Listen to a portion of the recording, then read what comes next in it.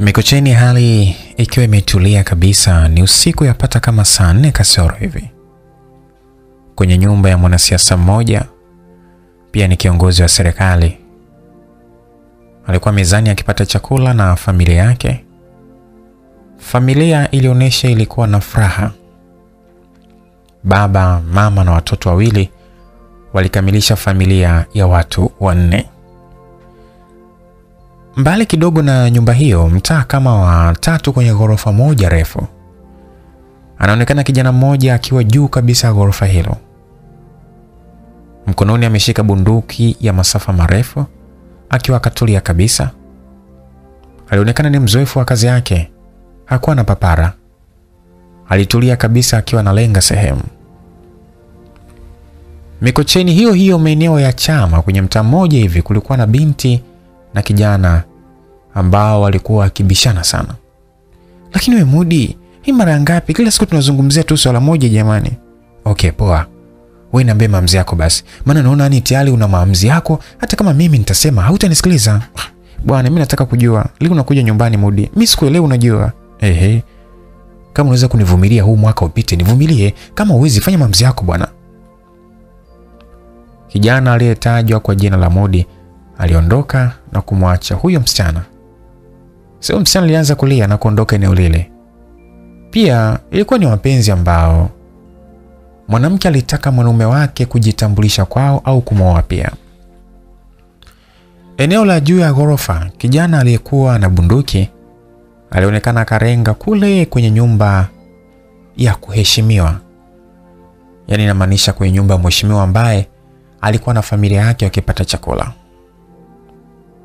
Mkuu, niko kwenye target, aliongea huku akishika kinasa sauti alichokuwa akachomeka sikioni mwake.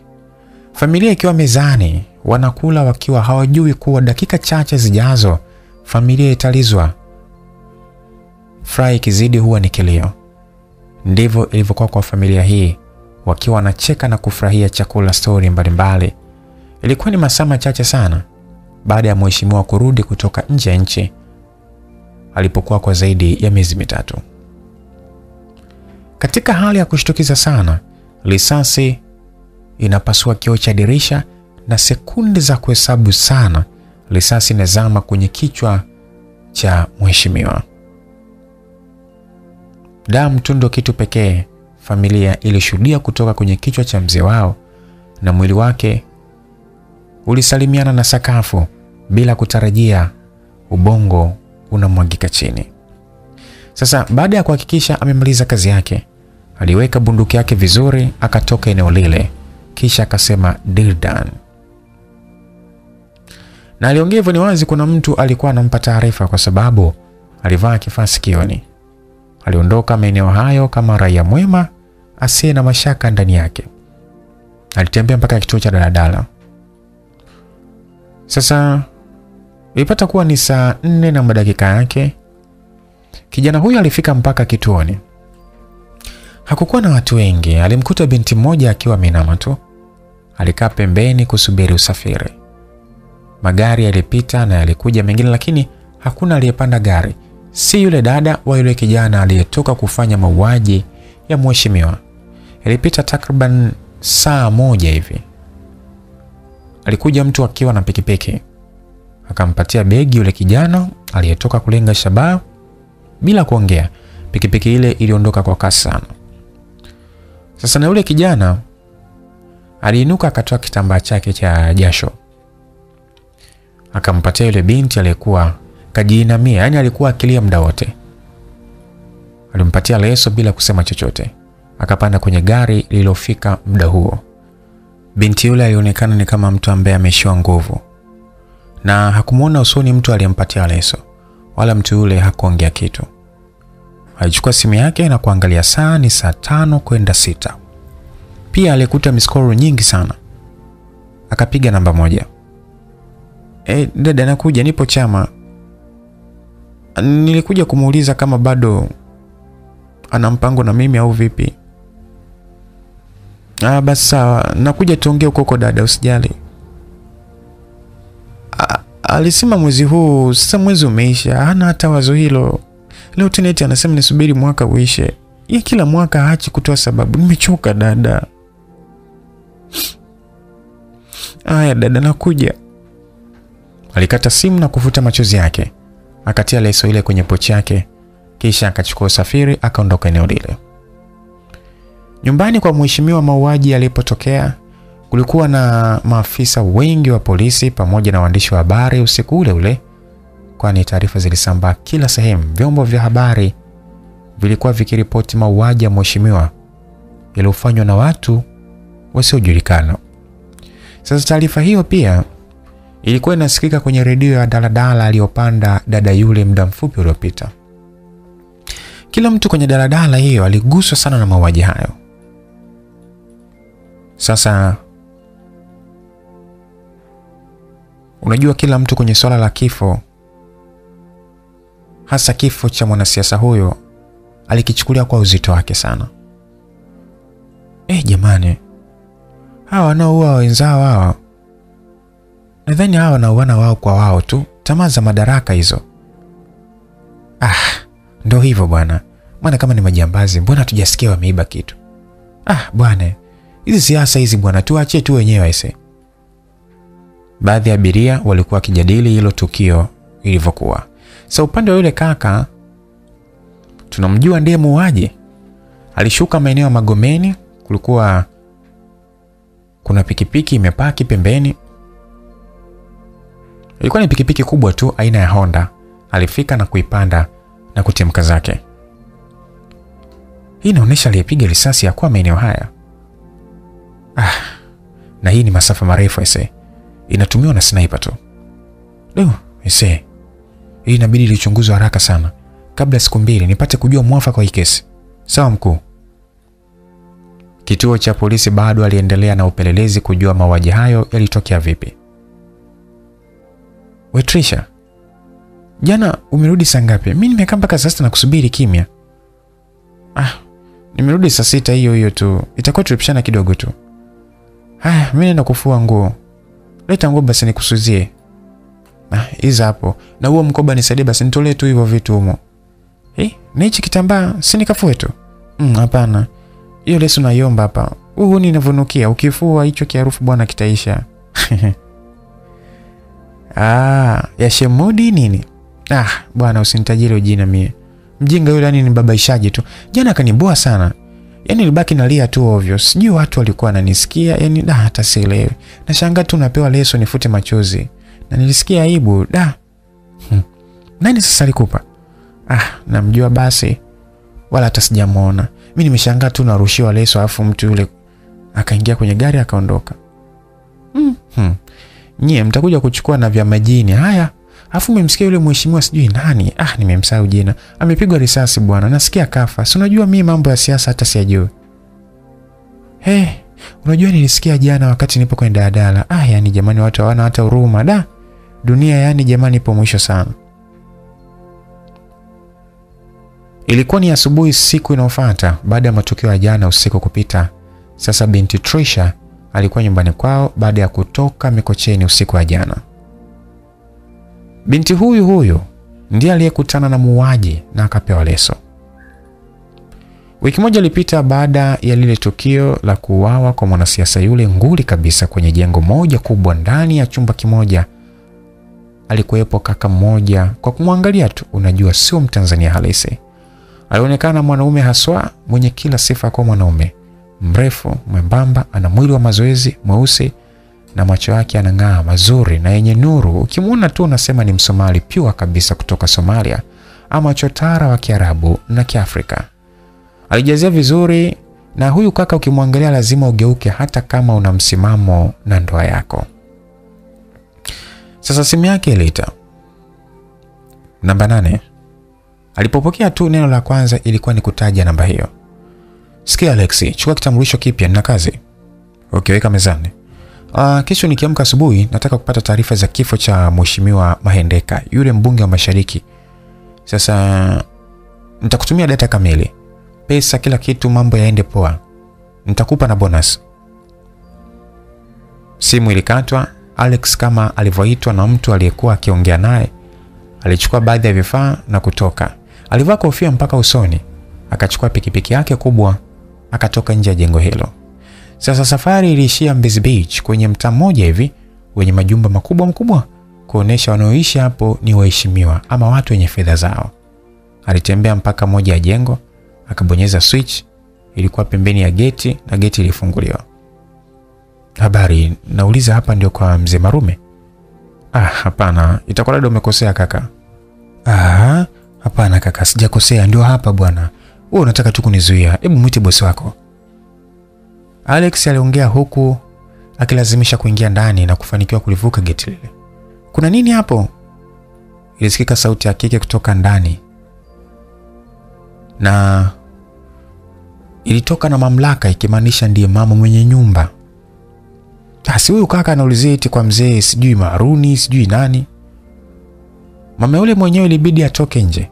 Alex alikuwa kimya, lakini alikuwa akizungusha macho kila kona ya nyumba ile kwa umakini sana. Kabla mama yule hajafika, alisema ah, sorry, ni kweli nimekosea nyumba. Alitoka bila hata kuaga. Airudi hadi alipopaki pikipiki yake na kutimka maeneo yale kabisa. Twende nyumbani, twende basi leo ukapumzike bwana, na huyo mudi wako mm. Rafiki yake Trisha alikuwa akimwambia kwani mimi nimekwambia naumwa eh? Mimi nipo sawa tu bwana, labda labda tu niende kumwona bi mkubwa wako kwa vile anaumwa. Nilikuwa nataka kuja huko kwenu tangu jana. Trisha alijibu hivyo. Atondoke asivi basi ili niwahi kurudi. Basi Trisha alivyojibu hivyo, walitoka wote mpaka nje, akamwaga dada yake. Dada, naenda Mbezi basi, naenda kumwona mama yake Ray, anaumwa na nitarudi jioni, ila leo nawahi kurudi. Baada ya kuaga, waliondoka. Trisha ni binti mrembo sana wa sura, umbo mpaka tabia. Ni binti aliyejituliza zake na mpenzi wake mmoja tu ambaye anaitwa Mohamed Chawene. Wengi walizoea kumuita Mudi. Ni wapenzi wa miaka sita sasa tangu kuanza kwa penzi lao, lakini Mudi ni mtu wa mambo mengi na ahadi zisizo tu, yani ni ha, ana ahadi nyingi ambazo hata kuzitimiza mwenyewe hawezi, jambo ambalo Trisha linakuwa linamuuma sana. Anatamani ndoa na anaamini umri wake wa kuolewa unazidi kwenda mbali. Wakati huo Mudi hakuwa bado, na muda huo yeye aliona bado anahitaji muda zaidi. Hiyo ndio ilikuwa tofauti yao kubwa sana na kusababisha ugombano kwao mara kwa mara sana, na hii ilikuwa ikimuumiza sana Trisha, lakini aliendelea kuvumilia tu. Alex alikuwa akarudi kwenye maficho yake, alichukua saa yake ya mkononi, akachomoa memory card, akaweka kwenye PC yake, akaanza kuangalia ramani ya jengo zima la ile nyumba ambayo alienda kutembelea pale asubuhi. Saa yake ilikuwa ina kamera na sio saa ya kawaida. Alitazama ile ramani mpaka alipoona ameridhishwa na kazi yake. Mida ya usiku kabisa, Alex alivaa nguo nyeusi tu, kuanzia viatu, suruali, t-shirt, kofia na juu alivaa koti refu leusi. Alichukua sumu kali ya kuua haraka, kisha akachukua na bastola ndogo. Alitoka akachukua pikipiki yake, kisha akaondoka eneo lile. Aliondoka eneo lile na kuelekea kule Mbezi Beach. Sasa usiku huo jijini Dodoma, kwenye club moja hivi, kulikuwa na kikao kinaendelea kwa usiku huo. Watu hao walikaa chemba kabisa, sehemu iliyotulia, huku nje kukiendelea kuwa na shughuli za kila siku. Kikao kilikuwa cha watu wanne tu. Bwana McCregan alionekana ndiye mwendesha kikao hicho. Uh, nimewaita hapa kwa sababu uh, nimeshampa kazi kijana wangu uh, na ninaamini ataifanya vizuri kama alivyofanya kwa mheshimiwa hapo juzi juzi tu. Najua wote mnajua kazi yake. Hapa kazi inabaki kwenu kuhakikisha jambo hili linabaki kwa siri yetu, na atakayeonekana kupinga lazima atangulie. Bwana McCregan alifungua kikao kwa taarifa hiyo. Haina shida. Uh, nitawapa taarifa wakuu wetu, kazi imefanyika vizuri tu, alichangia bwana Saif. Okay, tusubiri kesho. Bwana Mahendeka wote tunafahamu ana ulinzi kiasi gani, kwa hiyo sio rahisi kumwangamiza hata akiwa kwake. Kwa hiyo mlengaji wako hawezi kulenga kwa sababu nyumba yake viwa vipitishi risasi. Kwa hiyo tungesubiri hiyo kesho ndio uwape taarifa wakuu.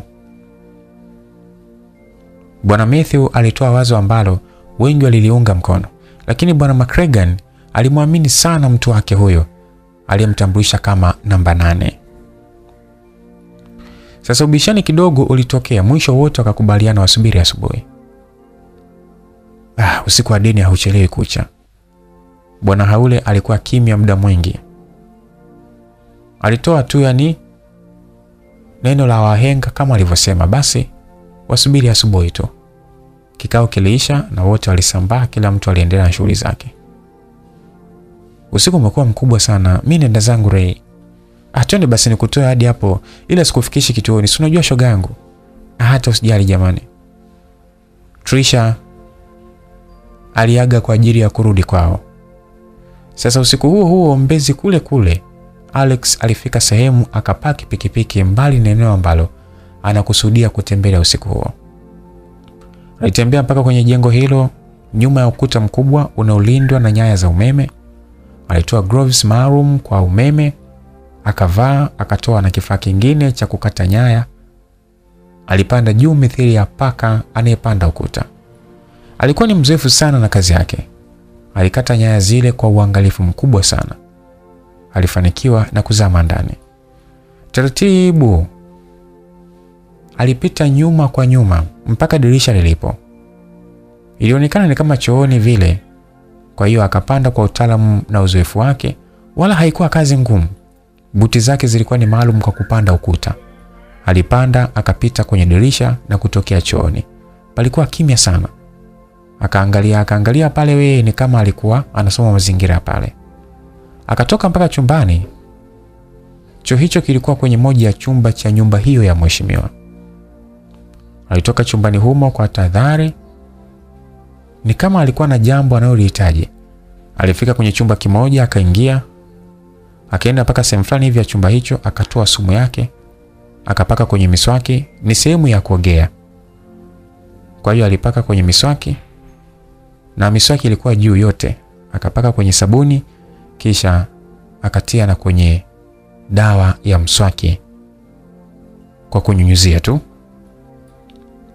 Sasa baada ya kumaliza kazi yake, alitoka taratibu. Alipofungua tu mlango, alikutana na binti mdogo akija uelekeo wake. Binti huyu ni yule kijakazi wa asubuhi aliyekutana naye mchana wakati familia ilikuwa sitting room. Binti alikuwa anaenda kuchukua simu aliyoagizwa na mama wa nyumba, na hapo alikutana na Alex. Binti alipiga ukelele kwa hali ya kushtukiza sana. Ukiangalia na mavazi ya Alex yalimshtua sana. Kitu ambacho hakujua ni kuwa huyo ndio mgeni aliyewatembelea asubuhi. Alex airuka haraka mithili ya paka arukaye panya. Sekunde za kuhesabu tu aliweza kumvamia na kumminya sehemu ya shingo, na binti alipoteza fahamu hapo hapo. Kwa kasi ajabu alitoka haraka kwa njia ile ile aliyoingilia. Sasa ukelele ule uliwafikia mpaka kule walipo kina mabosi zake. Haraka walikimbia kuja kuangalia shida ni nini. Walikuta binti kazimia na hawakuelewa shida nini. Haraka wakapiga simu kwa daktari wa familia. Ah, haya, mi naishia zangu hapa, si unafika tu. Hmm. Usijali, mi nishazoea bwana kutembea, kwa hiyo kuwa huru tu mami. Haya, bye. Trisha alikuwa akiondoka nyumbani kwa kina Ray. Muda huo huo alipita njia ambayo Alex aliacha pikipiki yake. He, hii pikipiki huku inafanya nini? Afu mbona kama imefichwa hii? Ni wakati alitaka ukojoa, kwa hiyo alisogea mbele akicheka kidogo, huku akimulika na simu yake kama tochi, na hapo aliona pikipiki kichakani. Sasa Alex katoka haraka sana, kwani mipango yake ilivurugika. Hakutakiwa kuonekana kabisa.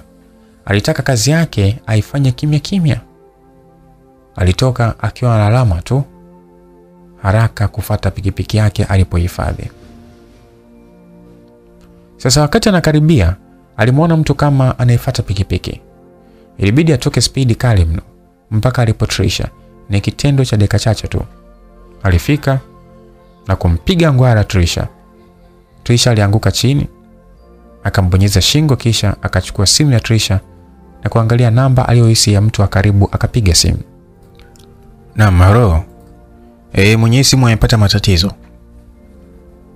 Alitoa maelezo vizuri tu, kisha akatoa pikipiki yake na kusogea mbali kidogo eneo hilo, akitazama alipo Trisha.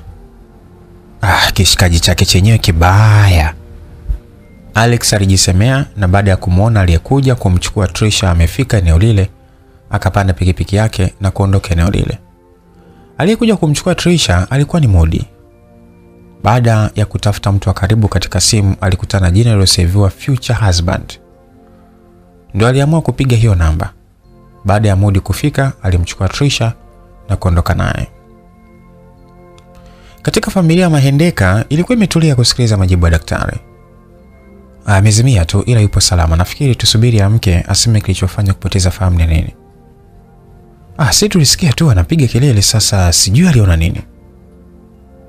Dokta alimwekea drip ya maji, aliaga na kuondoka. Walibaki wakisubiri binti huyo amke wajue shida ni nini. Tukaoge kabisa, huyu sio kuamka leo. Mke wa Maendeka alimwambia mumewe bila kujua Israeli siku hiyo alikuwa Bennett na wao bega kwa bega. Alikuwa kilandalanda katika nyumba yao. Alex baada ya kufika kwenye makazi yake, alitoa tablet yake, alikaa akitazama kwa makini sana, ikionyesha kuna jambo alikuwa akitazama kwa kutulia. Sasa Mudi alimfikisha Trisha mpaka nyumbani kwake. Fanya uamke hapo, uniambie kwa aje, yani ukawa kule na aliyepiga simu ni nani? Mudi alibaki kujisemea tu mwenyewe akiwa anamtazama Trisha. Sauti ya simu kuita ilimshtua Mudi kutoka kwenye mawazo aliyokuwa nayo. Ndiyo mkuu. Baada ya kupokea tu simu hiyo, ndo maneno aliongea Maendeka amevamiwa? Sawa kiongozi, haina shida. Ah, okay, sawa sawa sawa, haina shida. Maendeka baada ya kupokea maelezo alichukua koti na kitambulisho chake haraka na kutoka, akamwacha Trisha bado hajaamka. Sasa huku kwa Mahendeka, msichana wa kazi alipoamka alikumbuka vizuri tukio la muda mfupi mpaka yeye kupoteza fahamu. Alitoka haraka kwenda kuwapa taarifa ya kuvamiwa nyumba yao na mtu asiyejulikana. Alienda moja kwa moja sebuleni, hakumkuta mtu. Alirudi chumbani kwao, aligonga mlango takriban dakika 15 nzima, lakini hakupata majibu yote. Aliamua kusukuma mlango kuingia ndani chumbani, pia hakukuwa na mtu. Alisikia maji yanatoka bafuni. Hali aliyoikuta ilimtisha, haikuwa ya kawaida, hivyo aliamua kuingia bafuni haraka sana. Alichokutana nacho hakuamini macho yake. Bwana Mahendeka na mkeo walikuwa wamelala chini, damu nyingi zinawatoka masikioni, puani na mdomoni. Alipopiga kelele nyingi kuomba msaada bila mafanikio, na hapo aliamua kupiga simu kituo cha polisi. Sasa kwa Alex akiwa anatazama tableti yake alitabasamu na kusema deal done. Akajisemea na kuweka tablet pembeni, akainua simu yake na kutuma ujumbe kwa namba aliyosave namba nane. Deal. Aliandika kisha akatuma na kutulia. Sajeshi la polisi linafika eneo la Mbezi kwenye nyumba ya Mheshimiwa Mendeka usiku huo baada ya kupokea simu kutoka kwa msichana wa kazi wa eneo hilo. Katika maofisa wa polisi alikuwepo pia Mohamed Chawene. Huyu ndiye Mudi wa Trisha na wengine ambavyo humuita ni askari mpelezi na anayeaminiwa sana katika kazi yake. Huyu huyu ndiye aliyepewa jukumu la wiki moja iliyopita la mauaji ya mheshimiwa, kuhakikisha anampata muuaji, lakini mpaka sasa hakuna kabisa dalili hiyo ya kuweza kumpata muuaji, na leo mwanasiasa mwingine kauawa. Ah, kwa hiyo umesema kuwa ulikutana na mtu akitoka chumbani kwa bosi zako? Ndiyo, na hapo sijui tena imekuwaje mpaka nilipokuja kuamka na kukuta hii hali. Msichana wa kazi alikuwa akitoa maelezo kwa askari polisi. Baada ya kupimwa, aligundua sumu iliyokuwa kwenye miswaki na sabuni. Ah, mtu huyo aliweka sumu kwenye vitu ambavyo alijua ni lazima avishike. Mohamed au Mudi alitoa maelezo kwa mkuu wake wa kazi. Ukimwona huyo mtu unamjua? Dada wa kazi aliulizwa na alitoa maelezo jinsi mtu huyo alivyo, ila usoni hakumwona. Alielekeza vizuri mavazi aliyokuwa kavaa. Oh shit, kumbe alitega na kamera hii hapa. Askari mmoja aliweza kuona kamera ndogo sana, kamera iliyokuwa imetegwa sehemu. Waliitazama na kuitoa. Ah, kwa maana mtu huyu kashuhudia kila kitu kinachoendelea ndani. Mm, inaonekana itaka kujua kama kazi yake imefanikiwa vipi. Ah, sasa inabidi huyu binti awe chini ya uangalizi wetu, maana ni shuhuda na amejua kuwa amepona, inawezekana kuleta shida. Askari walikuwa kwenye majadiliano juu ya kamera ile. Alex baada ya kuweka sumu zake alitega kamera pia ili kuweza kuwa na uhakika na kazi yake. Ni pale alipofika nyumbani, alikuwa makini kufuatilia kupitia kishikwambi chake matukio yote ya nyumbani kwa Mheshimiwa Mahendeka baada ya kuona kazi yake imekamilika. Kwa hiyo alituma message kwa bosi wake aliyemwajiri. Sasa taarifa za mauaji hayo usiku huo huo zilitembea sana kupitia vyombo vya habari. Kila mtu alisikia, mikoa yote walipata taarifa. Wananchi wa jimbo analoongoza Mahendeka walisikitika sana. Ni mtu ambaye alikuwa akiwapigania sana. Sasa taarifa hizo za mauaji pia zilimfikia askari mmoja machachari na tishio katika kesi nyingi sana, na alikuwa mshindi hata kwenye kesi ngumu, yeye aliweza kuzitatua. Baada ya kupewa taarifa hizo na kuambiwa, afisa upelelezi aliyepewa kesi ya kwanza na hakuna matokeo mazuri, alitumwa yeye bila mtu yoyote yule kujua. Sasa usiku huo aliondoka haraka kuelekea jijini Dar es Salaam kuanza majukumu yake. Trisha alikuja kushtuka asubuhi imeshafika na alikuta kalala nyumbani kwa Mudi na Mudi hayupo. Aliamka na kufanya shughuli za hapa na pale huku akijaribu kuvuta kumbukumbu. Ilikuwaje? Yaani ilikuwaje yeye kulala nyumbani kwa Mudi? Tangu waachane ile siku usiku hawakuwahi kuwasiliana tena. Sasa Mudi alirudi nyumbani saa nne asubuhi. Alimuuliza Trisha kilichomkuta haswa ni nini mpaka kuwa katika hali ile na usiku ule. Mi hata sielewi ilikuwaje ise. Mi nitoka tu vizuri kwa Ray. Nimefika hapo ndo nikaona kama pikipiki imefichwa. Sijui ilikuwa imewekwa. Yaani hata sielewi. Sasa wakati naisogelea nikaona ni nilihisi kama kuna mtu anakuja kwa kasi nyuma yangu. Ile nageuka tu hata kuona sijamuona. Akanivamia. Nikasikia ni kama ni nimepigwa ngumi shingoni. Hapo ndo sijui hata ni kilitokea nini yani. Na ndio naamka najikuta niko hapa. Mm, huyo mtu namjua. Ah, hata sijamjua. Niliona tu ni manguo manguo tu kavaa, ni manguo meusi na koti refu. Pia na kofia. Na hiyo kofia yenyewe alikuwa amevaa mpaka usoni. Hapo Mudi alishtuka kwa hayo maelezo. Ikabidi amuulize kwa utaratibu Trisha. Trisha alitoa maelezo vizuri tu juu ya huyo mtu alivyokuwa amevaa. Hapo Mudi alifananisha na maelezo ya dada wa kazi, jinsi mtu huyo alivyokuwa amevaa. Aliinuka haraka kurudi ofisini kwake. Kwa hiyo mtu huyo alikuwa na pikipiki aina ya Honda? Ndiyo, kwa maelezo ya Trisha, na inavyoonekana baada ya kufanya vile alinipigia simu kunipa taarifa. Ni yeye mwenyewe ndio aliyenipigia simu. Mudi alikuwa anatoa maelezo kwa mkuu wake wa kazi. Okay, uchunguzi uanzie eneo la pikipiki ilipo, yaani sehemu ambapo imepakiwa na hata matukio ya kuzimisha kati ya Trisha na yule mfanyakazi, maana ni yale yale tu. Alex akiwa mfichoni kwake alipigiwa simu. Kwa nini umemwacha yule kijakazi? Huyu atakuwa shahidi? Ah, siwezi kuwa nje ya deal. Sawa, lakini tayari umeshafanya makosa. Vipi ukamatwa? Hmm? Kuna mwingine pia nimepewa taarifa alikuona wakati unachukua pikipiki. Naye pia ulimwacha hai. Kwa nini unaacha mashahidi? Se, nimefanya kazi yako. Na huwezi kugundulika hata iweje. Kuhusu mimi siwezi kukamatwa, kuwa huru. Alex alikata simu bila kusubiri jibu la bosi wake. Ninachotaka kusikia ni mashahidi wote wanauawa. Sitaki kuacha uchafu. Hiyo ni deal. Alex alipokea huo ujumbe mfupi wa maandishi ukimtaka akawaue Trisha na yule dada wa kazi haraka sana. Sasa asubuhi na mapema sana, askari aliyetokea mkoani Mwanza kuja katika jiji la Dar es Salaam alifika eneo la tukio akiwa kama raia wa kawaida tu. Askari huyu kwa jina anaitwa Isaac alitumwa kuhakikisha anadhibiti mauaji hayo ya watu wenye nyadhifa. Alizunguka nyumba kuangalia angalia, akiwa kama watu wengine tu waliokuwa wakishangaa eneo lile. Sasa alifanikiwa kuona nyaya za umeme zikiwa zimekatwa kwenye moja ya kuta. Alisogea mpaka pale, alitoa simu yake ili kupiga picha. We, we, we, we, wewe unafanya nini hapo? Hakuna raia kuingia eneo hilo, hebu toka hapo haraka.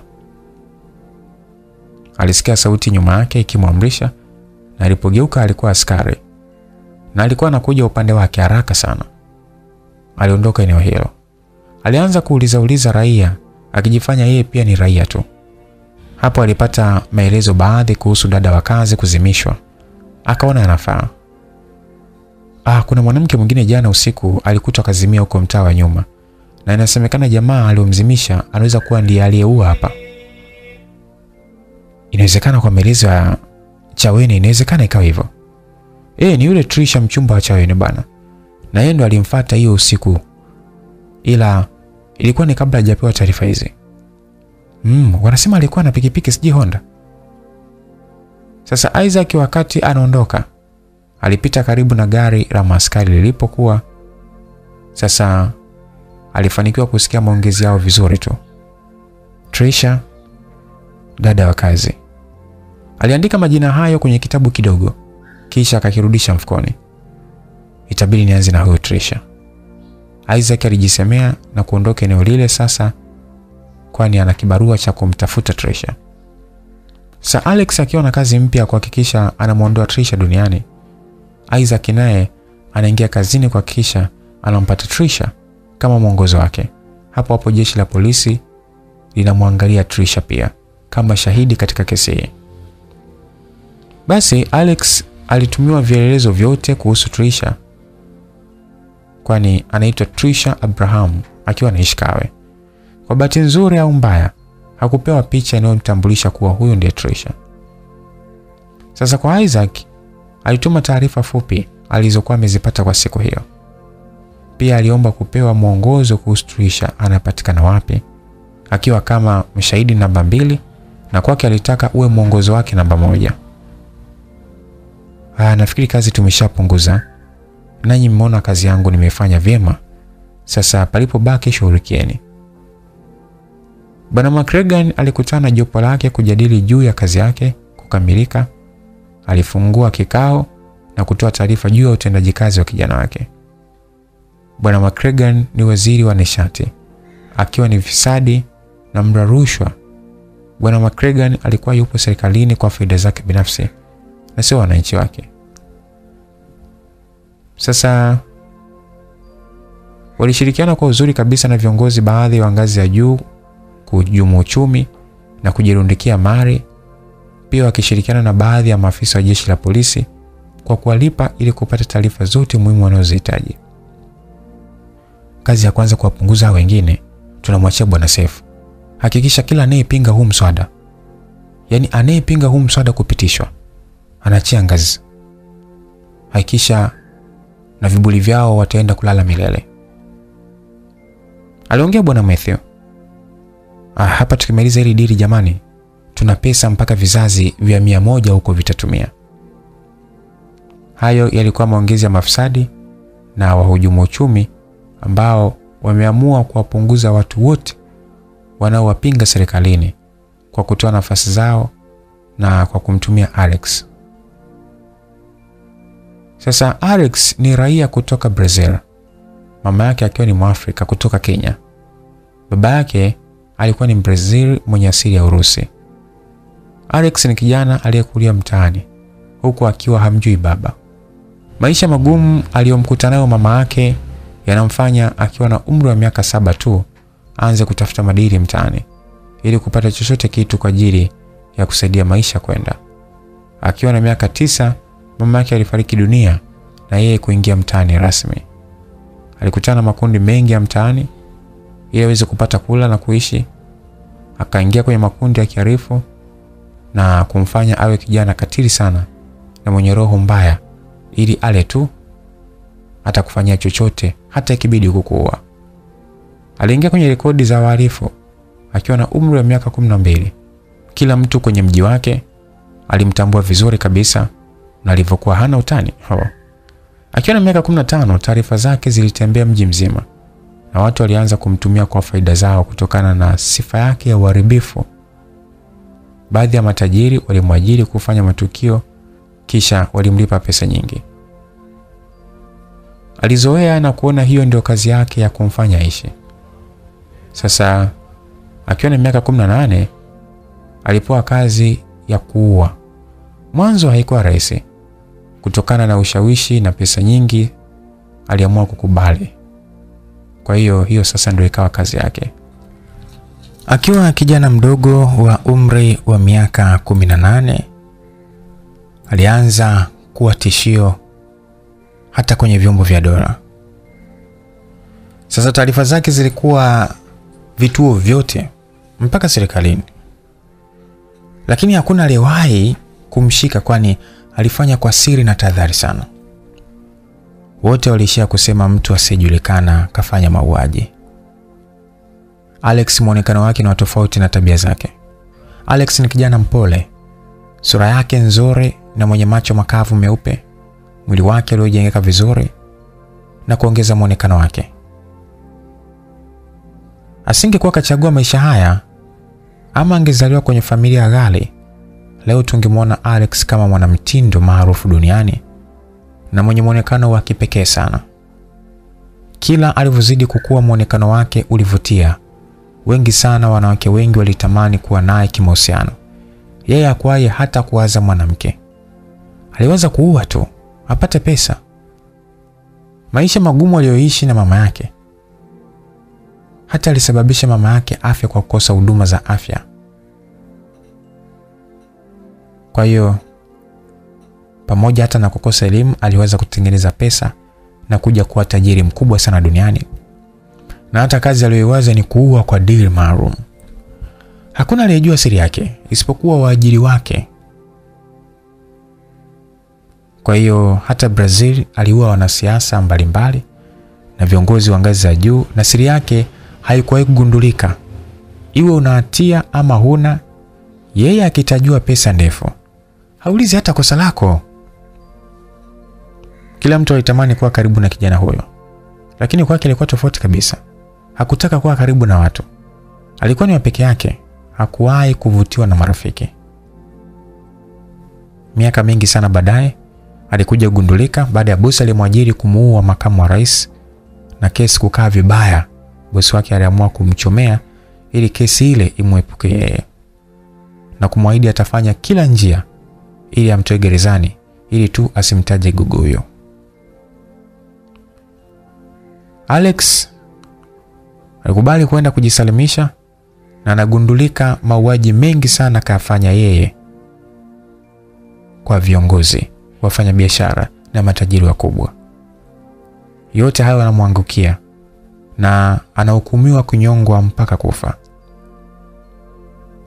Huyu ndio Alex ambaye mkononi leo ana deal la kumuua Trisha na hajawahi kufeli kazi yake.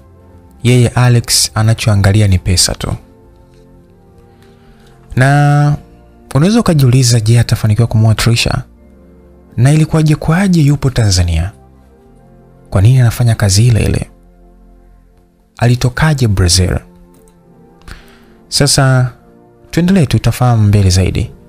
Asubuhi na mapema Trisha alikuja kutembelewa na rafiki yake Ray na kumpa pole kwa aliyotokea usiku ule walipoachana. Nilikuambia lakini kutembea usiku mtoto wa kike sio vizuri. Ah, yani acha tu. Mimi nimekoma mimi ese. Huyu tena hapana nimekoma. Eh, vipi na mudi wako? Ah, mudi hata simuelewe ese. Akitaka kuoa atakuja. Ile namshukuru alinisaidia ile usiku. Hmm, hata mimi ningepigiwa simu ningekusaidia tu. Ni wakati huo Trisha alikuwa akimsinikiza Ray kwenda kwao. We Trisha wewe. Ray alimshtua mwenzake kana kwamba kaona kitu cha hatari sana. Nini bwana, mbona nitisha? Wewe hebu muone yule kaka kule. Ray alimwambia Trisha huku akinyosha kidole kuelekea mbele yao. Mungu wangu, Nyie, mbona Mungu kaumba wanaume wazuri hivi jamani? Bonge la handsome jamani, hadi raha. Trisha baada ya kumwona mtu aliyeonyeshwa na Ray, naye alisifia uumbaji wa Bwana Mungu. Eh, mashallah jamani, mkaka gentleman la uhakika. Ray naye alijazia hapo hapo. Walimpita huku akichekacheka na kugeuka nyuma. Alex alipewa taarifa za mtaa anaoishi, shahidi namba moja na namba mbili ambaye ni Trisha. Kwa hiyo asubuhi alijiandaa kuianza kazi yake kwa kumtafuta Trisha. Hakuwa na picha yake, hivyo aliamua tu kwenda kumtafuta kwa mbinu zake binafsi anazozijua yeye. Ni asubuhi hiyo Alex alifika mtaani kwa kina Trisha. Alitembea na pikipiki ya kawaida aina ya Boxer, si ile ya, ya kwake ya matukio. Trisha na Ray wakati wanatoka walimpita Alex akiwa amesimama pembeni mwa garage moja hivi ya pikipiki akisubiri pikipiki yake kupewa huduma, lakini hakuwa na shida ya huduma ila kusoma mazingira ya ule mtaa.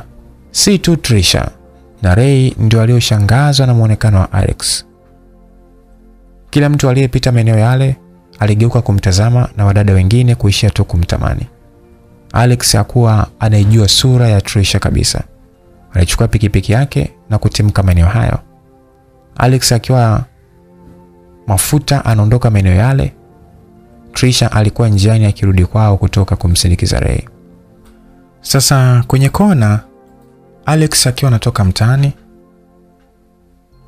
Sasa Trisha aliingia kwenye kona moja, alikutana pikipiki na pikipiki hiyo alikuwa anaendesha Alex. Kwa hiyo walipishana huku Trisha akiwa anatembea. Ni kitendo cha haraka sana. Alex alijitahidi kuikwepesha pikipiki yake na Trisha akajitahidi kuikimbia pikipiki hiyo. Trisha anatoa miguu eneo lile, Alex akiwa anakwepesha pikipiki. Kwa bahati mbaya, tairi la nyuma iliupiga mguu mmoja wa Trisha na akaangukia chini. Alex pia alianguka pembeni. Ah, wewe kaka mjinga nini? Unaenda Trisha kabla hajamalizia neno lake, Alex alivua helmet yake. Trisha alibaki kuumauma meno tu. Oh, Mungu wangu, kumbe ni huyo kaka handsome. Trisha alijimaliza kimoyomoyo tu na kubaki katoa macho akimtazama Alex wakati anaenda alipokuwa anakuja upande wake. Sorry, ni neno pekee aliloongea Alex. Ah, usijali, sijaumia, usijali hata usijali, niko sawa. Trisha alitoa maelezo bila hata kujua anaongea nini wala kujikagua kama kaumia au la. Alex alitoa pesa na kumpa bila kusema kitu. We kaka ni mzuri. Trisha alishindwa kuvumilia na kuropoka huku kamkazia macho Alex. Kwa hali aliyokuwa nayo Trisha, Alex alitabasamu, tabasamu hafifu sana kiasi kwamba huwezi jua kama akatabasamu. Trisha alishtuliwa na mtu aliyekuja kuzikwapua zile pesa kutoka mikononi mwa Alex. Dada, eti sijaumia. Hivi una akili wewe? Yaani unakataa hela alafu unasema hujaumia? Haya, inuka tuondoke bwana, kila mtu anakushangaa wewe hapa. Dada yake na Trisha baada ya kupata taarifa juu ya ajali akiwa mtaa wa pili kwao, alienda mbio sana. Baada ya kufika ndo anakuta na drama za Trisha. Alex aliinuka na kuinua pikipiki yake na kusepa kwa kasi ile ile. Eh, kumbe ukaka mshenze, pamoja na kunusurika kuua mtu alafu anaondoka na kasi ile ile du. Baadhi ya mashuhuda waliendelea kumjadili Alex. Sorry. He? Eti sorry. Alex baada ya kufika kwenye makazi yake alikuwa amechubuka na kuacha alama za vidonda mkono wake wa kulia. Alipokuwa anajitibu alikumbuka tukio zima pale kwenye kona ya mtaa ule. Neno sorry ilijirudia sana kwenye kichwa chake. Ah, pale kulikuwa kuna wananchi wengi sana wenye hasira kali, kwa hiyo nisingeweza kuwamudu wale. Sio mbaya kwa mara moja. Alex alikuwa akijisemea huku akiendelea na majukumu ya kutibu mkono wake. Ah, jamani, kitambaa changu. Trisha baada ya kufika nyumbani aligundua kitambaa chake hana. Alitoka haraka huku anakimbia kurudi eneo la ajali ile. Wesi si umeumia hiyo miguu jamani, alafu nakimbia hivyo tu da. Dada yake Trisha alibaki akilalamika tu bila majibu. Trisha alitembea hadi pale ambapo ajali ilitokea, akaanza kutafuta kama aliyepoteza hela au kitu cha maana sana. Trisha, unatafuta nini? Dada mmoja alikuwa maeneo hayo, alimuuliza baada ya kuona anazunguka muda mrefu maeneo hayo. Ah, nisi nimeangusha leso yangu, ipo kama kitambaa kitambaa hivi. Ah, kile ambacho kipo kina rangi kama maziwa maziwa, sijui cream cream vile. Eh, umekiona wapi? Ah, hebu angalia kwa wale watoto kama niliona wanachezea, sijui nimekifananisha. Tuisha alitoka mbio kweli mpaka kwa wale watoto. Alikuta mojawapo ameshika kile kitambaa. Aliwanyang'anya huku akilalamika sana. Ah, jamani mmekichafua sana. Mimi sitaki kuifua. Ah. Basi. Trisha airudi nyumbani kwao baada ya kupata kitambaa chake. Yaani wewe na hilo kitambaa lako he? Bora jamani, mpaka unaboa. Yaani mbio zote zilizotoka nazo hapa ni kwa hiyo leso. Baada ya kufika nyumbani, Trisha alipokelewa na maneno ya dada yake. Dada, mi natamani sana siku moja nikutane na huyo mwenye hii leso. Natamani nahisi ndo mwanaume anayetakiwa kuwa naye. Hakuna mwanaume aliyejali machozi yangu. Mudi na kumpenda kumpa moyo wangu, lakini hakuwahi hata siku moja kujali huzuni yangu. He? Kwa hiyo yeye kukupa tu hicho kileso eti anakujali? Yaani wewe kweli bado uko mtoto. Leso yenyewe ya mwaka 47 hiyo inaonekana kizamani sana. Hmm. Sawa, lakini mimi naipenda hivyo hivyo, Wewe niache. Dada yake Trisha alimwambia huku akimcheka kweli kweli kwa jinsi alivyochanganyikiwa na hiyo leso. Isaac akiwa akashika picha ya pikipiki kubwa aina kama ile ile anayotumia Alex, alikuwa akikumbuka matukio yaliyotokea miaka miwili nyuma ya viongozi wakubwa kuuawa na watu wasiojulikana, wawili wakiwa ni wabunge na wenye viti wa vyama fulani na mmoja akiwa ni kiongozi mkubwa wa dini. Katika mauaji ya mwisho ya kiongozi wa dini, kamera ziliweza kunasa pikipiki ya muuaji na ile ilibaki siri, na waliopata ile video, pikipiki ilipita kwa kasi sana. Walikuwa ni kikosi cha Isaac. Kwa kuwa sasa hawakuwa wakiwaamini sana jeshi la polisi, hivyo walibaki kama siri yao, na waliamua kuanza kuitafuta pikipiki hiyo kimya kimya. Imepita miaka miwili sasa, hawakuwahi kusikia wala kuona pikipiki hiyo popote pale nje na ndani ya Tanzania. Kitendo cha kupata taarifa kuwa Trisha aliona muuaji akiwa na pikipiki kubwa, hiyo iliamsha hisia upya kwa Isaac na kikosi chake, na ikabidi atafute Trisha, kwani ndiye mwongozo wao. Anachotakiwa ni kuthibitisha tu kuwa ndiye yenyewe pikipiki au sio. Isaac alikumbuka vizuri kuwa Trisha ni mchumba wa afisa upelelezi mmoja ambaye kwa wakati ule ndiye msimamizi wa kesi ile. Jamani, ili kumpata Trisha itabidi nianze na huyu jamaa, nimfuatilie kwanza, nina uhakika nitampata Trisha. Isaac hesabu zake ziligonga hapo. Alex alimtumia ujumbe bosi mwajiri wake kwamba anahitaji picha ya Trisha. Pia aliomba kujua ile kijakazi kwa sasa anapatikana wapi. Aliletewa taarifa kuhusu msichana wa kazi. Ah, msichana huyo yupo kwa mkuu kituo cha polisi, anaishi Kawe. Taarifa zake zote na kutumia hapo kwenye email. Kuhusu yule binti, shahidi wa pili, picha yake inapatikana. Ikifika saa tatu na dakika ishirini nenda maeneo ya chama, nitakutumia maelekezo zaidi. Kuna mtu ataweka picha sehemu hiyo niliyokutumia, hakikisha hakuoni. Sawa?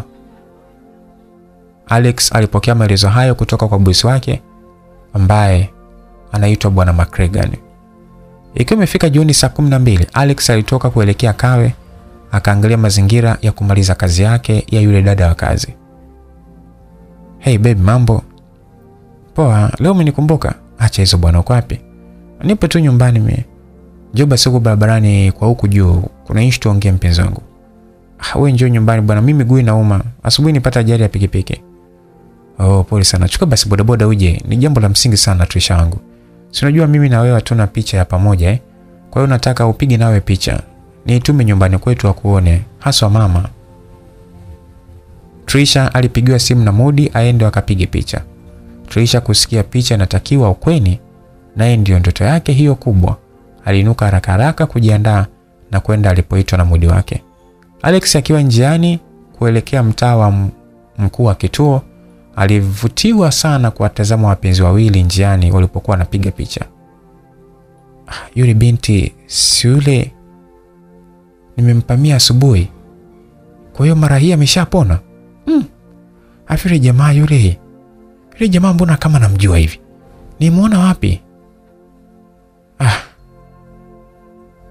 Alex aliwatizama kwa muda na kujisemea moyoni wakati anataka kuondoka.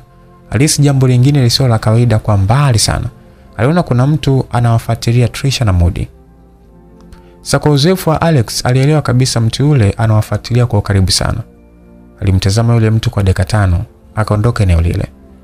Isaac aliamua kumfuatilia Mudi ili kupata taarifa za Trisha na alifanikiwa. Wakati Trisha na Mudi wakipiga picha, aliwashuhudia vizuri tu. Huyu ndiye Trisha, Isaac alijisemea na kuanza kuwapiga picha. Ni wakati huo Alex alimshuhudia vizuri kabisa Isaac akiwapiga picha kina Trisha. Saa tatu na dakika ishirini usiku, Alex akiwa maeneo aliyoelekezwa kwenda kuchukua picha za Trisha, alifika na kusimama mbali kidogo eneo hilo, akitizama eneo lile kuona atakayeleta picha.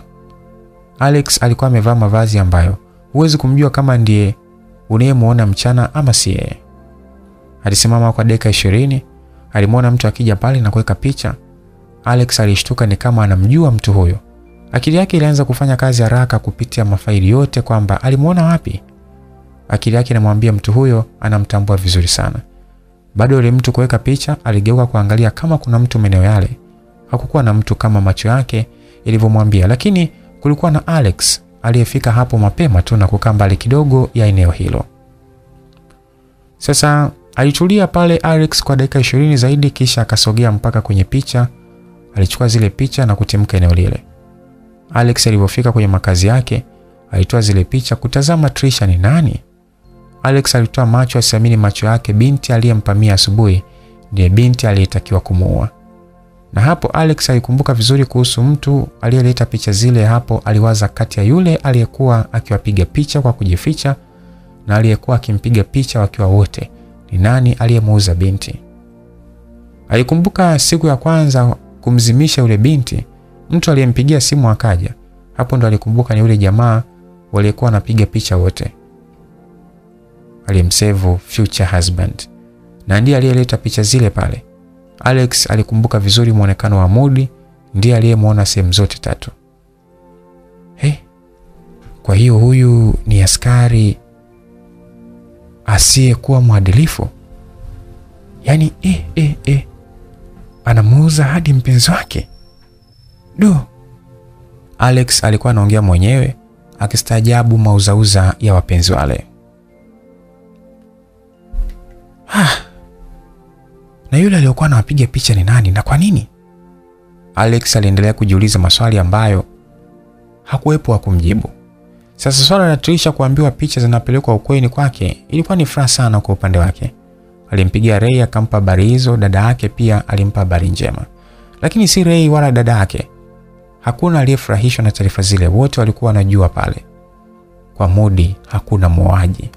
Asubuhi Alex alipanga kuamkia kwao Trisha ili kujua anaanzia wapi kazi yake na kumsoma binti huyo. Isaac naye alikuwa ameshapajua kwao Trisha. Kwa hiyo asubuhi hiyo alifika kumtafuta Trisha kwa kuwa Isaac hakutaka kujulikana kama mtu anayefuatilia kesi. Dada, habari? Poa tu. Sema ni hivi, naweza pata dalali hapa mtaani kwenu wa vyombo vya moto? Isaac alisimama sehemu kwa muda mrefu sana akiwa anawinda Trisha kupita njia hiyo. Subira yake ilizaa matunda. Trisha alikuwa anatoka kwenda mishimishi zake na akakutana na Isaac.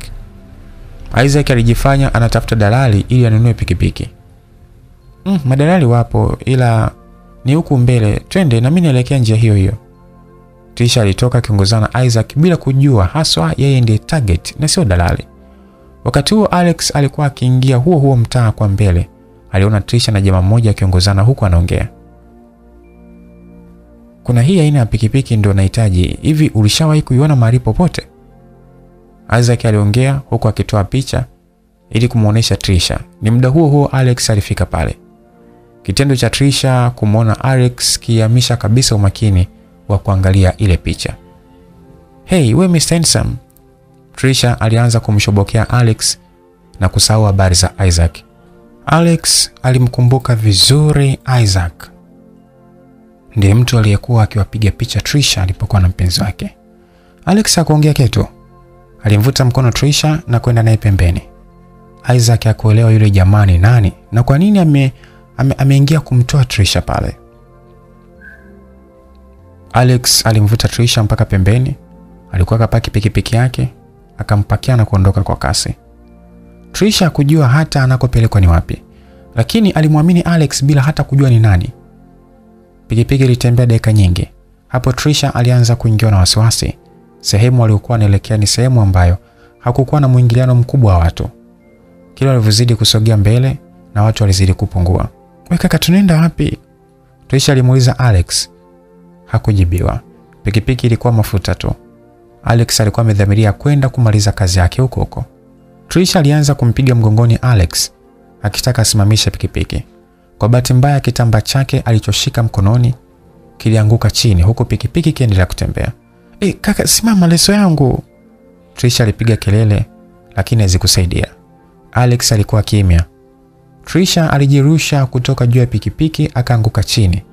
Ilikuwa ghafla sana, ilisababisha Alex kuyumbayumba. Aliwahi haraka kushika breki. Trisha alikuwa chini, miguu yake haikumpa sapoti ya kuinuka. Kitambaa chake kilikuwa muhimu sana. Alex akamsogelea. Mimi kitambaa changu bwana, siwezi kukiacha, naomba nichukulie tafadhali. Yaani wewe unajirusha kwenye pikipiki kwa sababu ya kitambaa? Ni muhimu sana kaka, ni nichukulie tu kitambaa changu huko nyuma, kimeanguka. Alex airudi nyuma kuchukua hicho kitambaa. Hmm. Yaani mimi waajabu kweli, natumwa naenda, sinatakiwa kumaliza kazi hapa hapa. Ah. Alex alienda kuchukua kitambaa huku akilalamika. Alinama kuchukua kitambaa na kuondoka kurudi alipo Trisha. Wakati anampa kile kitambaa ndipo alipostajabu sana baada ya kuona ile leso ni ya kwake. Alikumbuka siku za nyuma aliwahi kumpa mdada aliyekuwa analia kwenye kituo cha daladala. Alex alirudisha kumbukumbu zake nyuma miaka mingi sana. Alipokuwa na mama yake mzazi, kitambaa hicho alikitumia mama yake kumfuta kila anaporudi kutoka kwenye kuzoa taka mitaani. Alikuwa akifutwa na mama yake kwa kutumia kitambaa hicho. Alex alikumbuka mama yake ni mtu aliyetunza hicho kitambaa na kujali sana. Mama, si utafute kitambaa kingine, hichi naona kimefubaa. Alex siku moja alimwambia hivyo mama yake. Siku moja kwa kutumia kitambaa hiki hiki, naomba umfutie machozi mwanamke utakayekuja kumpenda kuliko mimi mama yako. Ah mama, mimi nakupenda wewe tu na nitakufutia wewe tu siku zote za maisha yangu. Mimi siwezi kumpenda mwanamke kuliko yeye mama yangu. Haya mwanangu, ila ipo siku utaelewa maneno yangu. Yalikuwa ni maongezi ambayo Alex alikuwa anayakumbuka miaka mingi sana kati ya yeye na mama yake. Sasa akiwa mbele ya Trisha, Alex alishindwa hata kupiga hatua. Alibaki amesimama kama mstimu, huku machozi yakitoka. Alimkumbuka sana mama yake wakati huo. Trisha alibaki akimshangaa tu na kujiuliza huyu ana matatizo gani. Alex alipiga goti alipokaa Trisha. Umetoa wapi hii leso? Na kwa nini umetaka kuumia kwa sababu ya hiki kitambaa? Ah, hiki kitambaa ni muhimu sana kwangu. Kuna mtu alinipa na mimi nipo siku atakijia nami namsubiri. Hii leso ni zaidi hata ya uhai wangu. Alex aliinuka akiwa anatoa machozi. Alienda akapanda pikipiki yake na kuondoka eneo hilo. Hey, huyu kaka ni mjinga huyu. Hasa mimi vipi nyumbani jamani? Hata nauli sina. Ah. Trisha alisimama akiwa analalama huku akishuhudia pikipiki ya Alex ikipotea kabisa kwenye macho yake. Nisije nikakuona tena maishani mwangu yote. We kaka wewe, hey, nitakufurahisha. Trisha aliendelea kulalamika. Alitoa simu yake ili ampigie Ray rafiki yake, hata amshauri afanye nini. Sasa akiwa anatafuta namba, anashangaa mbele yake kumwona mtu ambaye hakutegemea kumwona kwa wakati ule pale. Alibaki tu katia jicho mbele akimtazama huyo mtu.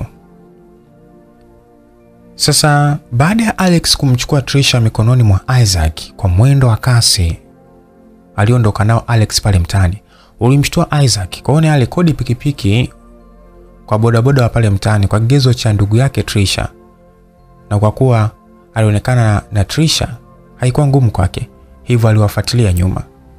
Ni wakati Alex anatoka eneo hilo na pikipiki, Isaac aliingia. Sasa Trisha mbele yake alimwona Isaac, yalimtambua kama mtu aliyetaka dalali mtani kwao. Sasa kwa nini yupo hapo? Hakuwa anajua kwa nini, alibaki tu anajiuliza mwenyewe. Vipi, hajakudhuru? Isaac baada ya kufika tu aliuliza swali hilo akiwa anamsogelea Trisha. Wala na wewe umekuja kufanya nini? Ah, kwa ule mwendo na ile staili ya uondokaji pale ulinitia mashaka. Ukiangalia mimi ndio niliyetoka na wewe kwenu. Sasa nibidi nije, kwani mnajuana? Ndiyo, namjua. Trisha alidanganya. Hakuwahi kumjua Alex zaidi ya kumuona tu, tena mara chache sana. Vipi, umepata pikipiki? Hapana, hii nimekodi haraka haraka tu ili nije nikufuatilie mwenyeji wangu.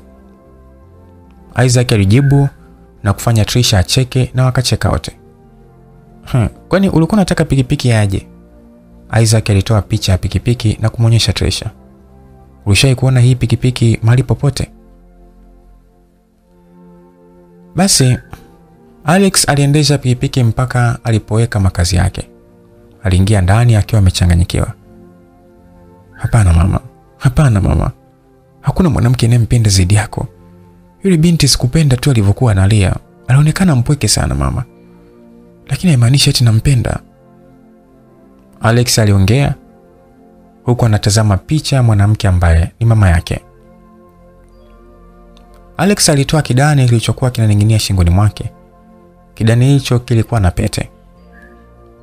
Hii pete utamvisha mwanamke mmoja atakayeugusa moyo wako. Siku moja mwanamke huyo usije kumuumiza kwenye maisha yako. Heshimu machozi ya mwanamke, kati usiache mwagike. Usije ukaacha moyo wa mwanamke uvunjike mbele yako. Alex alishika pete ile akiwa anatoka na machozi na kukumbuka maneno ya mama yake miaka mingi imepita. Hakuwahi kuona wala kuhisi kumpenda mwanamke yoyote yule kwa maisha yake. Pesa ndio kila kitu kwake. Alex siku yake iliharibika kabisa. Alibaki kalala tu siku nzima akitafakari juu ya Trisha. Sasa kwa nini ajali sana ile leso? Kwa nini ameumia kwa ajili ya ile leso? Pengine angekufa. Kwa nini anaithamini sana? Hmm? Leso ile ina thamani kuliko uhai wake. Hamjui hata mtu aliyempa, lakini ita anasubiri. Aha. Alex baada ya kukumbuka majibu ya Trisha alicheka tu, kitu ambacho kwake hakipo kabisa ni kucheka wala kutabasamu. Alishasahau kwenye maisha yake, miaka mingi sana imepita, hakuwahi kuwa na furaha. Furaha yake ni kazi yake itakapokuwa imekamilika na kupata pesa, lakini sio kucheka kabisa. Hapo hapo alikumbuka jinsi alivyomwacha Trisha kule bila msaada. Sasa nifanya nini pale? Oh, ile ni dili yangu tu, natakiwa kuimaliza, lakini kwa nini nimeshindwa? Na kwa nini yule binti? Ah. Alex alikuwa na siku ndefu, hajawahi kutokea kwenye maisha yake. Kila akigeuka huku ni picha ya Trisha, akirudi huku wazo la Trisha. Sasa kabaki aelewe amuue au vipi? Lakini mbona nafsi yangu haitaki kabisa kumdhuru? Nahisi nakuwa na amani sana nikiwa karibu naye. Alafu hata sikumuuliza yule jamani nani yake na anataka nini, na uhakika ni yeye ndiye aliyekuwa akimfuatilia tangu mwanzo. Sasa kwa nini yule binti yupo katikati ya kifo na uhai? Kwa sasa mchumba wake ndiye aliyemuuza. Mimi natakiwa kumuua na yule jamaa. Sasa ni nani na mimi natakiwa kufanya nini? Ah. Alex alikuwa ni kama akachanganyikiwa kabisa, haelewi kitu. Alikuwa anajiuliza na kujipa majibu peke yake. Alikuwa na wakati mgumu na hata anajiuliza kwa nini Trisha anamshughulisha sana akili yake na kumuumiza kichwa. Hii pikipiki mbona kama naijua hii? Hebu hilo ndio jibu ambalo linatoa uhai kwenye moyo wa Isaac na kufua tabasamu lake. Hii pikipiki na uhakika ndio wenyewe, niliona kule bwana Mbezi siku moja hivi usiku, na inasemekana sijui ndo. Trisha alisita kuendelea kuzungumza. Isaac alielewa na hakutaka Trisha amtirie maanani. Trisha alisita kuongea kwa sababu alishaambiwa kituo cha polisi taarifa zile zibaki kuwa siri yake kwa sababu ya usalama wake mwenyewe. Yeye alijikuta karopoka tu kwa Isaac na aliongea kwa sababu alihisi Isaac kaja kumsaidia, hivyo hakuna sababu ya kumkatili. Nilitaka sana pikipiki ya hivi, unaweza kumjua mbea nayo samani, lakini ah, hapana kakaangu, sijui chochote. Hata hivyo nimefananisha tu na ile. Isaac alimchukua Trisha kwenye pikipiki mpaka Mbezi Beach kwenye hoteli moja. Ah, nafikiri tupate kwanza chakula kabla ya kuendelea na safari, maana nahisi njaa. Isaac alimwambia Trisha akimtaka ashuke kwenye pikipiki. Baada ya kupata chakula, Isaac alimrudisha Trisha mpaka nyumbani kwao na akimwomba wawe marafiki. Nimependa sana kampani yako, naweza kuwa nakuja kusalimia. Pia naitwa Isaac, sijui unaitwa nani dada? Mi naitwa Trisha, hapa ni nyumbani kwetu, muda wote tu, karibu sana. Hmm, naona mwenzetu ushapata bwana mpya. Trisha alipoingia tu ndani alikutana na dada yake pamoja na Ray wakimpokea kwa maneno. Ah, niulizeni basi hata alionikuta jamani. Pole, nimekuja kuona mgonjwa alipopamiwa na pikipiki, simkuti tena. Ah, mwenzio bwana, nimekutana yule kaka gentleman Mr. Handsome. Wewe, yule mzuri mzuri yule wa jana pale tuliyemwona garage. Ray aliongea mfululizo bila hata kuweka kituo. Alionyesha hamu na kiu kubwa ya kutaka kujua imekwaje. Trisha aliwaeleza alivyomchukua hapo na kwenda kumtelekeza nje ya mji huko. Sasa nini kafanya hivyo jamani? Mimi hata sijui. Ila siku nikimpata, nitamfurahisha tu. Trisha alibaki akitia mkwara. Ndio mshukuru huyo kaka, sijui hata leo ingekwaje. Pole. Dadake alimpa pole Trisha. Huo ulikuwa ni mwanzo wa kuwa karibu kati ya Isaac na Trisha. Sasa Alex aliinuka usiku baada ya kulala siku nzima, alijiandaa na mavazi yake ili kwenda kumaliza kazi ya kumaliza yule shahidi namba moja ambaye ni binti wa kazi. Alex baada ya kufika eneo lile la nyumbani kwa mkuu wa kituo, anakuta watu wengi sana na askari wakiwa eneo lile. Haraka aliondoka na kubadili mwelekeo, kisha akarudi kujua nini kimetokea. Vipi hapa kuna usalama? Alex aliuliza baadhi ya watu aliokuwa nao eneo lile. Ah, yule dada aliyekuwa mfanyakazi wa mbunge amefariki, amepigwa risasi wakati anatoka dukani. Alex alishtuka kidogo, akabaki anajiuliza nani amefanya hivyo wakati ni kazi yake. Kwa mbali alimwona Mudi na maaskari wengine, akaishusha vema kofia yake ili kuficha sura. Akiwa anataka kusogea alipo maaskari ili kupata kusikia chochote, mbele yake anamuona Isaac akiwa hapo pia. Sasa hii ni mara ya tatu Alex anamwona Isaac kwenye matukio ya aina moja. Mm, huyu ndio muuaji huyu. Alex alimtazama Isaac na kujipa jibu. Kama siye, kwa nini anafuatilia sana matukio? Alex bila kujua Isaac yupo kazini kuhakikisha anamnasa muuaji wa vigogo ambaye ndiye haswa haswa yeye mwenyewe. Trisha. Alex alijikuta ametaja jina la Trisha haraka aliondoka eneo lile huku akikimbia. Ah, kama huyu kauawa. Next target ni Trisha. Yupo kwenye hatari. Alex alikimbia mpaka alipoacha pikipiki yake, akachukua koti lake kubwa na kofia pana, alivaa na kuondoka haraka kwa mwendo wa kasi kuelekea kwao Trisha. Sasa Alex aliondoa pikipiki kwa mwendo wa kasi kubwa sana, na hakuwa hata anaelewa aliyemuua yule binti anahusiana bosi wake au imekuwaje. Bado hakuwa anaelewa. Kwa wakati huo akili yake ilimtuma ni kumlinda Trisha tu. Sasa tr Trisha usiku huo alikuwa amelala kitandani. Alikuwa akifikiria mambo mengi yanayoendelea kutokea upande wake. Alimfikiria Mudi na visa vyake tangu mwanzo wa mahusiano yao mpaka sasa, na uongo mwingi ukiwa ndo unaongoza katika fikira zake za mahusiano. Ghafla alikumbuka tukio la mtu asiyemjua kumpa leso, na alipoinua macho yake alikuta mtu huyo akimalizia kuingia tu kwenye gari. Mwisho alimkumbuka Alex na vituko vyake tangu aanze kutana, Alijikuta tu ni mtu ambaye ametabasamu mwenyewe. Alianza kufikiria tangu mara ya kwanza kumwona Alex mpaka mara ya mwisho alivyomtelekeza kule mwisho wa mji. Hapo ikaja picha ya Isaac alivyokuja kumsaidia, akapoteza tabasamu lake. Mm, yule kaka ni handsome, ila wa hivyo ni wahuni, akastaki mie. Trisha alikuwa anajisemea moyoni. Alishtuliwa na simu yake ilikuwa inaita. Aliangalia mpigaji ni future husband. Alitabasamu tu. Hello? Yes baby, uko wapi? Nipo nyumbani. Saizi nitakuwa wapi sasa usiku wote huu? Okay, njoo hapa nyuma ya garage na kusubiri. Nimekumisi sana. Nimeshindwa hata kulala. Hey, we Mudi wewe. Kweli? Yaani utoke huko uje kwangu jamani. Kweli upo? Ole wako saniji alafu nisikukute. Trisha alifurahi sana kusikia Mudi amekuja kwa ajili yake kuja kumwona. Ile usiache simu yako. Alafu simwambie mtu kama unakuja kuonana na mimi. Mudi alimpa taarifa Trisha atoke kimya kimya. Trisha hakuwahi kuwa na mashaka na Mudi wake. Tofauti na uongo wa kumwoa, hakuna kibaya alichowahi kumfanyia. Trisha aliinuka bila hata kuaga na kutoka kwenda alipoitwa na Mudi. Trisha alitembea mpaka maeneo aliyoambiwa na Mudi, na baada ya kufika alisimama bila kumwona Modi. Akatoa simu yake ili ampigie kujua mbona hamuoni eneo lile. Alipokuwa akasimama Trisha, kulikuwa na kitaa chekundu hivi kikimulika eneo la kifua. Kwa mbele aliposimama Trisha kulikuwa kuna mti.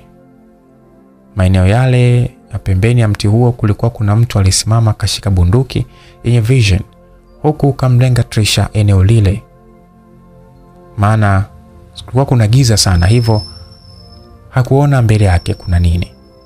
Alex alikuwa ni mtu wa kwanza kufika eneo lile. Pikipiki ya Alex kawaida huwa haitoi sauti na ni maalum kwa kazi zake. Wakati anafika kwa Trisha, aliona mtu anatembea kwenda garage na hapo haraka aligeuza kufata uelekeo huo huo. Isaac anafika, anaona pikipiki inaelekea gizani. Hisia zake zikaanza kwenda kwa haraka zaidi. Alihisi kuijua pikipiki ile. Alishuka haraka na kuitelekeza pikipiki yake, akaanza kufata uelekeo ule ule wa Alex. Alex kwa mbali aliona kile kitaa kifuani kwa mtu aliyesimama kwenye giza akiwa ni kama mzoefu sana wa hizo kazi. Alielewa ile ni bunduki na mtu aliyopo hapo amewekwa kwenye target. Aliacha pikipiki yake haraka sana, alijitupa chini kama nyani, akabiringita mara tatu. Aliposimama airuka sarakasi moja iliyomtupa mpaka aliposimama mtu huyo aliyelengwa na bunduki. Kisha alishangaa mtu katua mbele yake kwa ghafla sana. Risasi ilipigwa na kumpiga bega la kulia Alex na Alex yeye alitoa silaha yake haraka. Ondoka, nenda nyumbani, usitoke nje ovyo, usiamini mtu yoyote, hata kama ni mpenzi wako. Nitakuja kwa ajili yako, niahidi kama utakuwa salama. Alex alimwambia Trisha huku akiwa amemkumbatia. Kutokana hasa na macho kuzoea giza, Trisha alimwona mtu huyo akamjua kabisa ni yule yule aliyemvamia siku za nyuma baada ya kuona pikipiki kichakani. Trisha hakuwa hata na nguvu za kujibu, alibaki kapigwa na butwa Alex alimsimamisha na kumsukuma aondoke eneo lile. Alex aliwahi usafiri wake haraka kumfukuzia mtu ambaye alimlenga Trisha. Mtu yule baada ya kuona amefeli kazi yake, haraka alipanda pikipiki akatimka maeneo hayo, huku Alex alikuwa nyuma anamfukuzia. Isaac kwa vile alikuwa anakuja na miguu yake tena kwa tahadhari, alifika akakuta pikipiki ya Alex inaashwa na kutimkia mbali mbele na alipotazama tena upande mwingine alimwona Trisha. Trisha alikuwa ametapakaa damu mwili wote na amerudi kukaa chini kama mgonjwa.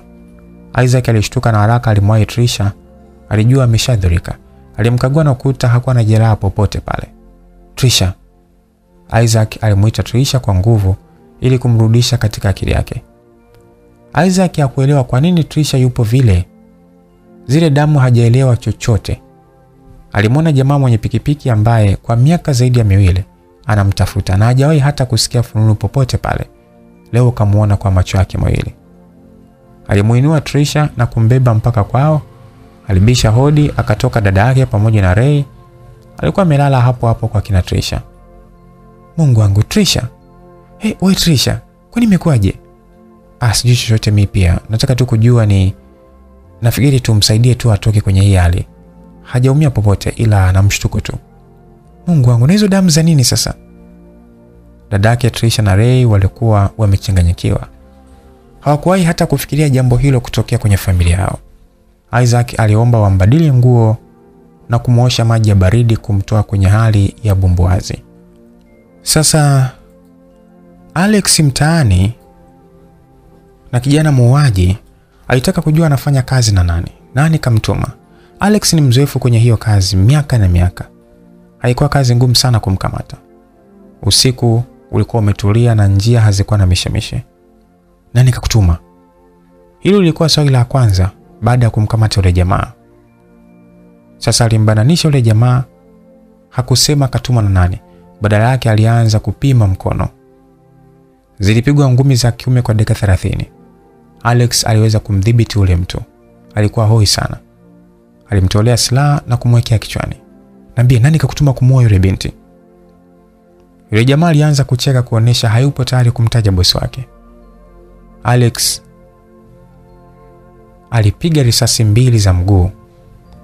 "Ah, Namba nane, yeye ndo kaniagiza, tafadhali usiniue tafadhali. Jamaa baada ya kuona inshu zipo serious airopoka. Alitaja kodi ambayo Alex anatumia yeye pamoja na mheshimiwa waziri. Okay, poa, jiokoe mwenyewe. Alex alipanda pikipiki kurudi kwenye makazi yake akiwa kaumia sana. Alichukua simu na kumpigia bwana McCragan. Alex, kwa nini umefirisha kazi yangu tena?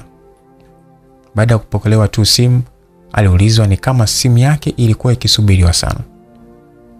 Bosi, huyo msichana hajui chochote, naomba umwache, nitahakikisha anakaa kimya azungumze.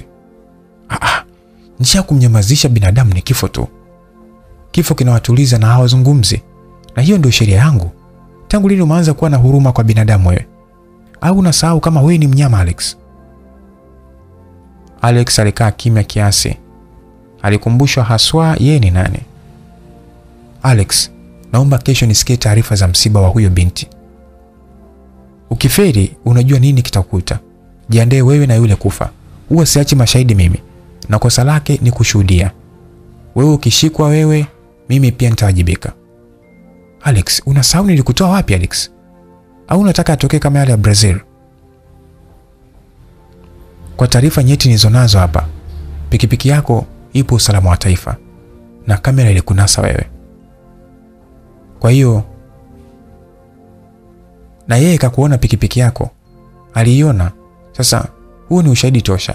Unachotaka ni kuthibitisha kama ndio au sio. Huyo binti ni hatari, ni hatari kuliko huyo kijakazi aliyokufa. Alex, sitaki habari tofauti na deal Dani. Basi Bwana McGregor aliongea mpaka mishipa ya shingo ikatoka nje. Alex hakuweza kuongea neno, alibaki kimya, hajui afanye nini. Alifikiria kwa nini hatamani Trisha kufa. Hapana, lazima ubaki hai, hata kama sijui kwa nini, nitakulinda tu. Alex alijiapiza kumlinda Trisha bila kujali nini kitatokea. Ilikuwaje mpaka ukawa pale? Trisha baada ya kukaa sawa, wengi kumtoka, alikutana na swali kutoka kwa Isaac. We ni nani na kwa nini unanifuatilia? Trisha alirudisha swali kwa Isaac. Wewe, huu ndio ukakusaidia? Hebu tulia bwana. Ray alimtuliza Trisha. Sasa alikumbuka maneno ya kwamba usitoke nje hovyo wala usimwamini mtu hata kama ni mpenzi wako. Hayo ni maneno ambayo aliyakumbuka vizuri Trisha na alianza kulia. Haelewi chochote mpaka muda huo mtu kapigwa risasi mbele yake, na ilikuwa apigwe yeye. Sasa kwa nini ilikuwa nipigwe mimi? Trisha hakujibu chochote, ila alikuwa mbali sana kifikra. Alibaki kujiuliza, yule mtu aliyesimama akapigwa risasi ni nani, na kwa nini Mudi alimwambia atoke nje na hakuwepo? Kwa nini asimwamini hata mpenzi wake? Trisha alishtuliwa na Ray. Uwe nani? Trisha alirudia swali lile lile kumuuliza Isaac. Kaka, kwani wewe nani? Dada Trisha aliona mdogo wake yupo serious na swala lile na macho yake yalimaanisha kabisa. Okay. Isaac alisema huku akitoa kitambulisho na kumkabidhi Trisha, lakini dada yake alikiwahi kukichukua. Alikisoma, hakuambulia kitu, akampa Ray. Ray akakirudisha kwa Trisha, kisha akamuuliza Isaac, kwani huwezi kutuambia wewe ni nani? Sawa, mimi naitwa Isaac Rafael. Unahisi hiyo inatosha? Haya, toka nje. Trisha aliinuka akiwa na hasira sana. Alikuwa kavurugwa sana, maneno ya Alex asimwamini mtu yalijirudia rudia. Wa kwanza kumtilia shaka alikuwa ni Isaac. Sasa kwa nini kule alipotelekezwa na Alex yeye alikuwa wa kwanza na alifika kwa muda maalum, halafu leo pia amefika muda ule ule ambao anahitaji mtu? Ina maana ananifuatilia? Hayo alikuwa ni mwanzo wa Trisha. Nimesema toka. Trisha alirudia tena. Isaac alibaki mpole, anapiga mahesabu ya haraka haraka afanye nini ili awe upande wa Trisha, ampe habari muhimu kuhusu yule mtu wa pikipiki. Trisha, calm down. Nitakwambia mimi ni nani. Kwa nini nipo pembeni yako? Hiyo nakufuatilia, naomba unipe nafasi ya mwisho. Nitakueleza kitu please. Isaac aliongea kwa ustaarabu, hata Trisha alishusha pressure na kukubali kumsikiliza. Naitwa Isaac, mimi ni askari mpelezi kutoka Mwanza. Nimekuja kufuatilia kesi ya mauaji yanayoendelea kufanyika hapa. Sababu ya kuja kwako Trisha, nilikuwa nataka unisaidie juu ya yule mtu mwenye pikipiki nyeupe kubwa. Yule ni muuaji na wewe ulishuhudia baadhi ya vitu kumuhusu. Naona ndio sababu wanataka kukondoa. Niliwahi leo kuja huku kwa sababu shahidi namba moja ameuawa. Akili yangu ilikuwaza wewe, na wakati nafika hapa kwenu niliona tena ile pikipiki. Ni miaka miwili sasa imepita nikiitafuta, na nina uhakika ndo yenyewe, na yule mtu ndo muuaji. Hapana, sio kabisa, yule sio muuaji, hapana. Trisha alikataa kabisa hilo swala, ikasababisha wote kumtazama kwa maswali. Kiaje? Kwa nini eh? Kwani ilikuwaje wewe kuwa pale? Wote walikutana wameuliza maswali kwa mshtuko. Yeye ndiye aliyesimama mbele yangu akapigwa risasi, na amepigwa risasi badala yangu. Pia akaniambia ni stoki nje, wala nisimwamini mtu yoyote, hata kama ni mpenzi wangu. Ah, sasa kwa nini ulitoka usiku? Si ulikuwa umelala Trisha? Mmoja alinipigia simu akaniita nje. Trisha aliwaelezea ilivyokuwa mpaka yeye kuwa pale nje. Kwa nini nasema simwamini mpenzi wako? Ina maana Mudi anahusika eh? Yule ni afisa mpelezi na ndiye anasimamia hii kesi. Muda huo huo Mudi alipiga simu. Isaac alimwambia usija kumwambia mtu yoyote kuhusu mimi abadani. Hello? Samahani sana bibi, nimechelewa kufika hapo. Nilipata ajali, nipo hospitali. Nisamehe sana kipenzi changu. Hayo yalikuwa ni maneno ya Mudi kwa Trisha. Isaac aligundua kitu kwa yale maelezo ya Mudi. Haraka alimwandikia Trisha kwenye simu na kumwonyesha amuulize Mudi amepata ajali saa ngapi. Sasa Mudi alitaja muda, hapo Isaac alielewa zaidi, ila hakuonyesha alama yoyote kwa kina Trisha. Leto simu hapa. Isaac alichukua simu ya Trisha kisha akampatia simu nyingine ndogo yenye laini yake pia. Hakikisha utoki nje, usiwasiliane na Mudi sawa. Kwa sasa usiwasiliane naye kabisa, hakikisha hauonani na mtu, umenielewa? Isaac alimpa maelekezo yote Trisha. Dada, kwa sasa Trisha anaangaliwa sana na kila mtu, tafadhali naomba muwe makini sana. Isaac alimaliza kumwambia Ray na dada yake Trisha kuhakikisha kwamba usalama wa Trisha unakuwa wa hali ya juu, kisha aliondoka usiku huo huo. Isaac alielekea mpaka makao makuu ya usalama wa taifa usiku huo. Alikuta tayari viongozi wake washafika. Alitoa picha ambayo alimpiga Alex usiku huo na simu yake ilionyesha mgongo tu, kisha akatoa picha ya miaka miwili ilitokana na CCTV kamera zilizokuwa maeneo yale, na hakika muuaji ndiye yule yule, amerudi tena. Isaac alianzisha mjadala. Ah, kwa hizi picha inaashiria ni mtu mmoja huyo. Sasa bosi wake nani? Mr. Allan ndiye kiongozi wa kikosi hicho, aliuliza na kufanya wote watizamane. Kikao kilikuwa cha watu wanne tu walioaminiana na kuaminika katika kutumikia taifa lao. Kwa nini tusimtumie huyu binti kama huyu anaweza kuzuia risasi? Ina maana na pia kwa hayo maneno aliyoyasema huyo binti, kaambiwa hapa binti ndio iwe target yetu, iwe tageti yetu kumnasa huyu jamaa mwenyewe pikipiki, na yeye atuonyeshe bosi wake, na hiyo ndio lengo haswa. Mr. Alan aliongezea hapo na kufanya wote wakubaliane na wazo hilo. Pia George inabidi uanze kumfuatilia kwa ukaribu sana Mohamed Chawene. Anahusika kwa asilimia mia moja kabisa kwenye hilo. Sawa kiongozi.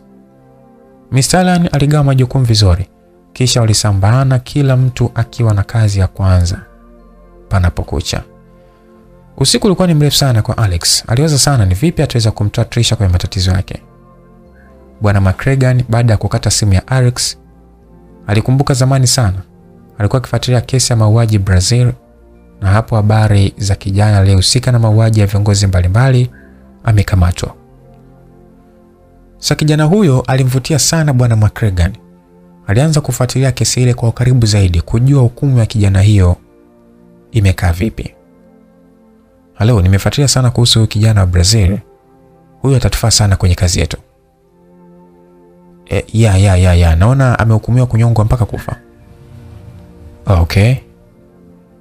Aha. Okay, basi. Tunaweza kufanya kitu ese. Pesa inahamisha milima mkuu. Ya, kazi hiyo itaanza kesho. Kufuatilia kesi ile nitamtoa kule aje huku. Sawa mkuu, haina shida. Bwana McCragan aliongea na mtu kwenye simu. Ni wazi kuwa McGregor anaye mtu wa juu ambaye yeye anasimama badala yake. Huo ndio ulikuwa mwanzo wa McGregor kuwa na Alex. Alisafiri kwa siri sana mpaka Brazil. Alifanya juu chini kwa ushawishi wa fedha na kujuana na viongozi wakubwa. Alex alitoroshwa gerezani huku taarifa za kunyongwa kwake zikienea ndani ya mji na nje ya mji. Kuanzia hapo Alex alikuwa ni mali ya McGregor mwenyewe, lakini kwa amri kutoka juu, ambapo hata Alex hakuwahi kujua huyo bosi mkuu anayetoa amri ni nani. Trisha usiku wake ulikuwa ni wa kutisha sana na mrefu. Wakati amelala, alianza kukumbuka vizuri kuanzia alivyopigwa na Mudi na kutoka nje. Alikumbuka vizuri mtu aliyekuja mbele yake kuzuia risasi isimpate. Alikumbuka maneno ya asimwamini mtu. Trisha alishtuka sana alipokumbuka wakati yule mtu anaondoka kwenda kuchukua pikipiki. Ah, hapana, ndio yeye. Aliongea kwa sauti. Ray na Dati waliinuka wote kumtazama. Trisha, nini? Ray alimuuliza. Trisha aliinuka haraka mpaka juu ya dressing table, akachukua leso yake. Alitazama huku akicheka. Ndio yeye dada, huyu ndio yeye aliyenisaidia leo, ndio mwenye hii leso dada. Trisha aliongea huku akimkumbatia dadake. Isaac au? Hapana, sio Isaac, ni yule, simjui jina, ila ni yule mwenye pikipiki dada. Wewe umejuaje? Nguo zake rei siku ile nilimwona kwa nyuma akiingia kwenye gari. Leo pia nimemuona kwa nyuma wakati anaondoka. Hata kutembea na muonekano ni ule ule Ray. Yule sio muuaji, sio muuaji. Trisha aliongea kwa shauku kubwa ya kumwaminisha kila mtu kuwa yule mtu aliyekuwa anamsubiri kwa kipindi chote leo kaja tena kwake. Sasa Isaac asubuhi alikuwa wa kwanza kufika kwa kina Trisha, na alifika kwa lengo tu la kuweza kumjulia hali. Kwa hiyo mtakaa ndani sasa mpaka lini? Avumilia kidogo tu, utakuwa huru. Tunaweka mambo sawa ili upate ulinzi. Kwa hiyo tunaomba sana Trisha, ushirikiano wako kumkamata yule mtu, ila ile serikali kwa kunitumia mimi inakuomba sana pia usiri wako. Trisha alikubali, lakini akili yake ilishahama huko muda mrefu sana. Alichokuwa anasubiri kwa wakati huo ni mtu wake arudi kama alivyomwahidi atarudi kwa ajili yake. Isaac alishangaa kumwona Trisha, alikuwa na furaha sana kuliko jana alivyomwacha usiku. Vipi Trisha, kila kitu kipo sawa? Isaac ilibidi amuulize na akasema kwamba kila kitu kipo sawa, hata asijali. Isaac aliaga na kuondoka. Datisha, unaitwa hapo nje. Baada ya Isaac kutoka tu, mtoto aliingia kumuita Trisha.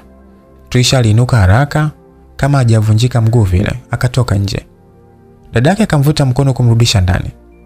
Wewe usikiage basi ti upoje, lakini umambo usitoke nje eh? Yaani aliyekwambia hivyo ni Isaac, hata mbali hajafika unatoka eh? Dada, itakuwa amekuja nani? Trisha hakujibu. Alitazama ile leso ilikuwa mikononi mwake. Dada yake akaelewa. Mwambie huyo anayemuita aje ndani, sawa?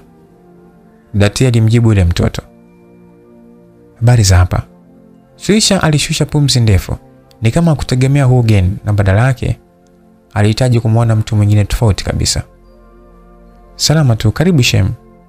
Ray alijibu baada ya kuona Trisha hakuwa hata na habari na Modi. Ah, porini, nasikia jana ulipata tatizo. Da Trisha alimtazama Trisha, kisha Ray. Wote walitikisa vichwa kuashiria kuwa wao hawakusema popote. Wewe umejuaje? Modi alikutana na swali kutoka kwa Dati. Alibaki anababaika tu. Ah, nimesikia hapo mtaani wakati nakuja. Alijibu kwa kutokuwa na uhakika na jibu lake. Sasa Ray walitazamana kwa mshangao. Jambo hilo limetokea usiku na hakuna watu walioshuhudia zaidi ya kusikia mlio wa risasi, na wao wamefanya siri. hakuna aliyomshirikisha, wakabaki kuguna tu. Ah, mi naenda kulala bwana. Trisha aliaga na kuondoka. Trisha, mbona sikuelewi? Unaondoka na niacha hapa mimi wakati nimekuja kwa ajili yako na nimekuja kukuambia kilichonikuta jana usiku. Ndio maana sikufika, mpenzi wangu. Modi alijaribu kumsemaisha Trisha bila mafanikio. Amvumilie huyo hata hayupo sawa. Ray ilibidi amwambie Modi. Da, itakuwa nimemuuzi sana. Basi Modi alijikosha hapo bila kujua kila mtu anamjua kama ni mnafiki, nao wakaenda naye hivyo hivyo kinafiki. Trisha alikaa kila siku akisikiliza mtu aliyemwahidi kuja, lakini hakuna. Zilipita siku nne, Trisha alikuwa ni kama mgonjwa, hata kula alishindwa. Mara nyingi Isaac alikuwa akimtembelea kumuuliza uliza tu baadhi ya maswali ya kipelelezi. Maudi hakuacha kumfuatilia Trisha. Trisha alikuwa akitoka kila siku usiku kwa siri kwenda gereji kumsubiri mtu aliyemwahidi atarudi kwa ajili yake. Uko wapi? Unakuja lini? Au uliumia sana na ile risasi? Na nitakusubiri mpaka lini? Ah, we ni maalum sana kwangu. We ni ile ndoto yangu ya siku nyingi. We sio jambazi kwangu, we ni gentleman wangu. Trisha alikuwa akiongea na Leso kila mara. Aliamini mwenye hiyo Leso ndiye aliyemsaidia kuokoa uhai wake. Mudi alimwona kama ndiye jambazi mkuu, ila alifuata maelekezo ya Isaac kujifanya hajui kitu. Ilikuwa ni asubuhi, Azak alimfuata Trisha kutembea tembea. Azak ndio mtu aliyokuwa karibu sana na Trisha kwa kipindi chote, walitoka wote kutembea na kurudi. Wajikuta wamezoeana, hata Trisha alianza kuzoea kuto kumfikiria tena yule kaka jambazi na ahadi yake. Alex alijiguza peke yake ndani kwa ndani zaidi ya wiki na siku kadhaa. Baada ya kurejewa nguvu sasa, alinyanyuka kuelekea kwa Trisha. Alex alizama moja kwa moja mpaka getini kwa kina Trisha. Mungu wangu wewe! Ray ndiye aliyekuwa wa kwanza kumwona Alex. Alishindwa kuongea, akatoa macho tu kumshangaa Alex, ni kama hakutarajia kumwona maeneo hayo. Samahani, namtafuta Trisha. Alex aliongea kwa kupangilia maneno. Ray alishindwa hata kujibu, alibaki anamtazama tu Alex huku anameza mate. Nye, huyu kaka mbona mzuri hivi hivi? anadem kweli huyu? Si ana mademu huyu? Ray aliongea kwa sauti huku kamkazia macho Alex usoni. Sipo hivyo, Trisha yupo. Alex alicheka akamvuta pua kumshtua huku anamjibu swali lake. Ray alishtuka. Ah, samahani, kumbe nimeongea kwa nguvu. Ray aliona haya. Vipi, kuna nini? Mbona mnashangana? Afu si ndio yule aliyemtelekeza Trisha polini huyo? Alikuja Dati baada ya kumwona Alex akijazia maneno mle mle. Hey, kumekucha. Hata sijui nimekuja kufanya nini na mimi naye. Da. Na bado yeye ndo atanitoa kichwa kabisa. Alex alijisemea moyoni huku akigeuka kuondoka eneo lile. He, wapi? Hatujamalizana bwana. Hebu rudi hapa. Dada T akamvuta shati Alex kumrudisha ndani ya geti. Alex hakujua hata aseme nini. Sifa yake kuongea sana hawezi kabisa. Sasa niseme nini? Alikuwa akijiuliza moyoni mwake. Ah, nilikuja kumwomba samani ile siku nilipokea simu ya ghafla sana. Alex alitunga uongo hapo hapo. Dati, mwache bwana. Ray aliingilia kati baada ya kuona Dati kambananisha maswali sana. Shoga, umepishana yule kaka Mr. Handsome. We, yule sijui Mwarabu sijui Msomali kweli? Jamani, yani na hamnaye huyo jamani mweuda. Yaani kanitelekeza kule afu mie ah, afu kaja kwetu. Kaja kufanya nini sasa? Trisha aliongea maneno mfulizo bila kupumua. Macho yake alionyesha ilikuwa na hamu sana kumwona. Sasa aliweka vitu chini haraka haraka akatoka nje kufata njia aliyoambiwa kapita Alex. Alitembea mpaka mwisho wa mtaa wao lakini hakumwona. Akarudi nyumbani kwao. Ah, nimefurahi tu kukuona Trisha. Upo mzima. Lakini utakiwa kutembea tembea. Bado sio salama sana kwako. Alex alikuwa yupo sehemu anamtazama vizuri Trisha. Mpaka aliporudi kwao. Aliinuka na kuondoka eneo lile kurudi kwenye makazi yake. Yule jamani nani? Na kwa nini yupo karibu sana Trisha? Natakiwa kumjua zaidi, ni muhimu sana.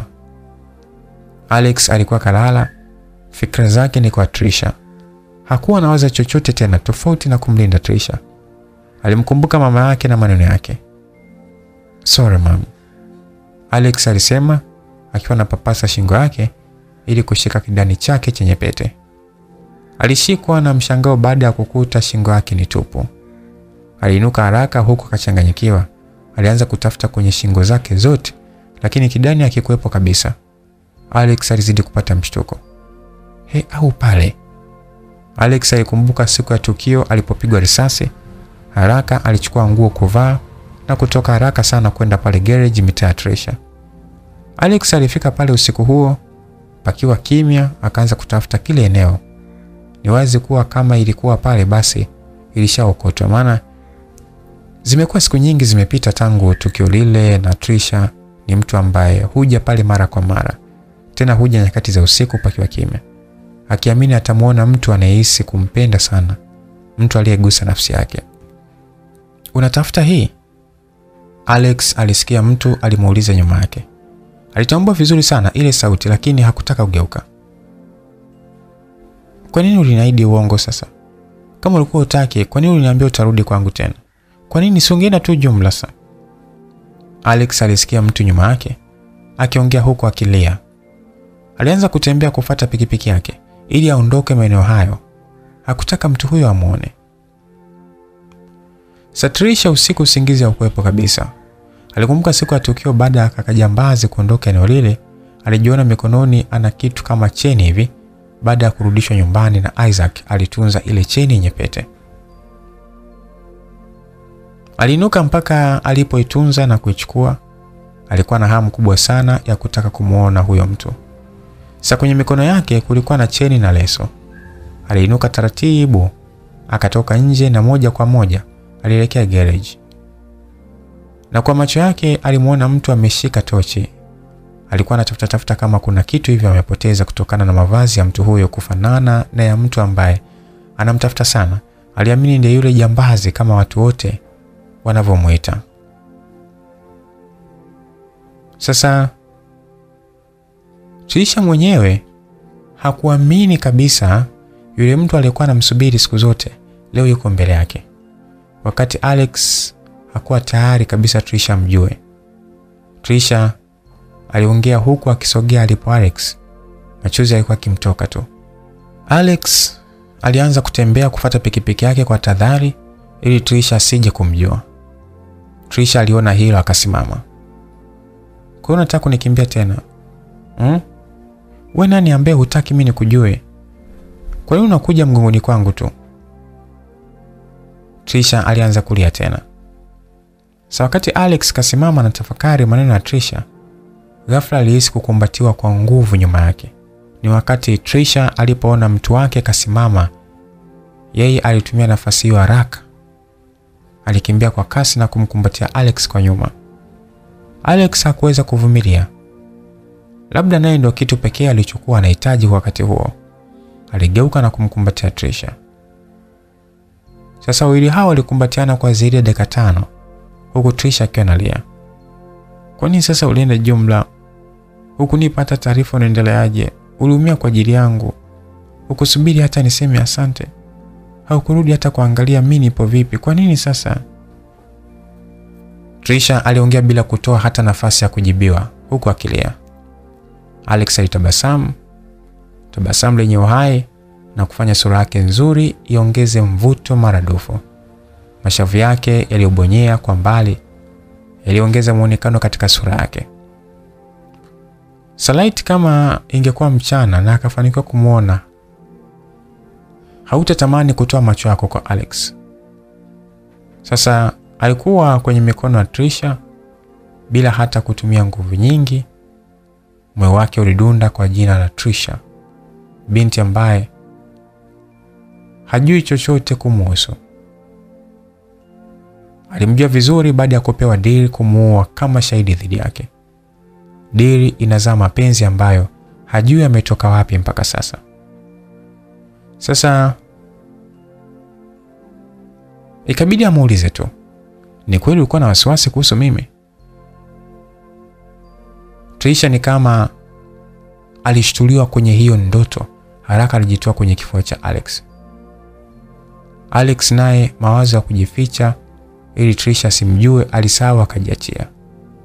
Trisha kumwangalia mtu wake usoni, macho alimtoka. Wewe, aliongea huku akirudi nyuma. Mtu aliyekuwa mbele yake huenda si aliyekuwa akimkusudia. Alex naye ndo akashtuka kuwa Trisha anamjua kivingine. Haraka akamsogelea, lakini Trisha alimpiga stop. Simama Trisha, naomba nisikilize, nitakwambia kila kitu, tafadhali usiondoke kama ilivyo. Alex alimtuliza Trisha bila mafanikio. Nimesema usinisogelee, mtu naye msubiri sio wewe. Samahani, imetokea tu kutokuelewana. Trisha aliongea huku akigeuka kuondoka eneo lile. No Trisha, it is me please. Alex alikimbia na kumshika Trisha kwa nyuma. Trisha, ni mimi, ni mimi Trisha, huyo naye msubiri ni mimi. Mtazame tafadhali Trisha, mtazame. Sikujua kama ni wewe niliyekupa leso ile. Tuisha, wala sikujua kama ni wewe kabisa. Sikujua kabisa kama ni wewe tuliyekutana siku ile usiku Mbezi, wakati nimeacha pikipiki eneo lile. Tuisha, mpaka nilipokuona na kitamba changu kule mwisho wa mji, yaani sikukuacha kwa kupenda Trisha, ila nilishtuka tu baada ya kuona kitambaa muhimu sana kwenye maisha yangu unacho wewe na unakijali sana. Nilishindwa kuja mapema, niliogopa. Naomba unisamehe sana Trisha, usiondoke kivo. Maneno ya Alex yalimwingia sana Trisha. Alijigeuza taratibu kwenye mikono ya Alex iliyoshikilia kiuno chake vyema kabisa na alimtazama usoni Alex, kisha akamfunua shati kwenye bega mahali alipopigwa risasi. Alex alivua kabisa shati. Unataka kuona hii? Alex alimwonyesha jeraha Trisha ambalo halikuwa limepona. Kidonda kilikuwa kibichi kabisa, tofauti na alivyodhani. Muda ulikuwa umepita sana, kingekuwa kimeanza hata kupona kama sio kukauka.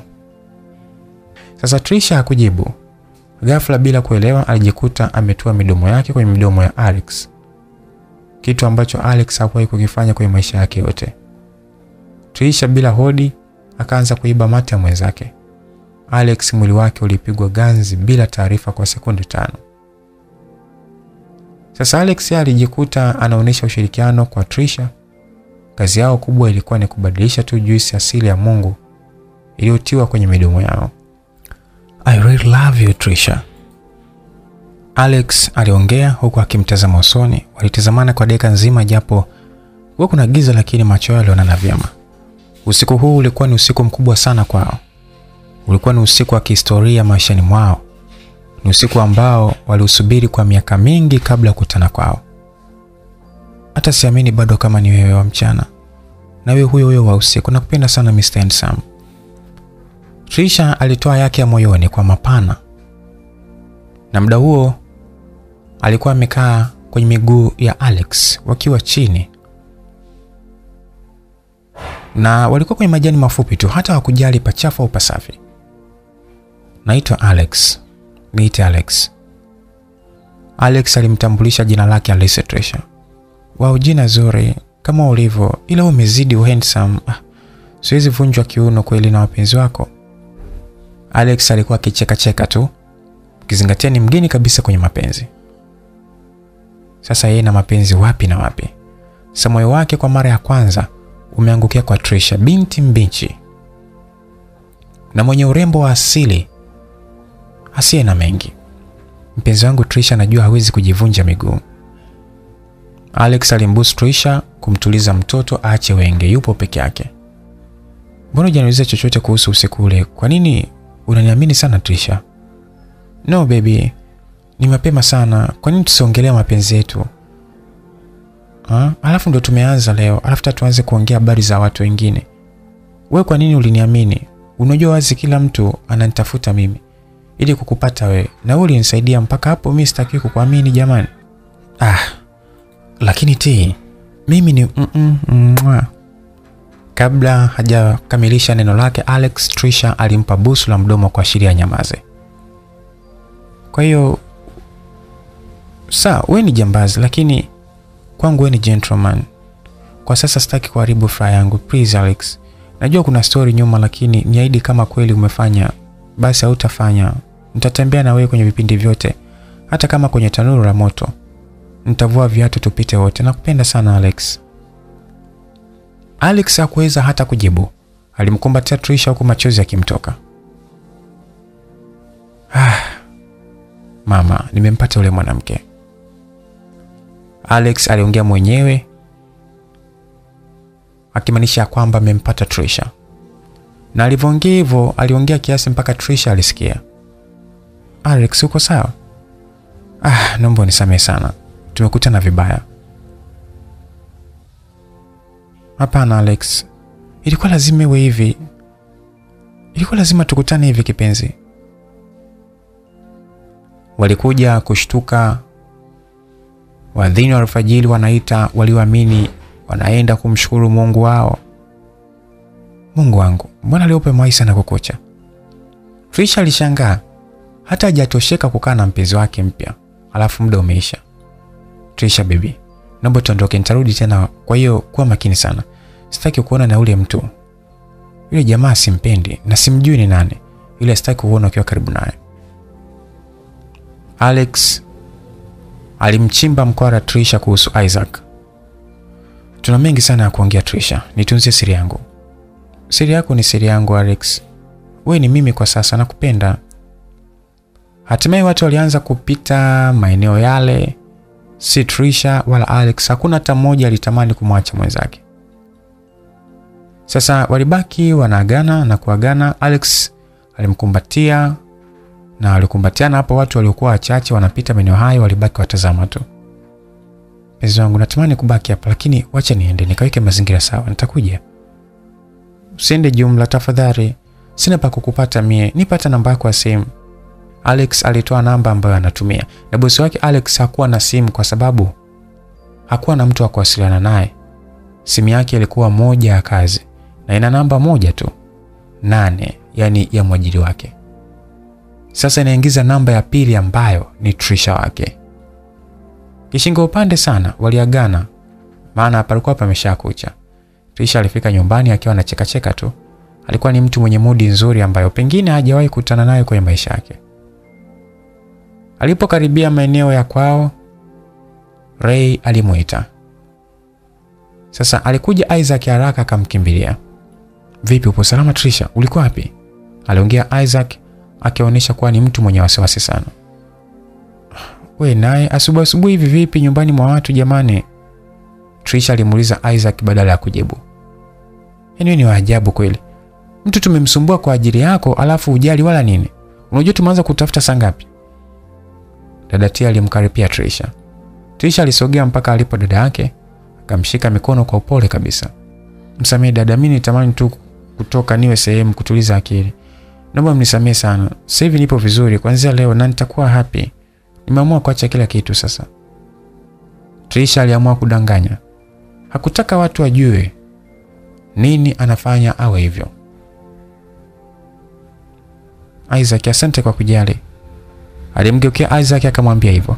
Sasa wakaingia ndani. Kikao hicho cha dharura kilifanywa nje ya geto lao. Alex hakwenda nyumbani baada ya kuagana na Trisha.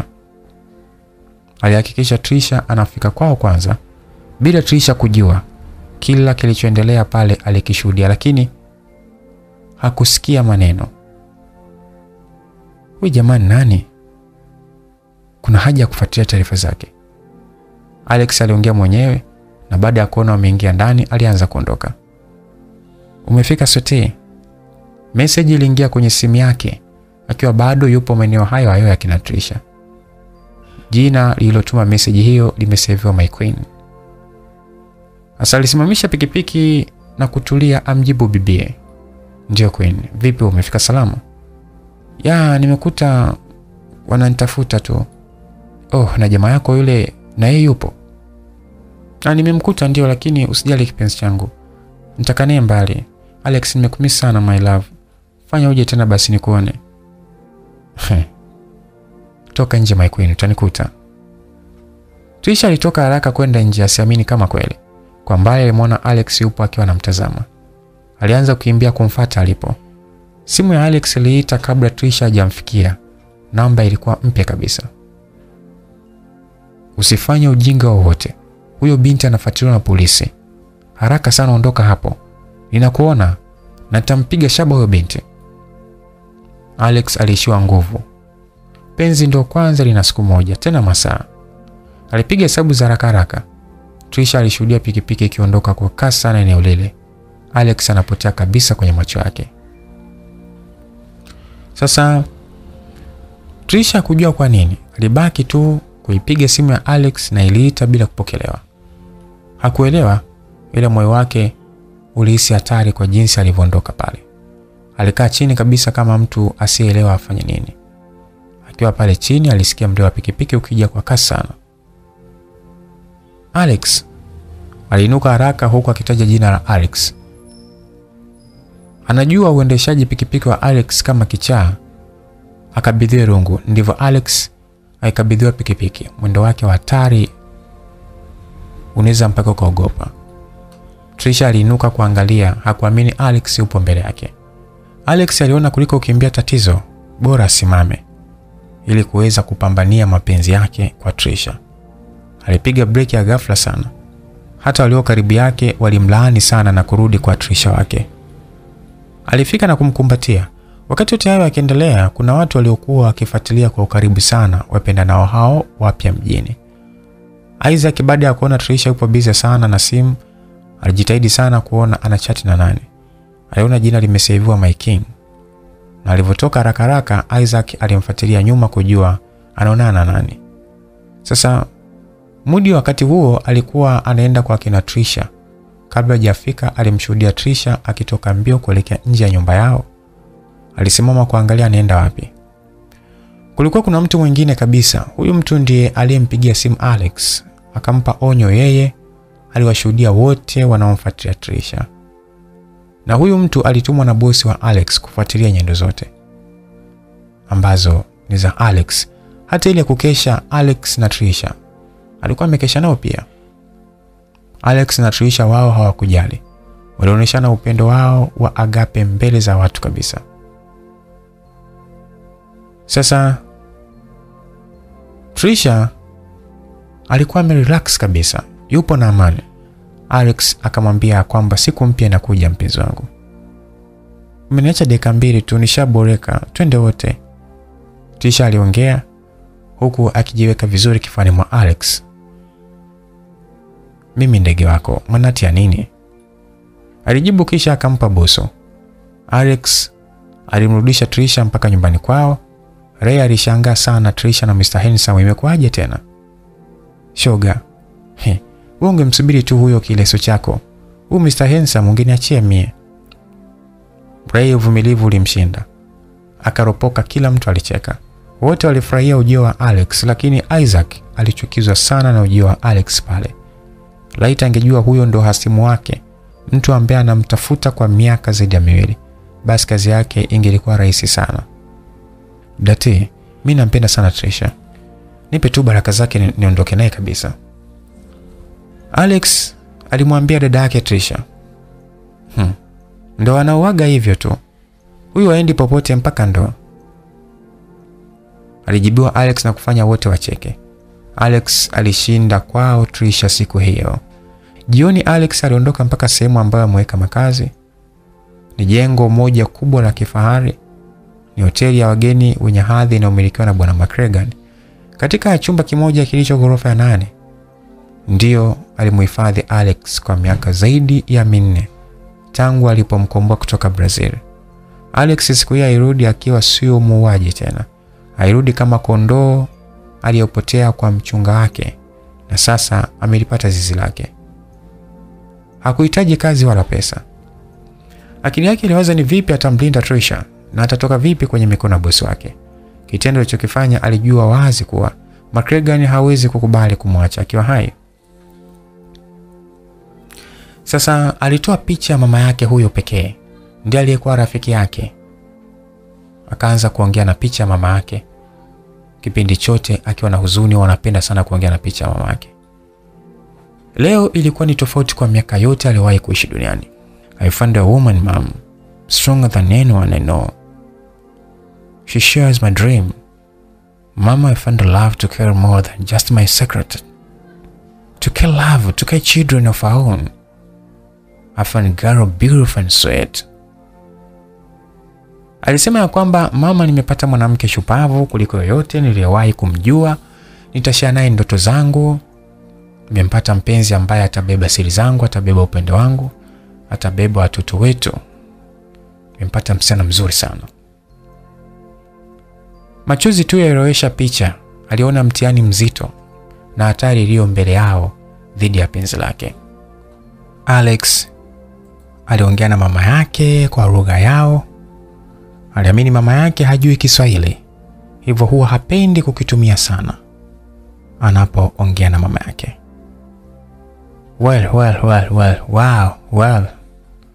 Akiwa kwenye dimbu zito la mawazo, alisikia akipigwa makofi nyuma na kusifiwa. Baada ya kugeuka, alimwona bwana McCregan akiwa tayari ndani ya chumba chake.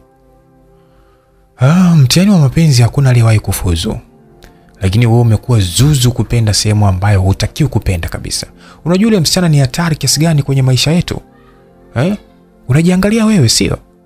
Unajua kwa sasa nipo kwenye hatari kiasi gani? McCregan aliongea huku akimtupia picha Alex. Picha hizo zilikuwa ni za tukio ambalo amelifanya Alex na Trisha kuanzia usiku ule mpaka aliporudi na pikipiki. Picha zote zilikuwepo. Alex, mapokeo yalikuwa tofauti ya picha hizo. Kwanza alifurahi sana kuziona zile picha, na vile alijua hata picha ya Trisha tofauti na ile aliyopewa na Mudi, ikitambulisha sura ya Trisha anayetakiwa kuondoka uhai wake. Kwa hiyo alifurahi sana kuona zile picha ambazo amepigwa yeye pamoja na Trisha. Sasa hivi umekuwa unajiachia tu, unatoka unavyojisikia. Wewe umesahau kama sura yako kuna watu wanaijua. Vipi taarifa zikifika kwamba upo hai, unaniweka wapi mimi? Alex aliinuka akamsogelea bosi wake. Kama ukimgusa Trisha hata kwa kumtazama na jicho baya, na kuambia nitakuua. Alex aliongea huku akimpigapiga kifuani McCregan kwa ujasiri na sura ngumu. Bwana McGregor hakuamini masikio yake. Alex, yes it is. Okay, nitamwacha mwanamke fine. Hakikisha unamnyamazisha macho yangu wakati wote atakuwa kwake. Bwana McGregor aliongea huku akiondoka eneo lile na kumwacha Alex pekee.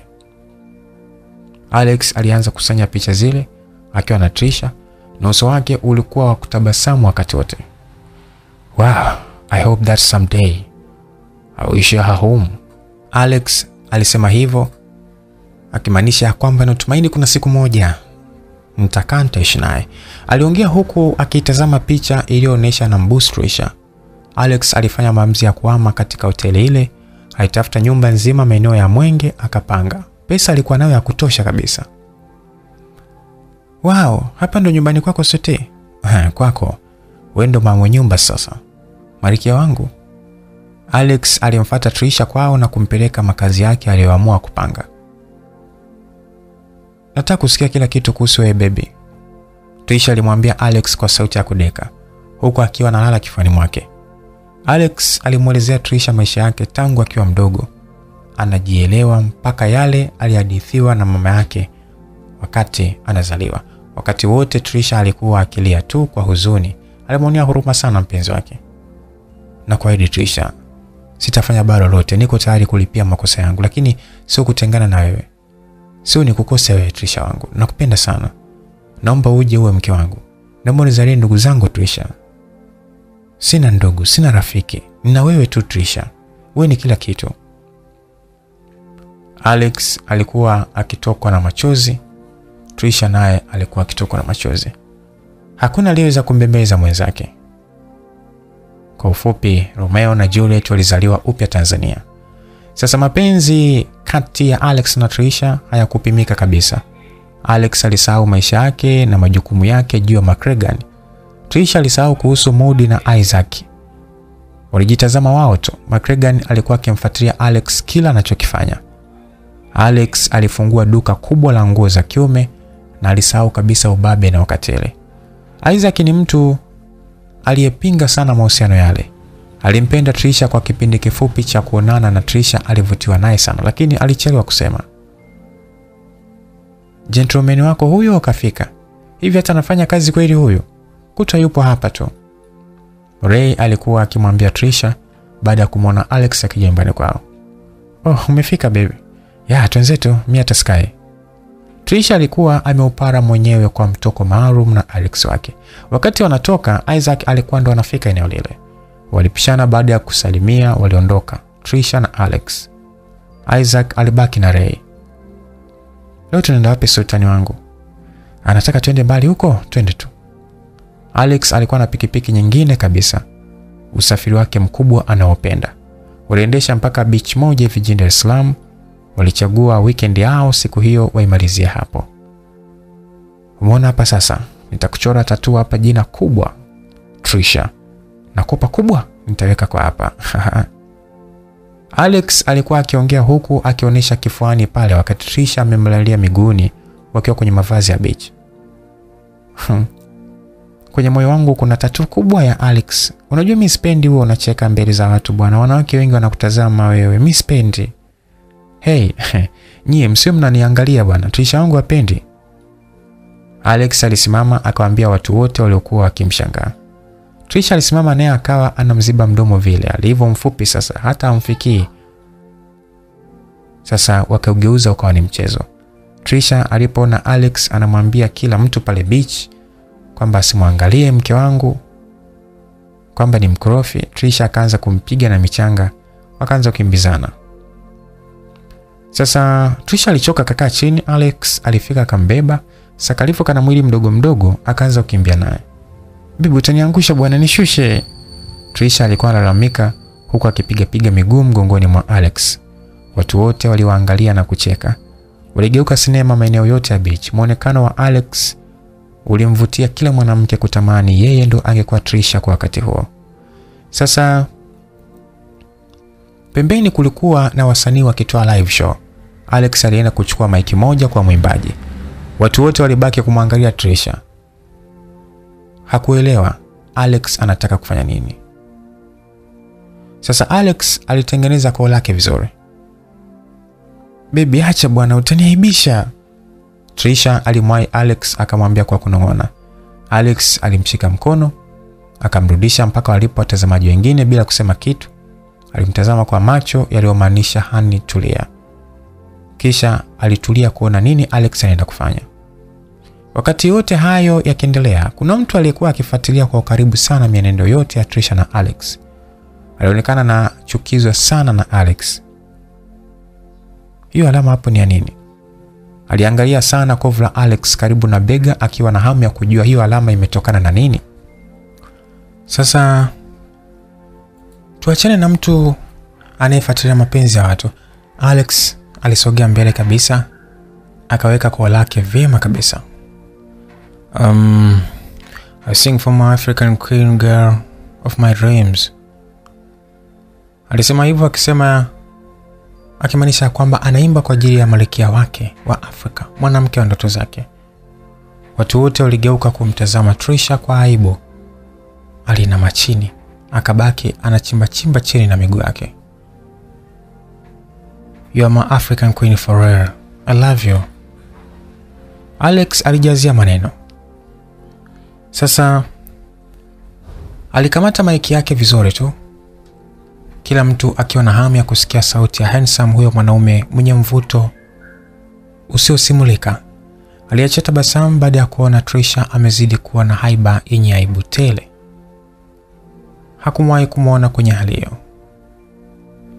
Sasa meno yake meupe na midomo yake mizuri ilisababisha dada wote ufukweni kulaani kwa nini walikuja na wapenzi wao siku hiyo. Aliimba wimbo wa Sheeran Perfect na wapiga vyombo walienda naye sambamba kutoa burudani hiyo. I found a girl beautiful and sweet. I never knew you were the someone waiting for me. Cause you were just kids, you won't fall in love. Not to know what it was. I will not give you up this time. But darling, just kiss me slow. Your heart is all I own. Darling, you look perfect tonight. Baby, I'm dancing in the dark. You between my arms. Basi alimalizia yale maneno akiwa chini ya Trisha, akapiga magoti na mkononi kashika pete, ishara ya kuomba uchumba. Watu wote walipiga kelele za furaha sana. Trisha hakuamini kama aliyeimba pale alikuwa ni Alex, mwanaume wake pekee, hensamu wake, na ndo yupo hapo chini kapiga goti, anamwomba mvishe. Please Trisha. Alex alimsemesha baada ya kuona Trisha akili yake ipo mbali sana. Jamani Trisha, kubali. Watu wa pembeni waliongea kwa sauti, wote wakimtaka Trisha avae ile pete. Trisha si uso tu, mpaka kifua kilikuwa kimelowa machozi. Alishuka chini kisha kupiga magoti mbele ya Alex. Sasa wakawa vimo sawa. Trisha alienda moja kwa moja mdomoni kwa Alex kuchukua juisi yake aliyotunziwa na Mungu. Walidendana kwa zaidi ya dakika kumi. Watu wakawa wanapiga picha wakiwaita Romeo na Juliet, na wengine walichukua video. Trisha alivishwa pete na Alex siku hiyo, na ilikuwa ni siku ya raha sana katika maisha yao. Mapenzi yao hayakuwahi kutokea, wote walipendana bila kutegemeana. Kati ya watu wale pale ufukweni kulikuwa na mmoja asotaka kabisa kuona furaha ya wapenzi hao. Yeye aliondoka zake maeneo hayo baada ya kuridhika na alichokiona. Trisha na Alex waliangaliana kwa deka nyingi bila kujali raia wanaowatazama wao. Nilishalia na mengi moyoni ya nyuma, na hayo mengi ya nyuma nimeamua kutoyaona, na naomba Mungu abariki mahusiano yetu, kwani wewe ndio chaguo langu kuanzia leo na hata siku zote. Nakuambia Mola akupe uzima, akulinde nami nitakulinda Trisha. Natamani ningezaliwa tu nikakutana na wewe, nisingepitia yote niliyopitia. Will you marry Trisha? Siku nyingine ukiniuliza tena na tena, nitajibu yes, yes. Hata kama kuna maisha mengine, nitakutafuta ulipo Alex.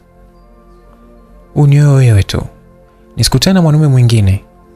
Nitakusubiri hata kama itapita miaka elfu. Machozi yako ya furaha na yakinga kwa mikono yangu, na harufu ya mapenzi itawale katika mahusiano yetu. Na hata nikikuudhi, I'm sorry, na I'm sorry yangu naisema kwa dhati, na kupenda sana. Hayo yalikuwa ni maneno wakizungumza wao. Hakika siku ilikuwa ni nzuri sana kwa hao wapenda nao, na ilikuwa pia ni siku ya wapenda nao duniani. Kwa hiyo walibaki Trisha na Alex, hakukuwa na mtu mwingine. Uliona wapo Eden, wamezaliwa upya, wasio hata na chembe ya dhambi. Siku ilikuwa fupi sana kwao, walitamani hata wiki, yani iwe ni siku moja tu. Wairudi nyumbani usiku. Safari iliishia Mwingi nyumbani kwa Alex. Leo nalala hapa kwako?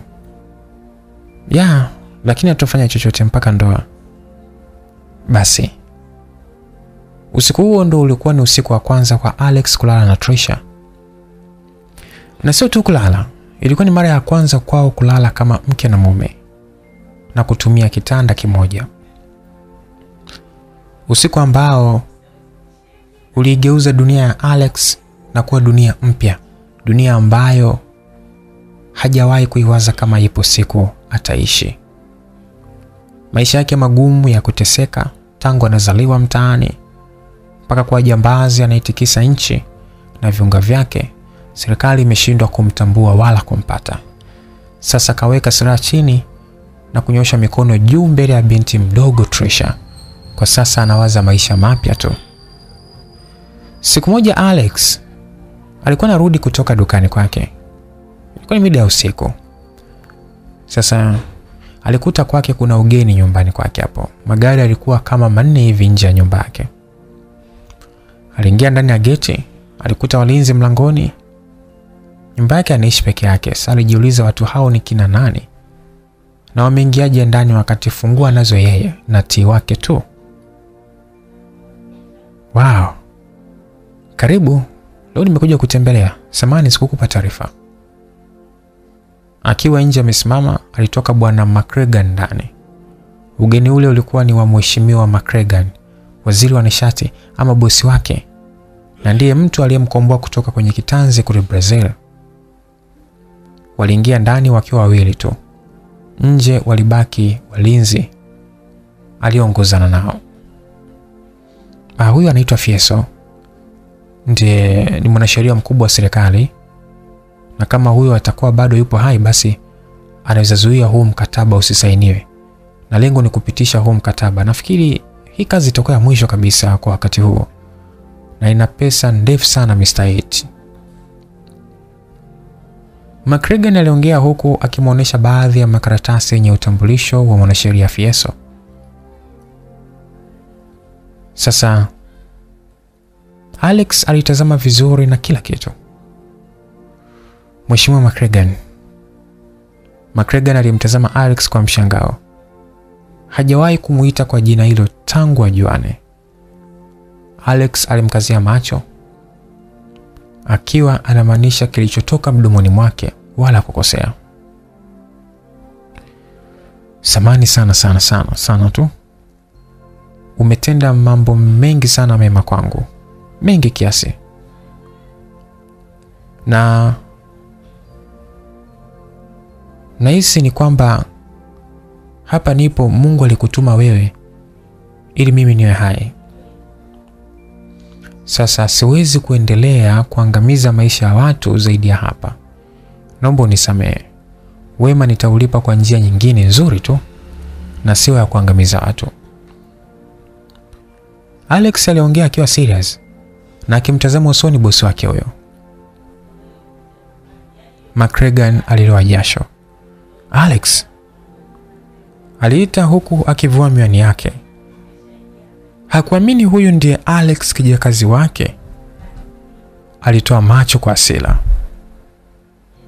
Ndio mister, mimi sihitaji hizo kazi, unaweza kwenda sasa, nafikiri tumemaliza. Alex wala hakuwa na hofu naye, alimsindikiza na maneno kabisa ya ujazo.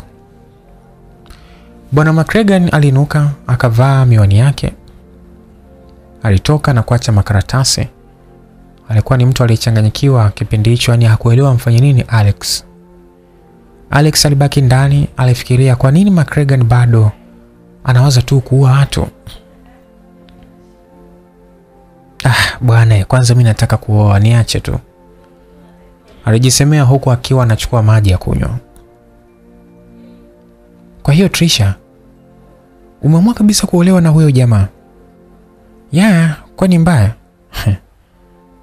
Ah, olewa mwaya mdogo wangu. Usika unasubiriaga tu. Unamsubiria mtu sijui leso yake sijui alipigiwa risasi kwa ajili yako. Bwana, olewa tubadilisha rangi ya ukoo. Hivi Trisha, huyo jamaa kwa hiyo hakuwahi kabisa kukutafuta?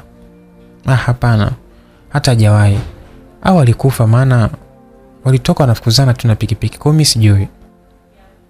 Ah, hamna. Tungesikia lazima. Sasa akija kute ushauri wao itakuwaje? Ah, nampenda Alex, hiyo inatosha kwenye moyo wangu. Yalikuwa ni mazungumzo ya Trisha, dada T na Ray.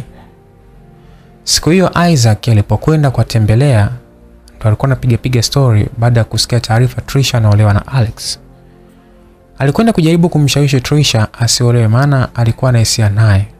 Alichelewa kumwambia Da, hii ndo ile unasubiri embe liive, wenzako anakula na chumvi. Wahenga walisema chelewa chelewa utakuta mwana si wako. Isaac alibaki kusema na moyo wake tu. Sasa taratibu za Alex kumchumbia rasmi Trisha zilikuwa zikiendelea. Trisha na Dati hawana baba wala mama, walifariki zamani sana.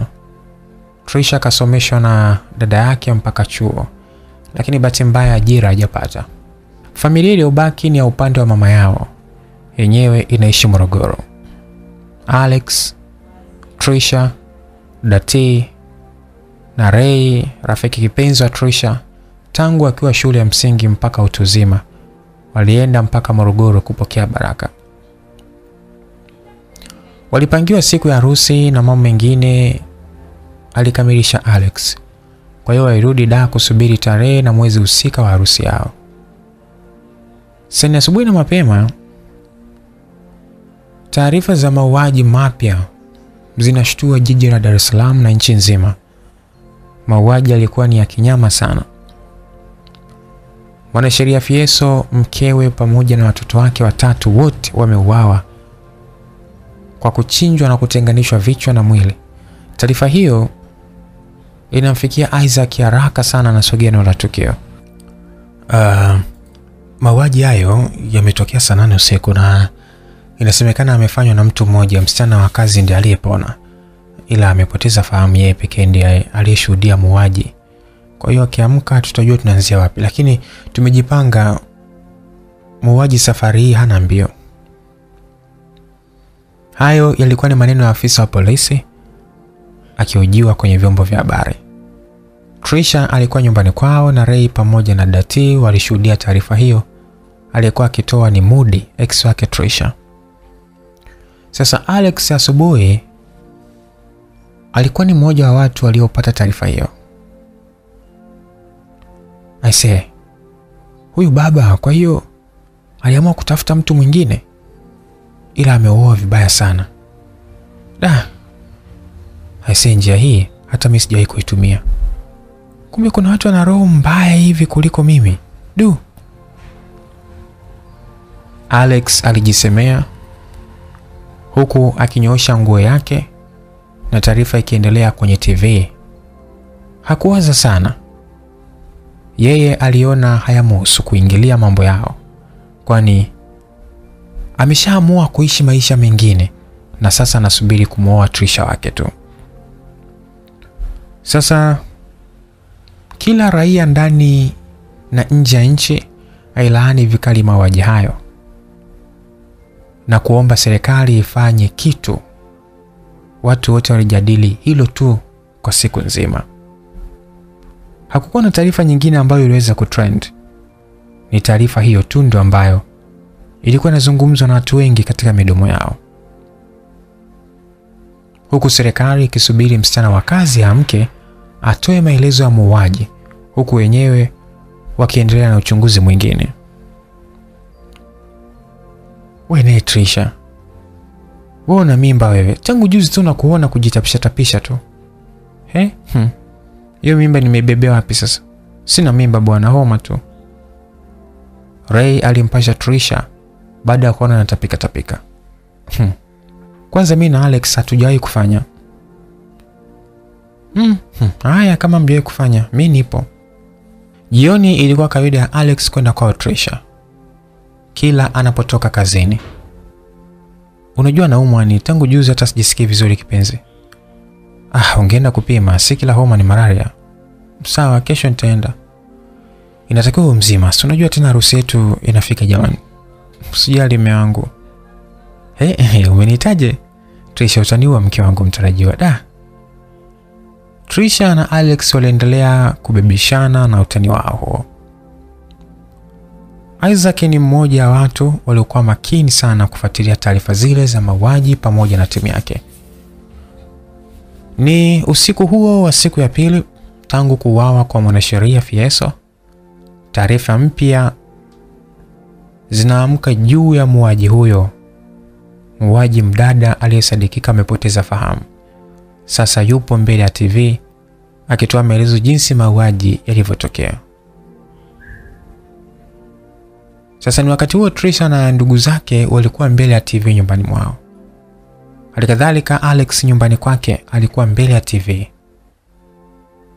na Isaac pia, na kila raia wa jiji hilo alitazama TV na kufuatilia kwa ukaribu taarifa zile.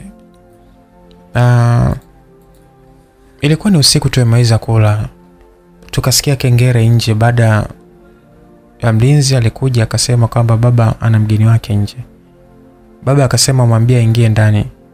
Wakati huo mi baba alinituma store nikachukua dawa ya wadudu, maana alisema tukiingia kulala apulize mle sebleni. Kulikuwa na mende. Wakati wakati anarudi sasa, nilisikia baba akiomba achwe chochote atatoa, kama wanahitaji hela basi atatoa. Nikaingia kwenye pazia moja la kwenye dirisha, hasa nikawa nachungulia kidogo. Nilishuhudia akikata shingo ya mama na ya baba, akafata Ivan na Levina pamoja na Revis, wote waliuawa nikiwa nashuhudia. Alipomaliza alivua shati lake, lilikuwa limeloa damu tu. Kwa hiyo uliona vizuri sura ya muuaji? Ndiyo. Ukimwona unamjua? Ndiyo. Ayopoje? Unaweza kumwelezea, na labda unaweza kuwa ulisikia chochote? Kwa nini aliamua kufanya mauaji hayo? Ndiyo, nilisikia. Anasema kuwa amekuja kulipiza kisasi kwa aliyotokea miaka mingi nyuma. Sijajua ni yapi, lakini muuaji ni mrefu, ana mwili wa mazoezi, ni Afrikasti wa Kiarabu kama vile ni, ni kama, kama Msomali tu vile. Alipovua shati, niliona karibu na bega lake la kulia kuna alama kubwa kama kovu la risasi. Trisha alishtuka kiasi kwamba alishindwa kuficha mshtuko wake. Ni baada ya kusikia sifa hizo za muuaji bila kupepesa fikra zilitoa kwa Alex wake. Sasa Isaac akili yake ilikuwa fasta sana, ilikuwa fasta kuwaza ni kama hizo sifa mtu huyo alihisi kabisa kumjua. Je, ni nani aliingia kwenye mafaili yaliyo kichwani mwake? Kwa hiyo alianza kupekua haraka haraka kumtafuta. Alex alitukana tusi kubwa huku akisimama. McCragan, pumbavu McCragan, pumbavu McCragan. Unataka kuhamishia mchezo kwangu? Oh my god. Alex alichanganyikiwa. Alivurugwa kuliko hata kuvurugwa kwenyewe. Baada ya kusikia habari zake ndiye muuaji. Sasa Trisha aliinuka na kutoka mbio. Ray na Dati hawakumwelewa anaelekea wapi. Isaac alikuwa kwenye tafakari ya ndani kabisa, na hapo alikumbuka, japo haraka alitoa simu yake akiingia sehemu ya kuhifadhi picha. Aliingia mpaka kwenye picha moja hivi inayoonyesha Trisha akiwa na Alex ufukweni. Hapo alikumbuka vizuri siku ambayo Trisha alivishwa pete. Alikuwa akiwafuatilia muda wote tangu wanatoka nyumbani mpaka kufika beach, na aliwapiga picha, na hata alikuwa akilishangaa kovu la Alex limetokana na nini. Alizumu ile picha vizuri, maeneo ya picha. Shit. Isaac aling'aka na kujiona mjinga sana. Ni afikasti, sijui wa Kiarabu au Msomali, lakini ana kovu kwenye bega lake la risasi. Isaac alikumbuka maelezo ya binti wa kazi yaliyopita muda mfupi tu. Alex, Alex, ta mpuzi huyo. Isaac alijikuta anatamani kupaa muda huo huo afike kwa Alex. Alikumbuka siku ya kwanza kujua mahusiano ya Trisha na Alex. Sasa mvazi aliyovaa ile siku ni yale yale meusi ambayo aliyavaa siku ya tukio. Kwa hiyo alizidi kuropoka matusi juu ya Alex na kujiona kweli hana akili. Trisha, umenichezea Trisha, ulikuwa unajua kila kitu. Oh shit. Alitoka haraka akawahi pikipiki ili afike kwa kina Trisha mapema tu ili ampate Alex kabla ya askari kumpata. Sasa Trisha alienda mpaka kwa Alex.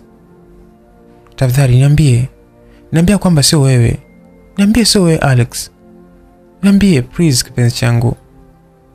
Trisha aliongea huku akiwa analia mbele ya Alex. Alex ni kama alikuwa anahitaji mtu atakayemwamini kwa wakati huo. Trisha alifika kwa muda mwafaka sana. Alex alimkumbatia Trisha kwa nguvu. Mpenzi wangu Trisha, naomba uniamini. Unaniamini? Nakuamini sana tu.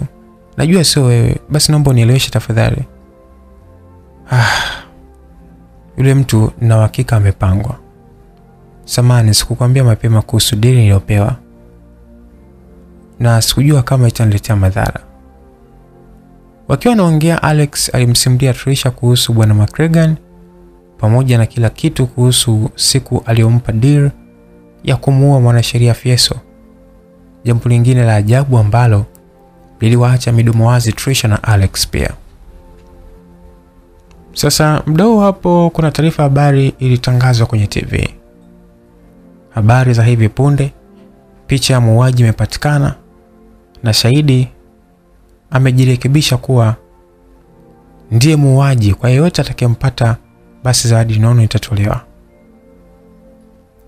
Taarifa zilitolewa kwenye vyombo vya habari. Ah, hapana Trisha, hii imezidi kuwa mbaya. Alex aliongea akiwa amekata tamaa kabisa. Trisha, machozi pekee ndio yalikuwa msaada wa kupoza moyo wake. Ilikuwa ni siku mbaya kwa kutokea kwenye maisha yao. Alex aliinuka akatoka, na muda kidogo alirudi akiwa na flash makaratasi na kadi za benki.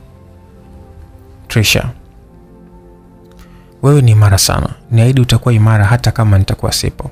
No Alex, siwezi Alex. No, nisikilize mke wangu, tafadhali shika hivi vitu sasa. Hapa wapo njiani wanakuja, muda wote watafika. Naomba unisikilize, haijalishi nini kitatokea, nitakulinda Trisha, nitajilinda kwa ajili yako. Niahidi utakuwa imara kila siku, mke wangu, tafadhali niahidi. Alex aliongea akiwa analia, hakujua nini kitaenda kutokea ama ni kunyongwa mpaka kufa, hakujua chochote. Trisha hakujibu zaidi ya kulia tu.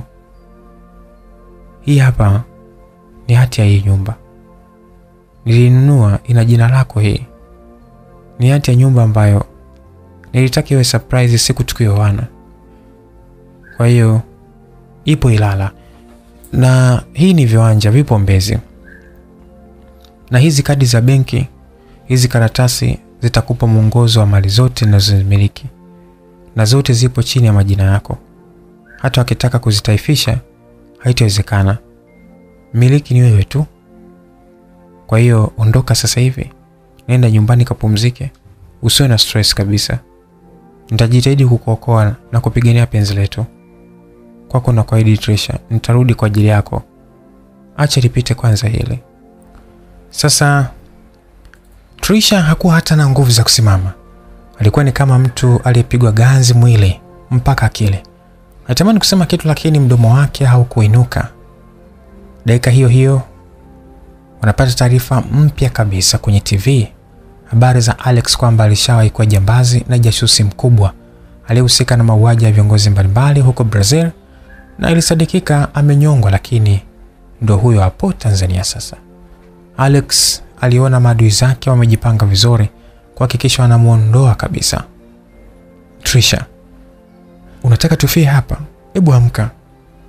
Alex alimtikisa Trisha kwa nguvu ili kumzindua. Alex alitoa picha ndogo sana mwanamke. Shika hii, huu ni mama yangu. Kisha akatoa kidani chenye pete akamvika Trisha, huku anasema, mama, naogopa kumpoteza Trisha kuliko nilivyoona ile siku napotea mbele yangu. Mama nampenda sana Trisha, naomba nilinde kama ulivyonilinda mie. Na hichi kidani leo namvisha. Ni kweli nampenda mama, ila nahisi kumpenda zaidi Trisha. Trisha, kwa chochote kitakachonipata chuoni kwangu, kuna ushahidi wote dhidi ya watu hao. Kila unachokifanya kopi nilikuwa nikibaki nazo na kupenda, na nitakuja kukuoa. Sasa wakati wote huo wote walikuwa akilia tu. Alex alimtoa Trisha akampa pesa na boda ampeleke kwao, naye aliondoka maeneo yale na sijui anaenda wapi wala kufanya nini. Sio tu Trisha na Alex ndio taarifa zile ziliwashtua. Dati na Ray bado nao mioyo yao ilikuwa juu sana. Baada ya kuona picha Alex, wao walishindwa hata kuinuka walipokaa. Isaac alikuwa amefika na kukuta picha Alex. Sasa akawa na uhakika kuhusu mashaka yake. Aliwatuliza Ray na Dati baada ya kukuta Trisha yupo. Trisha alifika nyumbani akiwa haelewi mtu aliyechoka, mwili wake yani haukuwa na nguvu kabisa.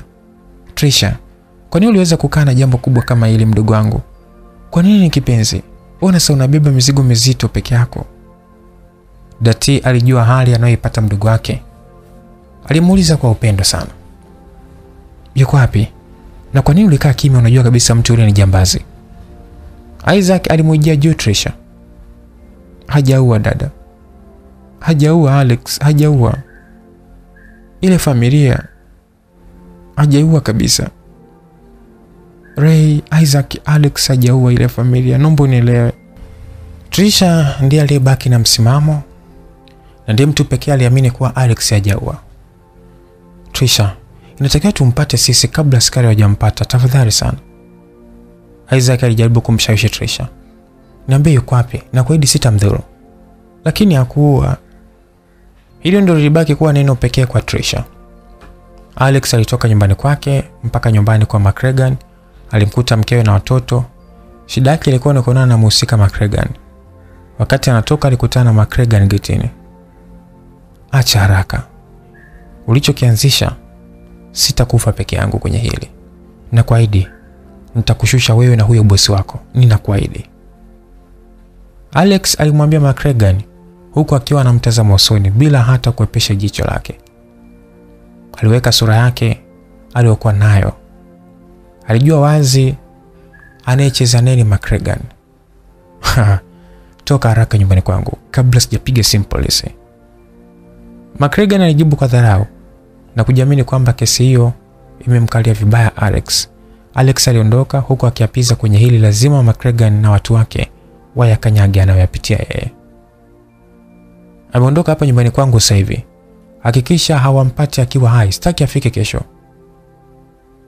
Baada ya Alex kuondoka, macregan alipiga simu sehemu na kutoa amri hiyo. Alipokata simu, alikumbuka maneno ya Alex kwamba ataniangusha mimi na bosi wangu. Ah, anajua nini kuhusu bosi wangu huyo? Basi McCregan alimpigia simu askari anayesimamia kesi hiyo. Utanipa taarifa zote kuhusu kinachoendelea. Hakikisha huyo msichana anakufa kabla ya kufungua mdomo. Hakuna kuacha ushahidi. Basi huyu ni Mudi tuliyemzoea sisi na ndiye mshirika wa McCregan. Ni polisi anayepita njia zake mwenyewe na kusaliti jeshi. Ndiye ambaye amecheza kila kitu ili ushahidi umwangukie Alex. Yeye ndiye aliyemmezesha maneno yale kija kazi baada ya kuagizwa na mheshimiwa waziri McCregan. Trisha alikuwa amelemewa na mizigo mizito kichwani mwake. Hakuelewa hili litaishaje. Aliona Alex akiwa ananyongwa mpaka kufa. Alijikuta anachanganyikiwa. Hata maongezi ya Isaac na Dati hakuwa akisikia hata mmoja. Alihisi ni makelele tu muda wote. Mwisho alianguka chini na kupoteza fahamu. Isaac alimuita daktari aje pale nyumbani kwao. Muda wote Ray hakuwa amezungumza kitu. Alikuwa kimya akitafakari sura nzuri ya Alex walizoeana na shemeji yake utani. Macho yake yanaongea upole. Inawezekanaje akachinja watu kiasi kile? Ray alikuwa akijisemea na moyo wake. Alikuwa akimwonea huruma sana rafiki yake. Mm, au ameua au hajaua, nitakuwa upande wa Trisha. Kama Trisha anaamini Alex hajaua bila kujali sababu, mi pia nitaamini Alex hajaua Dati. Mwisho Ray aliongea kwa mara ya kwanza kumwambia Dati juu ya msimamo wake. Ah, hata sielewi Ray. Natamani kulia, natamani cheke. Sijui natakiwa kufanya nini. Nahisi bahati haipo upande wetu.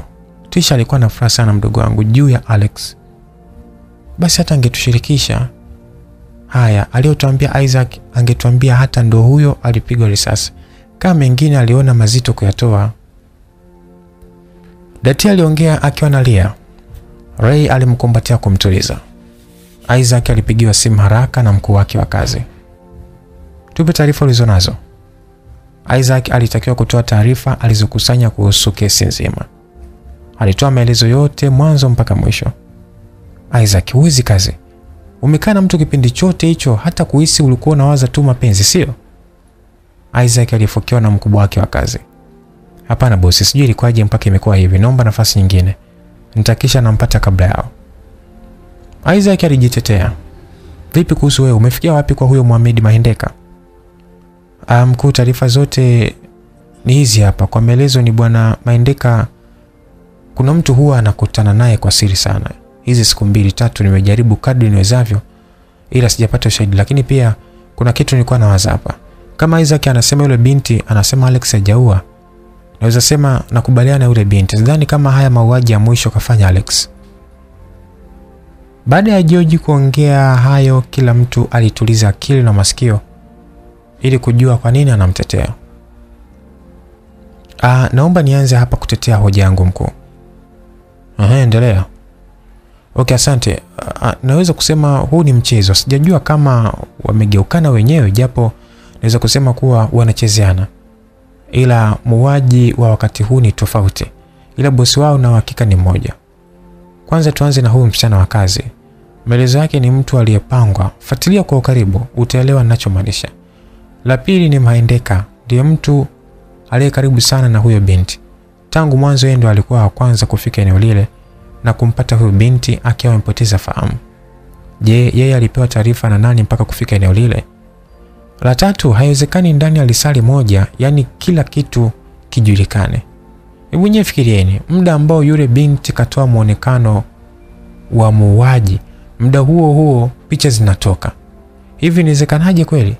Hata muda wa kufikiria watu hawakupata muda wa kutafuta picha, muda wa kumuuliza yule binti kama ndiye au sie, na muda huo huo taarifa kuwa alikuwa jambazi mkubwa wa Brazil. Mambo sija yamepelekwa haraka haraka sana, yani haieleweki. Na kinachonipa mashaka zaidi ni huyu Mahendeka, amelishikilia sana hili swala. Kipindi chote nilikuwa namfuatilia, na siku ngapi hizi amekuwa akiwasiliana na watu kwa siri sana, na niliweza kupiga picha. Huyu mtu alikutana na kuna bahasha alimpatia, na hii ilikuwa ni juzi tu baada ya kuachana huyu mtu. Mimi niliamua kumfuatilia huyu mtu, naweza pata chochote, lakini safari ya mtu huyo ilishia kwenye hoteli ya mheshimiwa McGregor.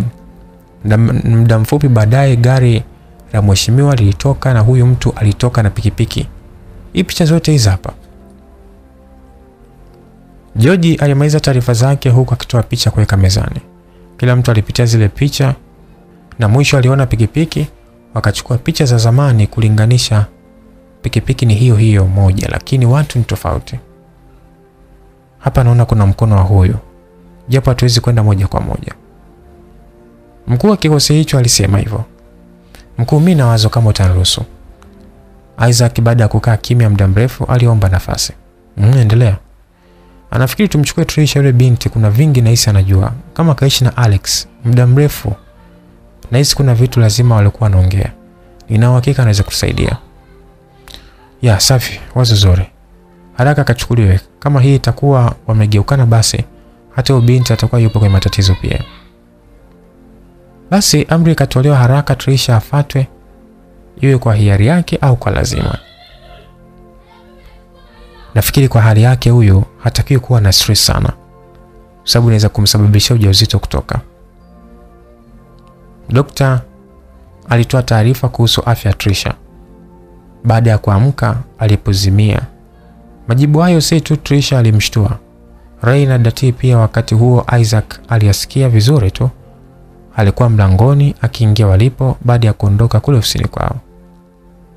Taarifa za ujauzito wa Trisha zilimwacha kila mtu mdomo wazi, zinaongeza tena mawazo kwa Trisha na alianza kulia upya. Trisha, naomba unisikilize, tumejua kweli kuwa Alex sio muuaji, na ili kumpata muuaji kuna taarifa tutazihitaji kutoka kwako. Tafadhali unatakiwa kuwa imara ili jambo liende vizuri. Isaac alimwambia baada ya Trisha kusikia kwamba wanaamini pia Alex hajaua. Alikubali kushirikiana nao. Sasa Isaac alimchukua Trisha mpaka kwa mkuu wake wa kikosi, na kilikuwa ni kikosi cha watu wanne kilichojipangwa kwa usiri sana kuhakikisha wanamnasa mhusika wa matatizo yote. Trisha alikuwa akijaribu kumpigia simu Alex mara kwa mara, lakini hakuwa anapatikana. Hakujua Alex yuko wapi kwa wakati ule na anapitia nini. Moyo wake ulimuuma sana, alitamani kumwambia kambebea mwanaye katika tumbo lake. Hakuwa na njia ya kumpa taarifa hiyo. Siku nzima imepita na masaa kadhaa, hakuna aliyempata Alex na hakuna aliyekuwa anajua Alex yuko wapi.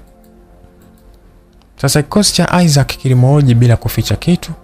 Trisha alisimulia mwanzo wa ma maisha ya Alex kama alivyosimuliwa yeye. Hakuwa anamjua bosi wake na Alex aliyemtorosha kule Brazil, ila aliwaambia ni mtu wa serikalini na ni kiongozi,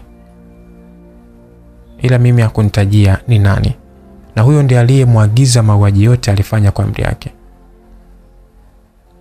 Kikosi cha McGregor baada ya kumpoteza Alex, sasa waliamua nao wamtafute Trisha ili kumtumia kumpata kipenzi wake. Bahati mbaya kwao, jitihada zao hazikuzaa matunda baada ya kuwa Trisha yupo mikononi mwa Isaac. Sasa zilipita siku mbili bila taarifa zozote Alex alipo. Sasa zilipita siku mbili bila taarifa zozote Alex alipo. Kila timu ilimtafuta kwa nafasi yake. Hakuna watu walikuja hapa kabla yetu, au ni yeye mwenyewe? Hapana, mwenye nyumba hawezi kuvuruga nyumba kiasi hicho. Isaac walienda alipokuwa anaishi Alex kukagua kama kuna ushahidi wowote. Walikuta nyumba ipo imevurugwa vurugwa tu, ikionyesha kuna mtu au watu walikuwa wakitafuta kitu. Hakuna alichokipata, hivyo waliondoka. Trisha, jitahidi kula, sio kwa ajili yako, bali ni kwa ajili ya mwanao mdogo wangu. Datia alikuwa karibu sana na Trisha. Ray pia hakumwacha Trisha. Walimtembelea nyumbani kwa Isaac kutokana na usalama wake kuwa mdogo. Trisha alihamishiwa nyumbani kwao Isaac. Trisha alikuwa akiangalia simu yake muda wote, ni wazi alitamani iite na mpigaji awe Alex. Sasa kila mara Trisha alikuwa anatamani sana Alex aweze kurudi na akitamani arudi wafunge ndoa. Siku zilizidi kwenda huku ukimya ukiendelea kuhusu Alex. Siku moja Trisha alipigiwa simu na namba ngeni, hakupokea simu. Iliita kwa zaidi ya mara mbili. Sasa Isaac alimwambia kwamba apokee hiyo simu, naye akasema ni namba ngeni, lakini Isaac akamwambia pokea tu. Trisha alipokea ile simu. Trisha, ni mimi hapa, mke wangu. Alex, kipenzi changu, ya upo salama mke wangu? Trisha baada ya kupokea simu hakuamini mtu huyo ni Alex wake. Hakuweza kuendelea kujibu. Isaac alichukua simu haraka baada ya kusikia ni Alex. Alex, kwa usalama wako jisalimishe. Ha, ni wewe? Upo karibu na Trisha tena?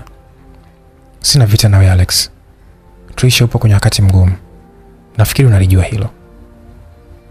Ah, nimeshamaliza mipango yangu na kwenda kujisalimisha kituo cha polisi kesho mapema.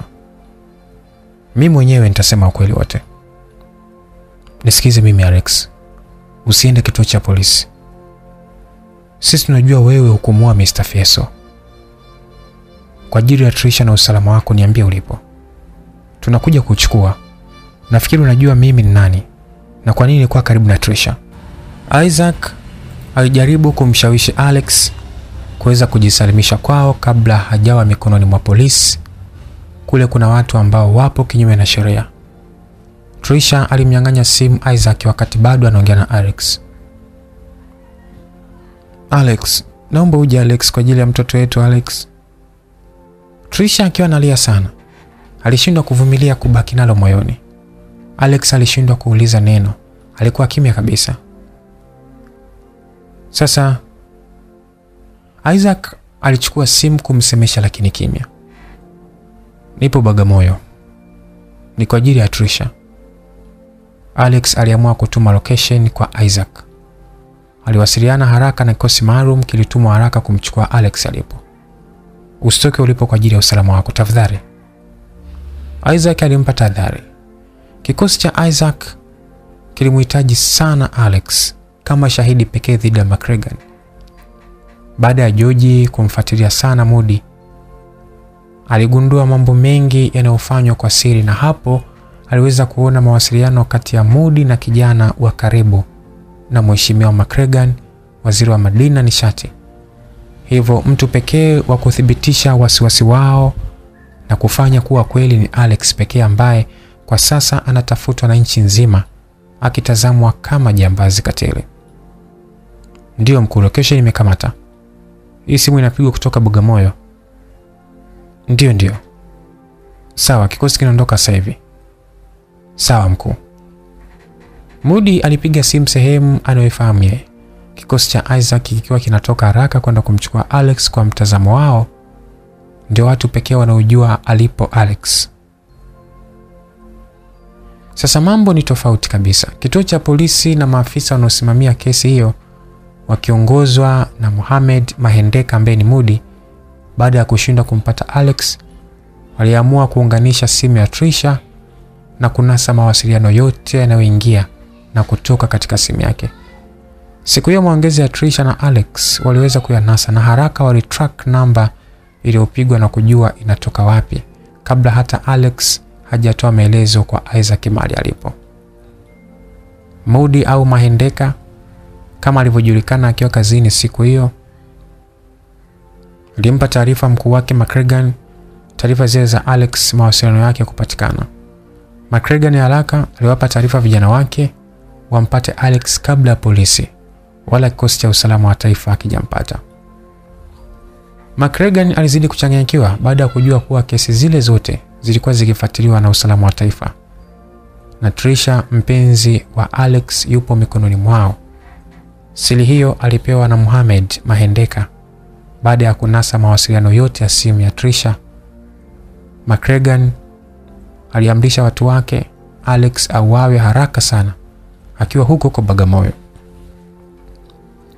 Sasa Isaac akiwa na askari maalum wanne, jumla anakuwa watano, akiongozana na Trisha na idadi yao inakuwa sita, wanaondoka haraka kwenda Bagamoyo kumchukua Alex. Alex alikuwa pembeni mwa bahari akiwa katulia akisubiri Isaac afike, wakiwa na makubaliano Trisha afike pia. Akiwa hapo anaona kikosi asichokielewa kikifika mahali hapo kikiwa na silaha. Shit, ameniuza. Alex alitaharuki baada ya kumtambua mmoja kati ya kundi lile ni mtu wa Macregan. Walikuwa akija upande wake kwa kasi. Alishachelewa Alex, watu hao tayari walikaribia mahali alipo. Wazo lilikuja ni kutetea maisha yake na sio kuruhusu watu wa McGregor kumchukua kirahisi. Alitoa bastola ndogo ambayo ilikuwa kwa ajili ya kujilinda. Shusha silaha yako chini na usifanye kitu chochote. Alex alikuwa ameshachelewa na kuzungukwa kila upande. Akili yake ilifanya kazi haraka. Njia hakuona kutoka mahali pale. Alibaki akijilaumu kwa nini alimwamini Isaac. Aliamini ndiye kamuuza. Kikosi cha McGregor ni kikuwa cha kwanza kumfikia Alex. Nyuma Moody na timu yake walikuwa wakija huku Moody akiwazubaisha kwa sababu nyingi njiani ili kuhakikisha kikosi kilichotangulia kiwe kimaliza kazi. Sasa Isaac na timu yake walifika maeneo hayo na kuona kikundi kikiwa kimemzunguka Alex huku ameshika silaha. Ah, imekuwaje? Kwa nini wamejua? Isaac aliwatawanyisha haraka watu wake. Hakikisha Alex anakuwa mzima. Aliwapa taarifa vijana wake. Sasa Trisha aliita kwa sauti ya juu akisema Alex, baada ya kuona Alex yupo katika matatizo. Alishindwa kuvumilia. Sauti hiyo ilisababisha kila mtu kati ya kundi lile wageuke kumtazama aliyeita hivyo ni nani. Sasa ilikuwa ni nafasi pekee ya Alex ambaye tayari alikuwa ameshusha silaha yake chini. Haraka aliruka kwa sarakasi mbili na kufikia silaha yake, na ndani ya sekunde za kuhesabu alishusha watu wawili chini na kupata njia ya kuondoka. Sa vijana wa Isaac walianza kujibu mashambulizi. Ilikuwa ni bichi ya Bagamoyo. Kwa hiyo hiyo bichi ikageuka kuwa uwanja wa vita ndogo kati ya kikosi cha Isaac na majangili wale. Alex alitafuta njia ili kumfikia Trisha aliyebakizwa kwenye gari, machozi yakimtoka. swala zake zote ni Alex wake awe salama. Sasa wakiwa narushiana risasi huku anaangalia kwenye gari, jambo lililomshtua ni kuona Trisha akiwa amechukuliwa na adui yake mmoja, anampeleka kwenye boti iliyokuwa pembeni mwa fuke hizo. Trisha, Alex aliita huku akikimbia kuelekea alipokuwa akipelekwa Trisha. Trisha naye alimuita Alex huku analia. Boti iliwashwa ndani akiwa Trisha na jangili moja. Alex alijaribu kupiga risasi lakini alikuwa ameishiwa. Aliruka kwa kasi ya kujitosa kwenye boti huku ikiwa inaondoka. Alishika tairi moja linaloning'inia pembeni mwa boti. Alibaki anaburuzwa kwenye maji huku akajitahidi kupanda ili aingie ndani. Isaac aliona kwa mbali boti ilifika kwenye maji marefu, naye haraka aliacha na kuanza kukimbia kusogea kwenye maji. Akachukua boti na kuanza kufukuzia kule kule Trisha alipokuwa anapelekwa na Alex. Ndio, nimeshampata huyo mwanamke. Huyu Alex ananifuatilia, nimfanye nini? Sawa, nimeelewa. Yule mtu aliye na Trisha aliongea na simu na mtu asiyejulikana na kumpa taarifa. Baada ya kukata simu, alitoa bastora ndogo akasogea mpaka alipokuwa amejishikiza Alex akihangaika kupanda. Akamnyoshea huku Trisha akiona. Hapana, nakuomba usimuue. Hapana. Trisha aliomba baada ya kuona Alex amenyoshwa silaha huku akiwa hawezi kujitetea. Hilo halikuzuia mtu yule asifanye alilokusudia ama kuagizwa. Aliachia risasi moja ikampiga Alex katika bega lake. Alex alipata machungu sana. Trisha alikuwa akilia sana wakati Alex amebaki akining'inia kwa mkono mmoja tu. Trisha, kila kitu kitakuwa sawa, jiangalie na unisubiri nita.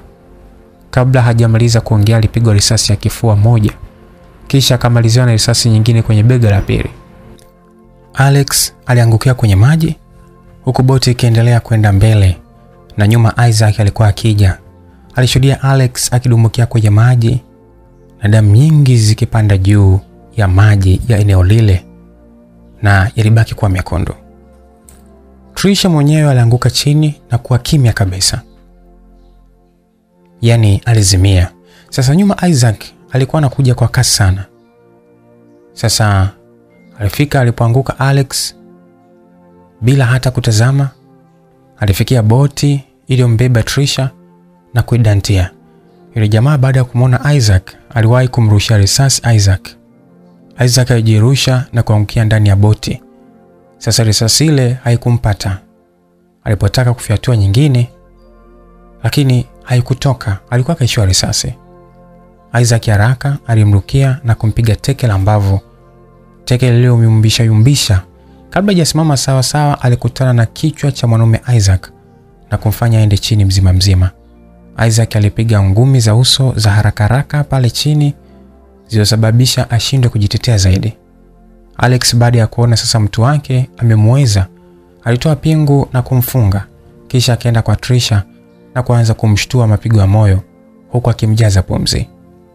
Trisha, amka tafadhali, amka Trisha. Isaac alijitahidi kumsemesha Trisha, hakuwa anaamka. Baada sasa ya kumpa huduma ya kwanza, alienda kuigeuza boti ili kurudi uelekeo ule walipotoka na kuacha majibizano ya risasi yakiendelea. Alikuta askari wakiwa tayari wamefika wakiongozwa na Modi, huku kikosi cha usalama wa taifa nacho kikiwa kimeongezeka. Baada ya Isaac kukuta mambo yamegeuka pale kwenye fukwe hizo, alitoa taarifa kuomba msaada kwa kiongozi wake. Walikusanywa baadhi ya majasusi na kuwekwa chini ya ulinzi, huku wengine wakiwa wameuawa na wawili wakiwa wamefanikiwa kutoroka. Mudi alipomwona Isaac anashuka kambebe Trisha na kuna mfungwa alishtuka baada ya kumwona mtu aliyeshikiliwa na Isaac. Nafikiri hili mliache kwenye mikono yetu sasa. Muda umefika. Mnaweza kurudi, washukiwa wote waliokamatwa tutadili nao sisi. Mkuu wa kikosi cha Isaac aliwapa taarifa askari polisi huku akionyesha utambulisho wake. Wote walimpigia saruti kuonyesha ni mkubwa zaidi kwa cheo chake. Sasa Mudi aliamrisha watu wake warudi nyuma. Jambo hilo litashughulikiwa na ngazi za juu. Namchukua Trisha kwa sababu ni mpenzi wangu, na pia huyu mtu aliyetaka kumdhuru, naomba mniachie, nitamwoje mimi. Mudi aliomba kuachiwa Trisha na yule mtu aliyemteka Trisha na kutaka kumtorosha eneo lile. Isaac alipinga vikali swala hilo. Trisha, jukumu langu, nitashughulika mimi. Isaac alijibu akiwa na hasira sana. Alijua wazi Mudi ni mmoja wa wahusika wa kila kinachoendelea hapo. Hakuwa na ushahidi, aliapia moyoni lazima alipie yote na kumuumbua. Ni askari asiye na uadilifu. Ambulance ilifika, waliojeruhiwa wote walichukuliwa pamoja na Trisha kupatiwa huduma na kufikishwa kituo cha afya. Jeshi la zimamoto na uokoaji lilifika haraka na kuzama kutafuta mwili wa Alex. Alex ndiye shahidi pekee tuliyemtegemea. Mmefanya uzembe gani Isaac? Isaac alionekana mzembe kwa kiongozi wake baada ya Alex kufariki, ikiwa hawajapata chochote cha kuatia hatiani bwana McCragan na kikundi chake. paka inafika saa moja usiku mwili wa Alex haukuwa umeonekana. Walimtafuta bila mafanikio. Giza limeingia. Zoezi litaendelea kesho, hakikisheni mwili unapatikana. Amri ilitolewa na wote walitawanyika. Isaac alikuwa hospitali ambapo aliwekwa Trisha. Hakuwa amepata fahamu mpaka usiku huo. Sasa Dati na rei walikuwa wakilia sana. Isaac ndo mtu pekee aliyegeuka kuwa kichwa cha kutegemewa katika familia hiyo. Trisha akiwa katika usingizi alimwona Alex amekuja mbele yake. Trisha, amka Trisha, nimekufuata twende tukafunge ndoa mke wangu. Alex, kwa nini uliniacha siku zote hizo? Ah, nimekufuata mke wangu, twende mbali tukaishi, tukaishi na mtoto wetu, twende kwenye dunia isiyo na mabaya kabisa, dunia nzuri kwa ajili yetu mke wangu. Inuka twende. Trisha aliinuka na kushika mkono wa Alex. Jamani, hebu iteni madaktari haraka, mgonjwa upo kwenye hali mbaya. Mashine aliyofungiwa ilianza kutoa sauti kuashiria mapigo ya moyo kushuka kuliko kawaida. Madaktari walifika na kuwatoa nje kina Isaac haraka haraka, wakaanza kumwamsha mapigo ya moyo kusaidia uhai wake. Matumaini juu ya uhai wa Trisha yalikuwa kidogo sana. Madaktari walimwachia Mungu ndo awe mwamuzi wa mwisho. Kwa hiyo wao walijitahidi kwa uwezo wao wa kuweza kutetea uhai wa mrembo huyo.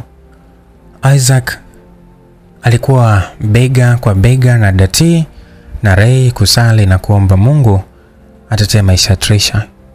Presha ya Trisha ilikuwa juu sana, ndo ilimsababisha matatizo huku akiwa ni mjamzito. Ndio kiongozi, mwili hujapatikana mpaka sasa. Ndiyo, ndiyo. Ya, alianguka kwenye kina kirefu sana. Uh, uh, uh, okay, haina shida kiongozi. Sawa, dili letu kwa sasa lipo salama kabisa, kwa tunaweza kuuza kwa pesa nzuri tu. Ya, inabidi sasa upendekeze mwanasheria mpya na vyema ukamweka Mr. Patrick ili apitisha kiurahisi. Uh, okay, sawa sawa kiongozi. Sawa, ai, sawa nawe pia. McRegan alikuwa akiongea na simu na mtu ambaye hatumfahamu. Inaonekana ndiye aliye juu yake. Mwili wa Alex ulitafutwa kwa siku mbili bila kupatikana na serikali ilitangaza kifo cha Alex akiwa jambazi katili kuwahi kutokea nchini Tanzania kuwatoa hofu wananchi wake, huku serikali ikibaki kutafuta mwili kimya kimya. Sasa baada ya siku mbili kupita, Trisha aliamka kutoka kwenye usingizi mzito. Mtu wa kwanza kumwona alikuwa ni Isaac pembeni yake. Trisha, Trisha, tulia, tulia please, please, tulia. Isaac alimtuliza Trisha akihofia presha kupanda tena. Trisha alitulia ni kama ni alikuwa kumbuki kitu. Isaac aliita daktari. Vipi Trisha, unajisikiaje? Baada ya dokta kutoka, Isaac alimuuliza. Ah, nashukuru Mungu. Dati upo wapi? Anakuja, anakuja. Alikuwa hapa tu muda wote, kaenda tu kuoga. Baada ya dokta kupima afya yake ipo sawa, airuhusiwa kutoka. Trisha aliomba kutenga msiba wa Alex wake, hata kama maiti haijaonekana, lakini alishuhudia akipigwa risasi tatu na kuangukia kwenye maji. Si yeye tu, pia Isaac alishuhudia hilo pia. Maisha ya Trisha yaligeuka ya kilio kila siku. Hakuweza kumsahau Alex kabisa kwenye maisha yake. Hali hiyo ilifanya awe mgonjwa mara kwa mara, mwili wake ulidhoofu na hali yake ya ujauzito ilizidi kudhoofika. Trisha, mdogo wangu, fanya basi kwa ajili ya mtoto tu. Unataka na huyo mtoto apotee kabisa? Jamani, hiyo ndio damu pekee ya Alex. Huko alipo Alex atafurahi kweli unavyomtesa mwanaye eh? Kuwa imara Trisha, please. Dati alijitahidi kumweka sawa Trisha. Dada, nusu ya moyo wangu umechukuliwa. Naanzaje kuwa sawa dada? Najitahidi lakini siwezi. Natamani niende alipo Alex wangu, akamwone mwanaye. Hiyo ndio ndoto yake na matamanio yake. Trisha, unasema nini wewe? Kuona nataka kufa? Hebu acha ujinga basi. Nita Dati aliongea kwa hasira sana. Kabla hajamaliza alikatishwa na Isaac aliyekuwa anafika hapo kumwona Trisha. Dati, inatosha, utazidi kumchanganya. Ni haki yake kujisikia anavyojisikia. Isaac, hivi umemsikia? Lakini huyu eti anataka kufa. Isitoshe anataka kwenda kuishi kule nyumbani kwa Alex. Kule bado sio salama kwa hali yake. Isaac ataenda tu, acha hayo mambo yapite, yaishe kwanza. Naomba niruhusu nikakae na Trisha kwenye kipindi hiki, niwe mlinzi wake. Isaac aliomba kumwekea umakini Trisha akiwa nyumbani kwake. Isaac, tumekupa majukumu ambayo sio yako. Tunashukuru kwa kuwa na sisi tangu mwanzo. Kwa sasa hivi naomba tupumzike. Nitamwangalia mdogo wangu kuanzia hapa. Hapana Dati, mimi ndo nimeomba na mimi ndo nilipenda kuwa karibu na Trisha. Kama kweli unampenda, nipe nikamwekea umakini. Hebu mtazame Trisha wa sasa, urembo wake wote upo wapi? Ile shepu yake nzuri iko wapi? Tabasamu lake umeliona lini mara mwisho? Hata ule ucheshi wake haupo tena, zaidi ya kilio tu cha majonzi tu eh? Machozi ndio mfariji wake. Dati, hebu naomba basi, hii nafasi itakuwa mwisho, sitaomba kingine tena. Isaac aliomba sana, mwisho aliruhusiwa kumchukua Trisha. Trisha na kuahidi kila aliyehusika na kifo cha Alex, haijalishi alikuwa na kosa ama hakuwa na kosa, nitahakikisha analipia. Inachotakiwa wewe ni kuwa imara tu, ili uweze kulipa kisasi cha Alex. Ukiwa hivi na kuahidi utaishia kufa. Ukiwaacha adui zako anakula maisha huku, hata huyo Alex akakudharau sana huko mtakapokutana. Amini hayo. Isaac alimwambia Trisha kitu ambacho kiliamsha matumaini kwa Trisha upya. Huenda ndo kauli ambayo alikuwa akisubiri kwa muda mrefu. Uso wa Trisha ulipata tumaini na kuamsha tabasamu hafifu sana. Isaac aliona hilo na ndio kitu alichohitaji kurudisha nuru upya katika uso wa Trisha. Isaac aliapa kumfanya Trisha arudi kwenye hali yake ya mwanzo, pengine kuzidi kabisa. Alianza kazi rasmi akichukua kibarua chake kipya cha kumlinda Trisha na mwanaye aliyetumboni kuhakikisha mambo yote yanarudi kuwa sawa na Trisha kusahau habari zote za Alex. Kitu cha kwanza Trisha, chakula. Cha pili mazoezi. Cha tatu kupumzika, na mwisho kabisa kisasi. Tunaelewana eh? Umesikia mama? Isaac alikuwa akipanga ratiba yake. Nimekuelewa babangu, Trisha alijibu na kufanya wacheke wote. Maisha yalianza sasa rasmi Trisha kwa Isaac. Maisha ya Isaac na ratiba alizompangia Trisha kwa kiasi yalifanya asipate muda wa kufikiria kuhusu mapito ya Alex, lakini pia yani hayakumfanya amsahau Alex wake. Trisha alianza kunenepa na kupendeza, japo ana ujauzito, lakini mvuto wake haukujificha. Tumbo nalo kwa mbali lilianza kuchomoza. Kesho kuna pati na ni ya rafiki yangu na mke wake wanatimiza miaka kumi kwenye ndoa. Kwa hiyo nataka unipe company ili tuweze kwenda huko. Ah, mimi nimechoka babangu, hata msiende. Trisha alimjibu Isaac kwa sauti ya kudekadeka. Trisha alishamzoea sana Alex, walizoeana kama dada na kaka. Mazoea yao yalizidi sana, hata walizoea. Isaac alimuita mamaangu, T naye aliita babangu. Walikuwa ni watu wa kutaniana muda mwingi. Maisha ya Isaac alimpa amani sana Trisha. Taratibu, kumbukumbu mbaya za kifo cha mpenzi wa maisha yake Alex zikaanza kupotea. utenda tu kwa lazima. He, he, labda unibebe. Trisha aliongea huku anacheka. Ah, sasa si ungesema kama unataka kubebwa? Isaac alisogea na kumbeba. "Ah, Bwana niache, utaniangusha Isaac. We tulia bwana. Isaac alienda kumweka kitandani Trisha. Alitoka na kurudi na mfuko. Ah, umo kuna nguo utavaa kesho. Viatu nitamtuma mtu akuletee kesho. Kisha akatoka akaenda chumbani kwake kulala. Wow, ti wangu huyo, mama yangu, da umependeza sana ise. Thank you daddy. Trisha baada ya kuvaa nguo ya pati aliyopewa na Isaac hakuacha kumsifia mpaka wanafika kwenye pati. Oh, Mr. and Mrs. Isaac, mmependeza. Ah, she's my sister bro, vipi? Rafiki yake Isaac anaitwa George. Baada ya kuwaona Trisha na Isaac wakiingia ukumbini, aliwafuata na kuwapa sifa zao. Isaac alimrekebisha, wao sio kapo. Wote walicheka na kuingia ndani. Mshikaji, unafeli sana wewe. Lini sasa utamwambia Trisha hisia zako? Au ndo mpaka atokee jamaa mwingine tena eh? Akupolee. Mimi nakutengenezea mazingira afu nazingua zake. Ah, oa bwana. Ah, kausha mzee bwana, muda bado sana. George na Isaac walikuwa wakiteta baada ya Trisha kwenda malewatoni. Trisha aliporudi aliwakuta wananong'ona tu.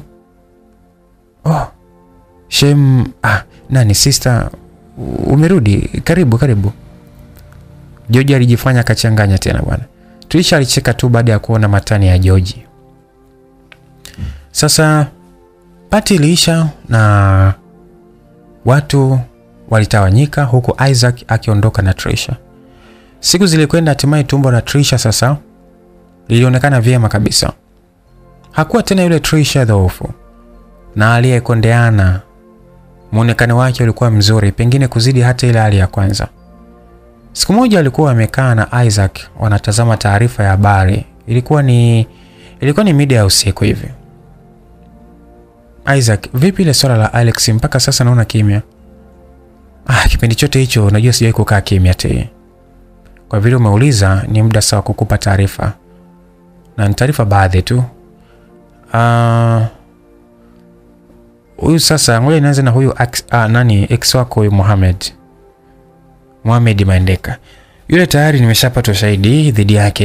Yeye kwa asilimia tisini naweza sema anahusika moja kwa moja na kifo cha Alex. Hmm, Isaac, mbona bado sijakuelewa? Ipo hivi. Ti, unakumbuka una, una yule jamaa aliyekuteka na kukuingiza kwenye boti? Ya, namkumbuka vizuri. Ehe, sasa yule hakuwa anatokea kwenye kikosi ambacho tulikuwa tunapambana nacho mwanzo. Yule mtu alitumwa na Mudi baada ya kujua wewe upo pale.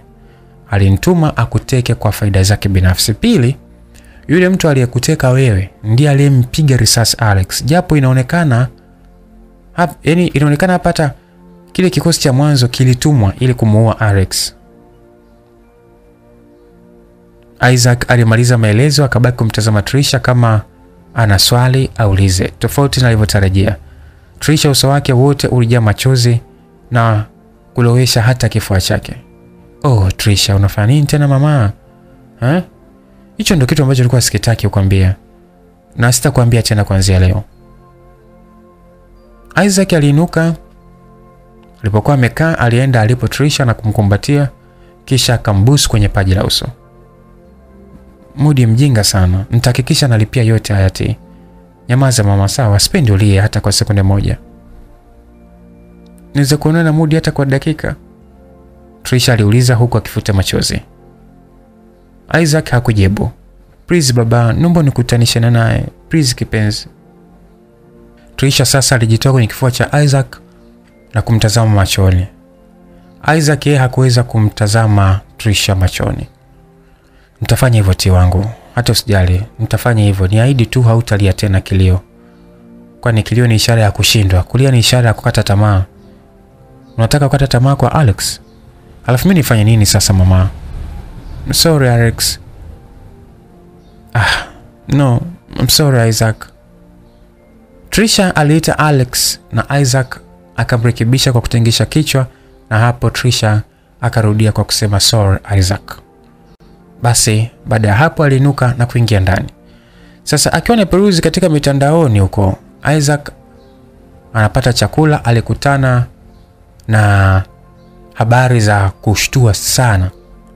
Haraka akachukua simu yake na kumpigia George, patina wake katika kazi. George, hizi taarifa kuhusu mgodi wa dhahabu ni kweli au? Ah, mimi mwenyewe sijaelewa, nimeona tu mtandaoni, sidhani kama kweli, maana sija sijasikiliza hata bunge. Shit, hebu ngoja nimpigie Mr. Zeng. Isaac alikata simu na kumpigia kiongozi wake. Walikutana haraka kujadili swala hilo, timu ya watu wanne. Ndio kiongozi, hii ni rasilimali za nchi, ndio nguvu na mgongo wa wananchi. Kivipi sasa unabinafsishwa kwa Waarabu tena? Mbona Watanzania hawajashindwa kuendesha hili? Isaac alikuwa akilalamika. Inakuwaje mwanasheria wa serikali kupitisha mikataba kama hii? Kwa sababu zipi yani? George naye alijazia. Ah, kuna kitu hapa najaribu kuwaza. Mr. Zinge alisema na kufanya wote wawe kimya kujua ni lipi hilo. Hii ishu imeibuka miezi michache sana baada ya Fieso kufa na Mheshimiwa Maendeka alikuwa akipinga sana idili ya kubinafsisha mgodi wa Mashariki. Sasa baada ya hawa watu kufa, hii ishu ilikuwa kimya. Sasa imekuja ghafla tu kwamba mikataba imesainiwa na wanaoshangilia hili swala ni huyu McGregor pamoja na waziri mkuu na huyu mwanasheria aliyechaguliwa baada ya Fieso. Kwa hiyo na huyo yupo upande wao. Hapa sasa naamini kwa nini wale viongozi walikuwa wakiuawa. Mr. Zingi alikaa kimya kwa hapa muda kidogo wa kutafakari alichokisema. Uliyosema hapa kiongozi, yote ni sahihi. Sasa tunapataje ushahidi? Mmoja aliuliza. Ah, unajua Alex ni mtu pekee angetufumbulia fumbo hili. Mwingine naye akajibu, Mohamed ndio mtu anayeshikiliwa na polisi mpaka sasa kuhusu kifo cha Alex. Kesi yake sioni kama ina nguvu sana. Wale wengine wote hawamjui bosi wao ambaye amewatuma, hawamjui yule bosi ambaye amewatuma kuvamia kule kwenye fukwe, na mtu aliyewapa hiyo deal alifanikiwa kutoroka ile siku. Sasa tunafanyaje kuzuia hili bosi? Hakuna aliyekuwa na majibu, ikapita kimya. George aliomba nafasi ya kuongea. Mm, George endelea. Alipewa ruhusa. Ah, naomba tumtumie Trisha katika ile. Isaac alishtuka na kumtazama machoni George kwa hasira. Hapana, Trisha hatoingia katika hili tena. Fikiria hali yake George. Ah, lakini hii ni kwa ajili ya nchi Isaac. Na huyo mwanaye ni kizazi cha kesho tu. Hii rasilimali haitakuwepo tena mikononi mwetu. Yalitokea mabishano kati ya Isaac na George mpaka bosi wao alipoingilia kati na aliunga mkono wazo la George kishingo upande tu. Isaac alimfuata Trisha na kumkutanisha na timu yake. Mr. Zing aliongea na Trisha kwa ukarimu sana. Trisha, wewe ni kama binti yangu. Nisamehe kama kuna mahala huko nyuma nishawahi kukosea kwa ajili ya Alex kumwaza tofauti. Pia nisamehe sana, leo nimekuita, nahitaji msaada wako kwa ajili ya nchi yetu. Ipo vibaya sana. Alikaa kimya na kumwacha Trisha afikirie. Akaendelea baada ya kusoma macho ya Trisha yanaelewa anachozungumza. Trisha, mpaka sasa hivi ninavyoongea na wewe, mgodi wa Mashariki ambao unategemewa sana ndio mgodi mama katika nchi yetu umeshabinafsishwa kwa mataifa mengine. Si hilo tu, kuna lingine kubwa linakuja. Bandari zinaenda kupotea kwenye mikono ya Watanzania, na hii sasa inafanywa na viongozi wanaotaka kujaza matumbo yao bila kujali maisha ya Watanzania. Wote tunategemea madini kama pato kubwa la taifa. Bandari pia. Hebu waza, tunaenda wapi? Vipi kuhusu mtoto anayekuja na wenzake, wataishi vipi eh? Sio tunarudi kwenye utumwa huru tena eh? Tutumikishwe kwenye nchi yetu na mali zetu? Yaani ni kama umeajiri kijakazi ndani ya nyumba yako, alafu akutumikishe wewe na hela mshahara achukue kutoka mfukoni mwako, huku akikuacha huna njia nyingine ya kupata pesa, utaishije eh? Alex sio mbaya, ila kuna watu wabaya walimtumia Alex kufanya ubaya kwa faida zao. Alex alikuwa amepata ugonjwa na wewe ndiye uliyemtibu, ndio maana alipona na akaamua kuacha ubaya. Trisha, hakuna chochote Alex alishawahi kukuambia kuhusu mambo haya yanayoendelea kutokea hapa nchini. Alex alijua siri zao nyingi sana. Hebu naomba ukumbuke katika kipindi chote mlichokuwa naye. Mr. Zingi aliweka kituo kikubwa na kumwacha Trisha apate muda wa kuweza kufikiria zaidi. Kila mtu ndani ya ofisi hiyo alibaki kimya sana akimtazama Trisha atoe maamuzi yake. Trisha alimtazama Isaac. Isaac alimtikisia kichwa kwamba ni sehemu salama kabisa. Trisha alimeza mate kisha akamtazama Mr. Zing kwa muda kidogo kabla hajanyanyua mdomo kuruhusu maneno kutoka. Kuna kitu aliniambia siku ya mwisho kuonana pale nyumbani kwake Mwenge. Kwa kauli ya Trisha, kila mtu alipata matumaini na kuamsha upya hisia za ushindi katika mioyo yao. Ehe, alisema nini? Walijikuta wameuliza wote kwa pamoja. Ah, katika chuo chake kuna ushahidi dhidi ya watu wale wote. Sasa sijui ni ushahidi gani wala watu gani. Oh, Trisha, kwa nini ukisema tangu zamani? viti muhimu kama hivi ti, kwa nini unavikalia kima mamangu? Isaac aliongea, ni wazi alionekana kuchanganyikiwa. Sio muda wa kulaumu. Isaac, chukua askari haraka, mwende mkakague hiyo nyumba. Mr. Zing alitoa amri, lakini nyumba ile tulipoenda mara mwisho tulikuta nyumba imeshasachiwa, naamini walishapata, ndo maana sikusema.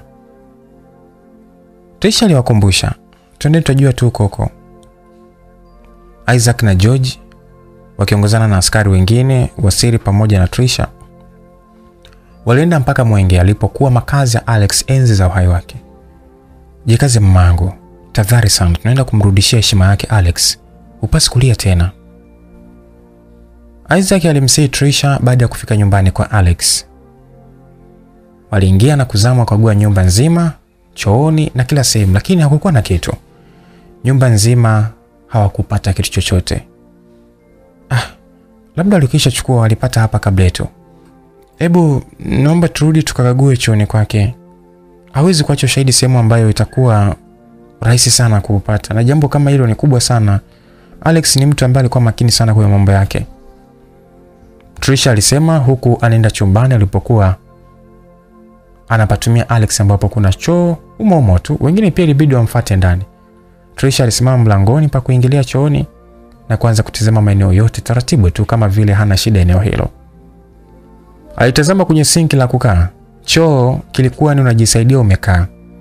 Alipatazama sana zaidi dakika 15. Alikagua sehemu moja baada ya nyingine, hakuona tofauti. Mambo akahamia kwenye tenki la kutunzia maji ya kufrashi. Hakupata kitu. Alisogea mpaka kilipo kioo, hakuona chochote. Alihakikisha amekagua eneo lote kwa makini bila kuacha sehemu. Alishusha pumzi nzito ya kuashiria kushindwa. Trisha, imetosha, hakuna kitu hapa, tuondoke. Isaac alimwambia huku akimvuta watoke nje. Sa wakati Trisha anatoka nje, alikuwa ni mtu aliyechoka kabisa. Alex, nimeshindwa hata kulipa kisasi kwa ajili yako, mume wangu. Una furaha huko ulipo, kipenzi changu. Kama nimeshindwa kukulipia kisasi, na kuahidi nitamtunza mwanao vyema na kumfanya vile ulitaka. Alex, naomba nisubiri ulipo. Moyo wangu nakutafuta, nimebaki mpweke, nusu ya moyo wangu imetoweka. Wewe ndiye niliyekupenda, umechukuliwa. Natamani uniimbie tena, Alex wangu. Mwanao nataka umwimbie hata ndoto yako ya kujenga familia bora haijatimia. Upo mbali nasi Alex, tafadhali jitunze huko ulipo, mume wangu, nakuja tufunge ndoa. Trisha moyo wake ulibeba mengi, alishindwa kuongeza hatua nyingine. Mwili ulimwisha nguvu, akaanguka chini na kukaa huku machozi yanatoka kama chemchemi ndani ya kisima. Wakati alipokaa chini, mkono wake uligusa sakafu na hapo aligundua kitu. Isaac alinama kumwinua. E, subiri Isaac, kuna kitu hapa. Trisha haraka alipiga vidole vyake chini maeneo yale. Sauti ilisikika pale, ilikuwa ni tofauti na upande mwingine wa sakafu hiyo. Watu wote haraka walisogea eneo hilo, waligonga nao waliona tofauti katika eneo hilo. Mm. Hapa kuna kitu hapa, inaonekana pako wazi kwa chini. Hebu lete nyundo haraka. George haraka alitoka mpaka kwenye gari na kurudi na nyundo. Walianza kupabomoa eneo hilo kwa kugonga gonga na nyundo, kitu ambacho hawakuamini macho yao. Baada ya kufumua kipande kimoja cha tiles, ilionekana kuna shimo kwa ndani. Walitoa vipande vitano vya tiles pakatengeneza shimo ambalo kwa ndani kulikuwa na box, tena kilikuwa ni box cha chuma tu. Waliitoa box lile haraka na kulifungua. Juu kabisa kulikuwa kuna karatasi yenye maandishi kwa herufi kubwa, kipenzi Trisha, kama ukipata box hili tambua mimi niko sehemu salama na ninakusubiri. Kumbuka ahadi yetu, hata baada ya miaka elfu kupita, mioyo yetu itaishi pamoja. Hata baada ya uhai kwenye kifo, tutakuwa wote. Angalia hapa tulipo, inatuonesha picha ya mbali tuendapo. Ili kufika lazima tupitie pagumu, mpenzi wangu. Naomba nishike nikushike, ili tuwe wote, hata kwenye matatizo, na hata matatizo yakitokea, basi yawe baraka katika penzi letu. Lolote likitokea, basi tuanguke tufe wote. Hata siku ikitokea umeona maiti yangu, amini mimi sijafa kwenye moyo wako, na usije ukanizika kwenye moyo wako. Mwanamke mmoja kwenye maisha yangu, hata kwenye kifo changu, ni wewe Tio wangu. Naamini barua hii wewe pekee ndiyo unaweza kuipata, kwa sababu nina agano na nafsi yako. Nakupenda, nakupenda, nakupenda sana, na kwenye hii dunia nimempenda moja tu, Trisha. You are beautiful and sweet, my girlfriend. Trisha alimaliza kusoma karatasi yote na ilikuwa imelewa machozi. Akaanza kulaumu, kwa nini sasa umeenda mbali Alex? Moyo wangu mdogo nayo umenipa kisogo. Mungu awalaani wote waliokuondoa kwenye bustani yako. Moyo wangu haupo nami Alex. Machozi ndio kimbilio langu. Isaac alimkumbatia Trisha ili kumtuliza. Aliona tatizo la presha kupanda kwa sasa linakuja na hali ya ujauzito alionayo. Isaac alichelewa mpaka anamweka Trisha kwenye kifua chake. Trisha alikuwa kimya kabisa, aligundua ameshapoteza fahamu. Sasa alimbeba haraka haraka Trisha mpaka kwenye gari na kumkimbiza hospitali. George alichukua boksi akalipeleka mpaka kwa mkuu wao Mr. Zing. Walikagua kimoja baada ya kingine. Walikuta kuna bahasha moja imejaa makaratasi na walipokagua Mr. Zing alishtuka sana. George akamuuliza, vipi mkuu? Ah, hizi ni dokumenti za siri mno. Ni kuhusu manunuzi ya silaha na uzaji Sijui Alex alizitoa wapi ese. Kuna kontena zilipotea miaka miwili iliyopita na hazijulikani zilipo. Hata tume iliyoundwa kuchunguza hazikuleta majibu yaliyoeleweka. Alitoa ufafanuzi juu ya dokumenti hizo. Walikuta nyaraka nyingi za siri zinazofanyika. Alex alizipataje? Hawakuwa na jibu kamili. Mwisho alikuta flash tatu. Wakati huo sasa, na Isaac alikuwa amefika eneo hilo. Vipi hali ya Trisha? Wote walijikuta wameuliza swali moja. Ah, atakuwa sawa, nimemwacha na dada yake, atakuwa sawa. Vipi, kuna chochote amepata au ni box la mabasha tu au na mahabahaba tu? Isaac alijibu na kuuliza akiweka na utani kusababisha wote wacheke mle ndani. Ah, sio kidogo, tumepata vingi vya siri sana. Kama Alex angekuwa hai, sijui leo ningempa shukrani kiasi gani, bila kujali makosa yake ya zamani. Mr. Zing alijibu akionyesha ameguswa sana na swala hilo. Ah, nitahakikisha namtunza Trisha na mtoto wake kama shukrani kwa alichotukifanya kuikomboa taifa letu. Mr. Zing aliongea hivyo. Kuna hizi flash pia, ngoja tuzicheke. Walichomeka flash kwenye kompyuta iliyokuwa mezani na kutazama. Flash ya kwanza ilionyesha mazungumzo kati ya Bwana McCragan na Mheshimiwa Waziri Mkuu, kitu ambacho hakuna aliamini kabisa. Na video ile ilionyesha ilikuwa ikichukuliwa kimamluki tu. Haikuwa rasmi. Nani ambaye rekodi hakuna aliyejua. Alex alizipataje pia hawakuwa na jibu. Maongezi yao yalikuwa ni juu ya kuuza kwa mgodi mkubwa na unaoleta pato kubwa la taifa na kuwalaghai watu kuwa mgodi huo umebinafsishwa kwa muda maalum.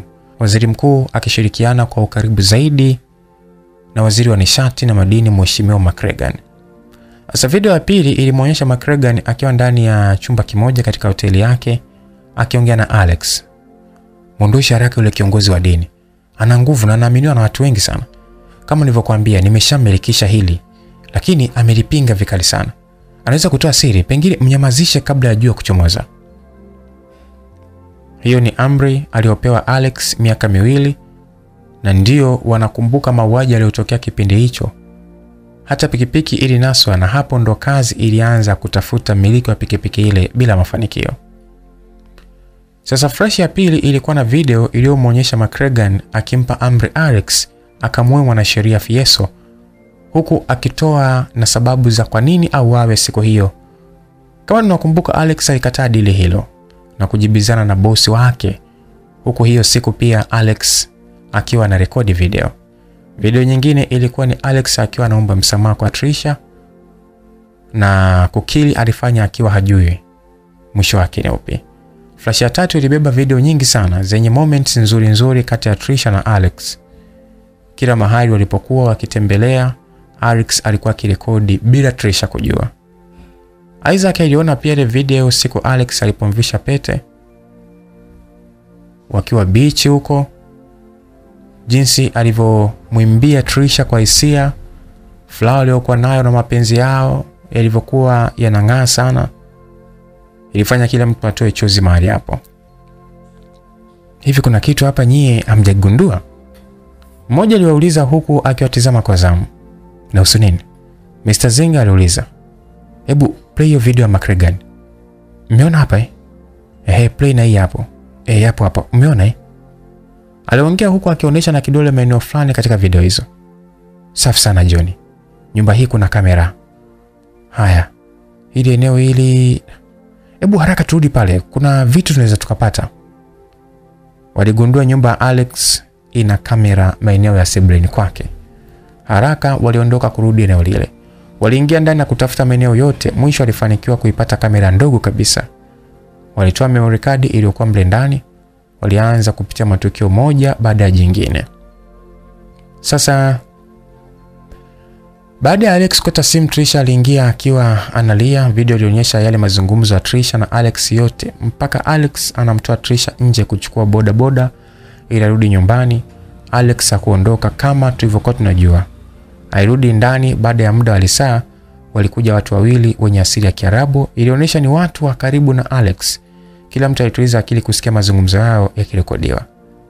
Alex alimuelezea kila kitu watu hawa ambao mmoja wao alimtaja kwa jina la Joseph. Nahitaji sana unisaidie nilimalize ile. Alex aliongea kama mtu aliyekata tamaa kabisa. Sasa Alex, hapa mimi nakusaidiaje? Hapa kinachotakiwa wewe kurudi Brazil. Huwezi ingia nchi nyingine kwa sababu taarifa zako zipo kila mahali. Ila kwa Brazil mimi na njia zangu tu nyingi sana. Na utaingia tu na utaweza kuishi vizuri. Ah, nipo tayari hata sasa hivi. Nimchukue mke wangu tuondoke. Ah, kwa hilo aliwezekani Alex. Nafasi ya huyo mwanamke haipo. Hapa jiokoe wewe mwenyewe kwanza, afu baadaye utamrudia Trisha. Tuondoka sasa hivi. Utakuja kuvamiwa muda si mrefu. Uhai wako sasa hivi upo mikononi mwa watu. Hawezi kuruhusu uchukuliwe kituo cha polisi wakati una siri zao. Lazima wakumalize kukunyamazisha. Ofa yangu ni hiyo. Kama upo tayari tuondoke. Joseph ni kama anajua mipango ya macregan Haraka Alex aliingia ndani kukusanya vitu vyake muhimu, ndipo alipoandika na barua. Hebu subiri. Kabla hujatoka, Alex alihisi kitu na kuwazuia wengine wasitoke. Haraka alibonyeza sehemu nyuma ya kochi moja iliyopo sebleni hapo, na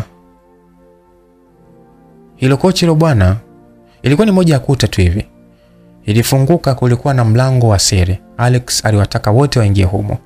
Waliingia na mlango ule ulifunga, pakabaki kama ukuta tu huwezi jua wala kuhisi kwamba kuna mlango. Sa baada ya sekunde, kundi la watu wenye silaha waliingia hapo. Ni kama Alex alihisi hatari hiyo. Watu walipokuwa kila sehemu na kuvuruga nyumba kama kuna kitu walikuwa wakitafuta. Walibeba baadhi ya vitu walivyoona vinawafaa, na hapo Mudi alionekana ndio aliyekuwa pamoja na watu wale. Baada ya ile kundi kutoka, video iliendelea kuonyesha Hazikupita dakika tano waliingia askari. Mudi pia akiwa anaongoza askari na akajifanya na shangaa baada ya kukuta nyumba imevurugwa sana, akiwa anajua kabisa kilichoendelea pale moyoni mwake. Mudi alitoa simu yake na kupiga sehemu. Ndio mkuu ameshatoroka. Nyumba haina kitu kabisa, hatujapata chochote. Sawa mkuu, nimeelewa. Kisha akakata simu. Jova, ongea na idara ya usalama, mipaka yote ya kutoka na kuingia nje na ndani ya mji ifungwe. Sambaza askari mji mzima, lazima patikane leo hii hii. Toa taarifa Brazil pia wafunge mipaka na ukaguzi kabisa. Huyu ni gaidi. Mudi alimpa taarifa mmoja askari. Yote hayo Alex na wenzake walipata kusikia kila kitu kilichoongelewa na Mudi. Baada ya askari kutoka, kina Alex walitoka pale kwenye chemba. Hebu ngoja kwanza, hatuwezi kuchomoka bila kujua hali ya Brazil katika mipaka yake. Sio tukaingiaingia tu wote kwenye shida. Joseph aliwapa tahadhari kwanza, kisha akatoa simu yake na kupiga sehemu. Aliuliza na kuambiwa mipaka yote hakuna pa Alex kupita, kwani anatafutwa na kuwindwa kwa sababu alishatoroka mara ya kwanza, hivyo kila mtu anaogopa kufanya kosa tena. Sasa Alex, inabidi ubaki tu umo kwenye hili chemba, nitakulinda maana hapa naona ni ni salama kuliko huko nje. Alex aliambiwa arudi nyuma ya ukuta tena. Hakikisha hata Trisha asijue hili, umenielewa? Mi nitamlinda alipo popote, na ni yeye pekee ndio wa kuthibitisha watu wewe haupo, maana atakuwa anafuatiliwa sana. Kulikuwa na mabishano sana kati ya Alex na watu wale wawili. Mwisho alikubali kukaa kwenye maficho bila Trisha kujua lolote. Oh my god. Mr. Allen alipiga ngumi juu ya meza akijiraumu sana kwa uzembe wao. Shit, yani tulienda mle ndani lakini hatukumpata. Kumbe hapa kuna chemba da. Isaac alizidi kujiona yeye si kitu kabisa kwa Alex. Kuna video moja hapo, ebu play nayo. George aliwakumbusha kuplay video ambayo kila mtu alichanganyikiwa na kuiacha. Hapo ndo alishiwa na nguvu kabisa. Video inayofuata ilionyesha kwamba majadiliano kati ya Alex na watu wale. Alex, kukaa humu ni kwa faida yako, sio sisi. Trisha yupo salama kabisa. Utaacha kula mpaka lini eh? Kaa humu, ni salama kwako kuliko huko nje ambako mambo yakitulia, basi utatoka na utatoka kwenda Brazil na kuahidi nitakuletea Trisha wako. Alex alionekana ni dhoofu tena, mwili wake hauna nguvu kabisa. Joseph alikuwa akimpa chakula huku akimsii ale. Bado Alex hakutaka kula. Siwezi kujificha zaidi ya hapa, acha nitoke, nitajisalimisha tu na nitaongea kila kitu. Bora niwe gerezani kuliko kuishi huku ndani, alafu simuoni Trisha, ni sawa na kuzimu tu. Alex aliongea kwa sauti ya chini sana. Sawa, shika hii simu, mpigie basi Trisha. Alipewa simu na kupiga, ndo wakati ule tunakumbuka kumbe mambo ndivyo alivyokuwa, mpaka akaongea na Isaac wakutane Bagamoyo. Baada ya kumaliza kuongea, video inaendelea kuonyesha matukio yaliyoendelea mle ndani.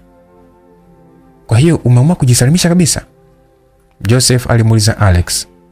Alex, wewe ni jamaa yangu sana, tangu tukiwa Brazil tumefanya mengi sana. Mimi siwezi nikakuacha ufe jela kama hivi tu. Mimi sina uhakika sana na hao wanaokujia, niruhusu nikulinde. Hisia zangu zinaniambia hivyo. Carlos mwenzake na Joseph muda wote alikuwa mkimya sana. Aliongea ni haamini simu iliyopigwa. Acha tu Carlos njisalimishe ili hao kina McGregor na kundi lake wakamatwe. Pia kama nitaendelea kujificha, nchi hii ipo babaya kwa sasa. Acha nifanye hili jema moja la mwisho tu. Alex aliongea japo ilikuwa ni sauti ya chini, lakini macho yake yalidhihirisha kukata tamaa kabisa. Basi sawa, sitakulinda. kuhakikisha kesho unafika ukiwa salama kabisa mpaka mikononi mwa askari. Carlos aliongea huku akimpigapiga begani Alex. Video zingine zilionyesha tukio la wao kwenda tena pale baada ya Alex kufia katika bahari kule. Oh my god. Isaac alipiga ukuta kwa hasira sana baada ya kugundua muda wote wameishi kama vipofu. Alex anaishi? George aliongea kama mtu mwenye uhakika. Wote waligeuka kumtazama. Why?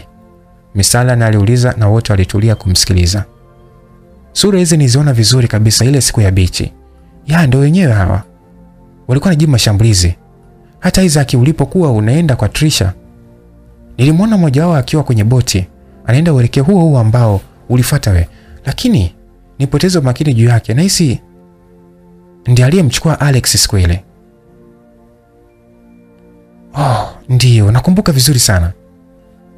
George aliongea na Isaac aliunga mkono.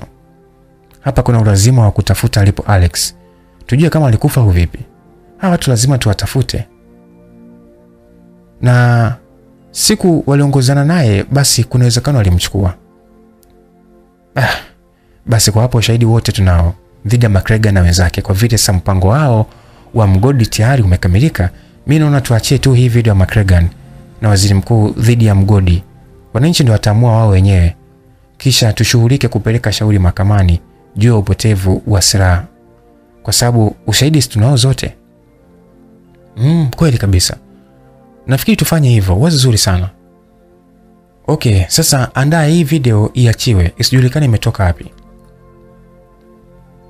Isaac alimbeba haraka haraka Trisha mpaka kwenye gari na kumkimbiza hospitalini. George alichukua boksi akalipeleka mpaka kwa mkuu wao Mr. Zing. Haraka haraka Mr. Alan aliweka mipango sawa na kuunda account fake zisizopungua kumi. Asubuhi taarifa hiyo iliyoitikisa nchi ilikuwa ni juu ya video zile. Wananchi waliandamana kila sehemu, wengi walielekea mpaka ulipo mgodi. Kulikuwa na vurugu nyingi kuweza kuwafukuza Waarabu. Polisi waliwaweka chini ya ulinzi McGregor na waziri mkuu, na moja kwa moja walifikishwa mpaka mahakamani. Ushahidi wote, Mr. Alan alisimama katika kesi hiyo na kuhakikisha wote waliohusika wanatajana. Mudi alifikishwa mahakamani. Video ilimwonyesha kwenda nyumbani kwa Alex ile siku akiwa na vijana wa McGregor, na muda tena akirejea na askari polisi na kuonesha hafahamu kitu. Ilitosha kumbana katika usaliti na ufisadi na makosa mengi ya kuvujisha siri za polisi. Alihukumiwa miaka 30 jela na faini juu. Wakati McGregor ni kwa kosa la kudhulumu mali ya taifa kwa faida zao wenyewe walihukumiwa miaka 30 na kutaifishwa mali zao zote wanazomiliki. Wajitahidi kwa nguvu zao zote kujitoa kwenye kesi hiyo, lakini Mr. Allen hakuwapa nafasi. Hapa tumemaliza. Hukumu imetoka leo. Kesho tupeleke shauri mahakamani kuhusu mauaji yote na wahusika wote. Hapa tunawaamsha tu na kesi zote mbili, na hii ya miaka iliyopita pamoja na upotevu wa silaha. Mr. Allan alikuwa akijadili na vijana wake juu ya kuangamiza zaidi mawaziri wote wabaya. Mr. McGregor na kundi lake walirudishwa tena mahakamani na walikutwa na makosa mengi sana pamoja na yale mauaji. Walihukumiwa kifungo cha maisha na kazi ngumu wakiwa gerezani. Hatimaye kila kitu kikawa kimeisha. Trisha alikuwa amekaa akitazama taarifa ya habari na habari kubwa zilizokuwa zikiongelewa ni juu ya McGregor na wenzake, na hukumu zao alijionea mwenyewe tu, akabaki kujiongelea kwamba kila kitu kimekwisha. Alitazama picha Alex iliyokuwa kwenye simu yake. Basi Isaac hakumwambia Trisha kuhusu video wala kamera nyumbani kwa Alex. Siku zilipita, maisha yaliendelea. Tumbo la Trisha lilikuwa kubwa.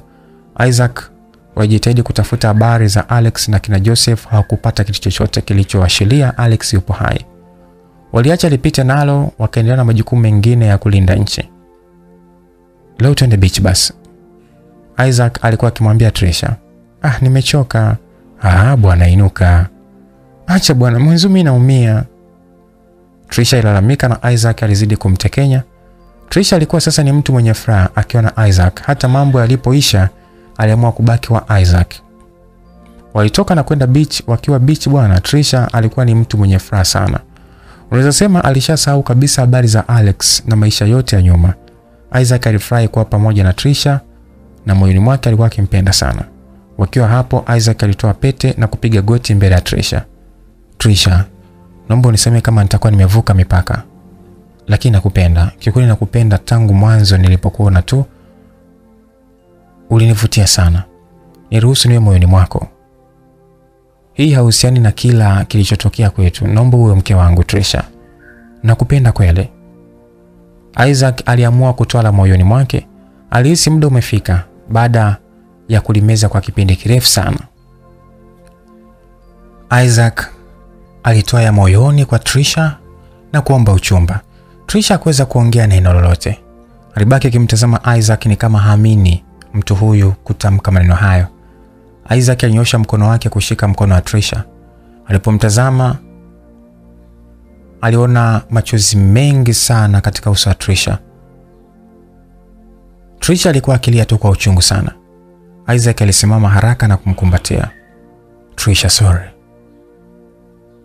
Isaac, hata kama Alex amekufa, hata kama alishakufa Alex wangu, siwezi kurudi kuwa mwanamke wa mwanaume yeyote tena.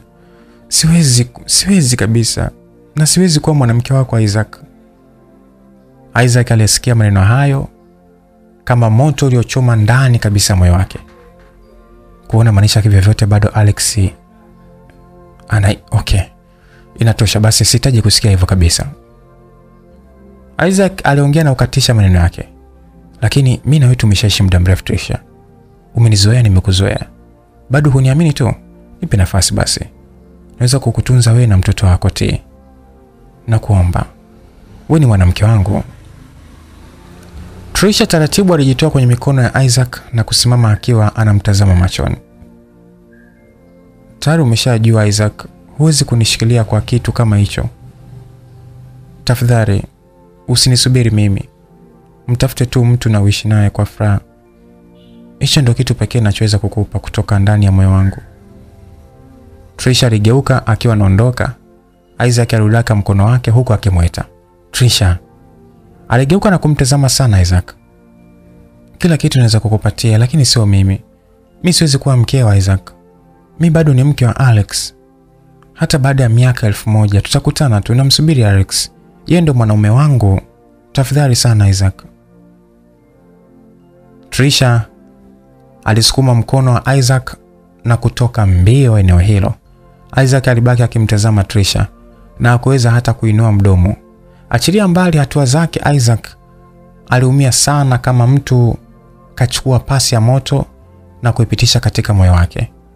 Trisha sio kwamba alikuwa na shida ya kumuumiza Isaac, hapana, ila kwenye moyo wake Alex aliishi kipindi chote cha maisha yake. Huwezi amini, Ray rafiki yake Trisha alikuwa maeneo hayo na alifuatilia maongezi yao mwanzo mpaka mwisho. Alimwonea huruma sana Isaac pale alipobaki.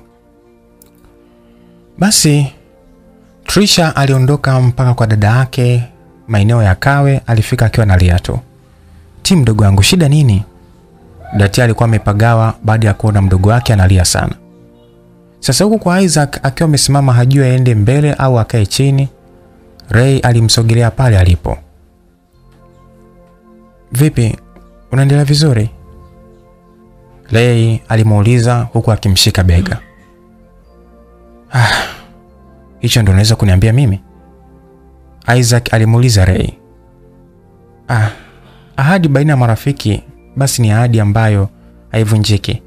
Mpe nafasi na umsikilize. Tini rafiki yako mkubwa sana, kwa hiyo usimpoteze tafadhali. Naweza vipi kuitunza ahadi hiyo na ikakamilika? Ray, nampenda sana Ti, muda mrefu, yani sio jana au leo. Hivi unafikiri unaweza kumlazimisha bila idhini yake? Kama anaelewa moyo wangu jinsi ulivyo, kama anajua kiasi gani naumia, anakuja kwangu. Acha nisubiri tu. Isaac aliondoka na kumwacha Ray hapo kasimama kitafakari maneno ya Isaac. Trisha alikuwa kwao amekaa ana majonzi kweli kweli. Moja ikai wala mbili ikai. Ni kweli umtaka kabisa? Ray aliingia na kumuuliza swali Trisha bila hata salamu wala kukaa. Asidhani kama itakuwa sawa mi kuanzisha mahusiano na Isaac wakati najua wazi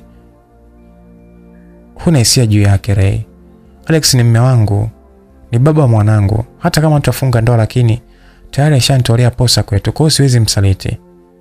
Ni muda wako kuwa karibu yake. Mimi sitarudi kule tena. Trisha alijibu huku akiinuka na kuondoka. Ray alibaki amesimama tu kama anatafakari vitu. Isaac, imetosha basi, hebu nuka twende. Ah, George alikuwa akimwinua Isaac ambaye kalewa hovyo na bado alikuwa akiendelea kunywa pombe kali. George, nampenda sana Trisha, nampenda. Ah, najua huyu, mpe tu muda, alafu pombe sio maamuzi mazuri. Ah, ameondoka, simu zangu apokee. Unafikiri atarudi kweli nyumbani? Usijali, mimi nitakisha atarudi, usijali. George alimchukua Isaac mpaka nyumbani kwake. Ah, shemu, upo hapa kumbe? Baada ya kufika nyumbani kwa Isaac nje walimkuta Ray amesimama. Ya, kuna sehemu nimetoka nikaona nipite hapa kumpa haya Isaac. Ray alidanganya hivyo. Baada ya kufikiria sana maneno aliyoambiwa na Trisha, Ray aliamua kujaribu bahati yake kwa kujiweka karibu na Isaac. Sawa, nisaidie basi tumuingize ndani. Oh, kafanyaje tena? Pombe zimemzidia. Ray, nisaidie kumtekea huyu ili mimi niwahi nyumbani. Si unajua tena ndoa yangu bado changa eh? George aliongea na kuongeza utani. Usijali, nitajitahidi ji. Ray alijibu huku akimshika Isaac kumvuta ndani. Asubuhi Isaac alipoamka alikuta supu juu ya meza. Akiwa anajiuliza labda Trisha alikuja nayo hapo. Haraka alienda jikoni huku anaita, "Trisha, ni Ray bwana." Ray alijibu huku akisogea alipo Isaac. "Oh, sorry." Hmm, kunywa supu kwanza, afu sio unakunywa pombe bwana. Do, nitajitahidi bosi wangu. Isaac alikunywa supu akatoka kwenda kazini. Ray alitoka na kwenda kwa Trisha. Alipofika alikuta nyumba ipo kimya sana. Eti hawa wameenda wapi? aliuliza mtoto aliyekuwa nje anacheza. Walienda hospitali jana usiku, Trisha anaumwa. Ray haraka alichukua simu yake na kupiga kwa Dati. Sasa Ray alimpigia simu Dati, alimweleza hospitali alipo. Haraka aliondoka kwenda pale. Vipi lakini anaendeleaje? Ah, amejifungua mtoto wa kiume. Ah, wow, thanks God. Ray alirukaruka na kumkumbatia Dati. Taarifa zile za Trisha kujifungua alizipata Isaac, pia haraka alienda mpaka hospitali. Hongera te. Shukrani sana Isaac. Vipi unajisikiaje? Ah, vizuri tu. Muda wote Trisha alikuwa akimwangalia mwanaye. Sura yake ilifanana sana na Alex, yaani kama ndo kamzaa. Alex, nimekuzaa tena Alex wangu, alijisemea maoni mwake, huku akishika sura ya mwanaye mara kwa mara, huku akitabasamu taratibu tu. Trisha airuhusiwa hospitali baada ya vipimo na kuona hali yake ipo sawa kabisa. Mtoto ataitwa nani? Ray aliuliza hivyo. Ah, tusubiri mama yake atoe tamko tu. Bwana, mimi nataka niende ukaa kwenye nyumba ya Mwenge na pia nianze kusimamia vitu alivyoacha Alex. Nafikiri muda tayari kwa sasa. Nilikuwa nasubiri tu mwanaye awe mrithi wake. Trisha aliwaambia wote wakabaki kimya wakitafakari juu alichokisema. Una hakika utakuwa sawa huko Trisha? Isaac alimuuliza. Ya, nipo sawa, hata msijali, nitaanza kutafuta ajira pia. Sawa, nakuombea uwe na afya Trisha wangu. Datia alimkumbatia Trisha. Mwanangu ataitwa RA Alex. Hilo ndio jina lake. Wow. Hmm. Alex double A au sio? Ray aliongea huku akimuinua Ale mikononi mwa Dati. Mm, jamani, huyu mtoto hata mwezi bado lakini ni handsome boy hivi jamani. Akikuwa huyu, he, tujiandae kuamua ugomvi tu. Ray aliongea hivyo kwa utani, wakacheka tu. Mama Ale, Isaac aliita akimtazama Trisha. Ha, jamani mapema hivyo nayo Isaac du. Trisha alicheka, hakutegemea kuitwa hivyo. Alifurahi na machozi ya furaha yakimtoka. Trisha alihamia nyumbani kwa Alex na kuendeleza biashara alizoachiwa na Alex. Siku moja alipata message kutoka kwa namba ngeni. Pesa hiyo msomeshe Alei. Elimu yake yote tafadhali hakikisha Alei hajui kazi mbaya aliyokuwa anaifanya babake. Trisha alishtuka sana. Aliangalia meseji nyingine ilionyesha akaunti yake imepokea kiasi kikubwa cha pesa. Haraka alichukua simu yake na kupiga. Isaac siku hiyo alikuwa ameenda nyumbani kwa kina Ray kumwona mama yake Ray. Ray na Isaac walikuwa karibu sana. Isaac alijikuta kamzoea sana Ray bila kujua Ray anahisia naye. Aliendelea kumsubiri Trisha siku akiwa tayari amvisha pete. Simu yako inaita hiyo, Ray alimwambia Isaac. Oh, hafu ni Trisha. Hello? Okay, sawa sawa, sasa hivi tu niko hapa Mbezi kwao Ray. Basi poa, nakuja. Isaac alikata simu. Hakuna nini? Atuende akasema akapokea message kutoka kwa namba ngeni, imemtisha. Ah, mama, baadaye. Ray aliaga huku akitoka haraka. Walipanda pikipiki kwenda kwa Trisha. Walimkuta na Datia amefika tayari. Vipi jamani, usalama upo? Ray aliuliza huku akimshika Are kwa kumpakata. Trisha alitoa simu na kuonesha meseji ile. Sasa akili ya Isaac ilifanya kazi haraka sana, akakumbuka kuna watu wa Alex wanamwangalia kwa karibu sana Trisha. Waliwaona kwenye video zilizorekodiwa katika nyumba hiyo. Ina maana watu bado wapo karibu yetu sana. Isaac, mbona tukuelewi sasa? Ah, samani sana Trisha, Rai na Datis kusema hili kwa sababu nilihofia kuwazidishia wasiwasi. Tuambie basi Isaac jamani.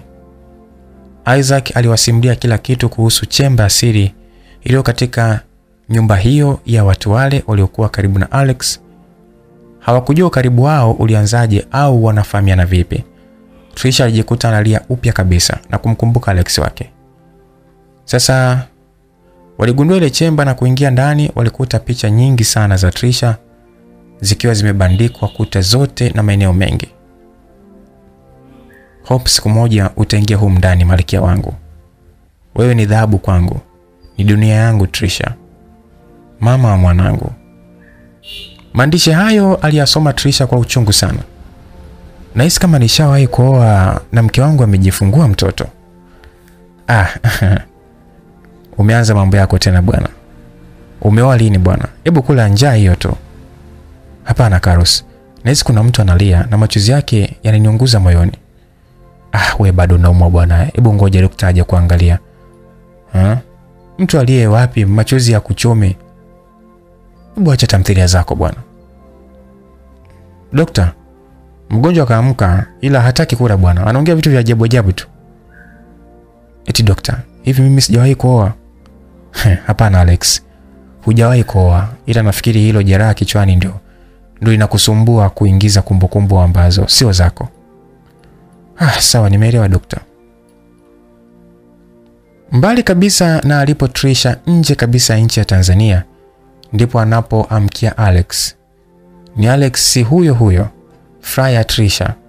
Hakuna kumbukumbu kabisa, hakumbuki chochote kilichotokea kwenye maisha ya Tanzania baada ya kulala kwenye koma kwa zaidi ya miezi sita sasa. Aliamka akiwa akumbuki kitu chochote.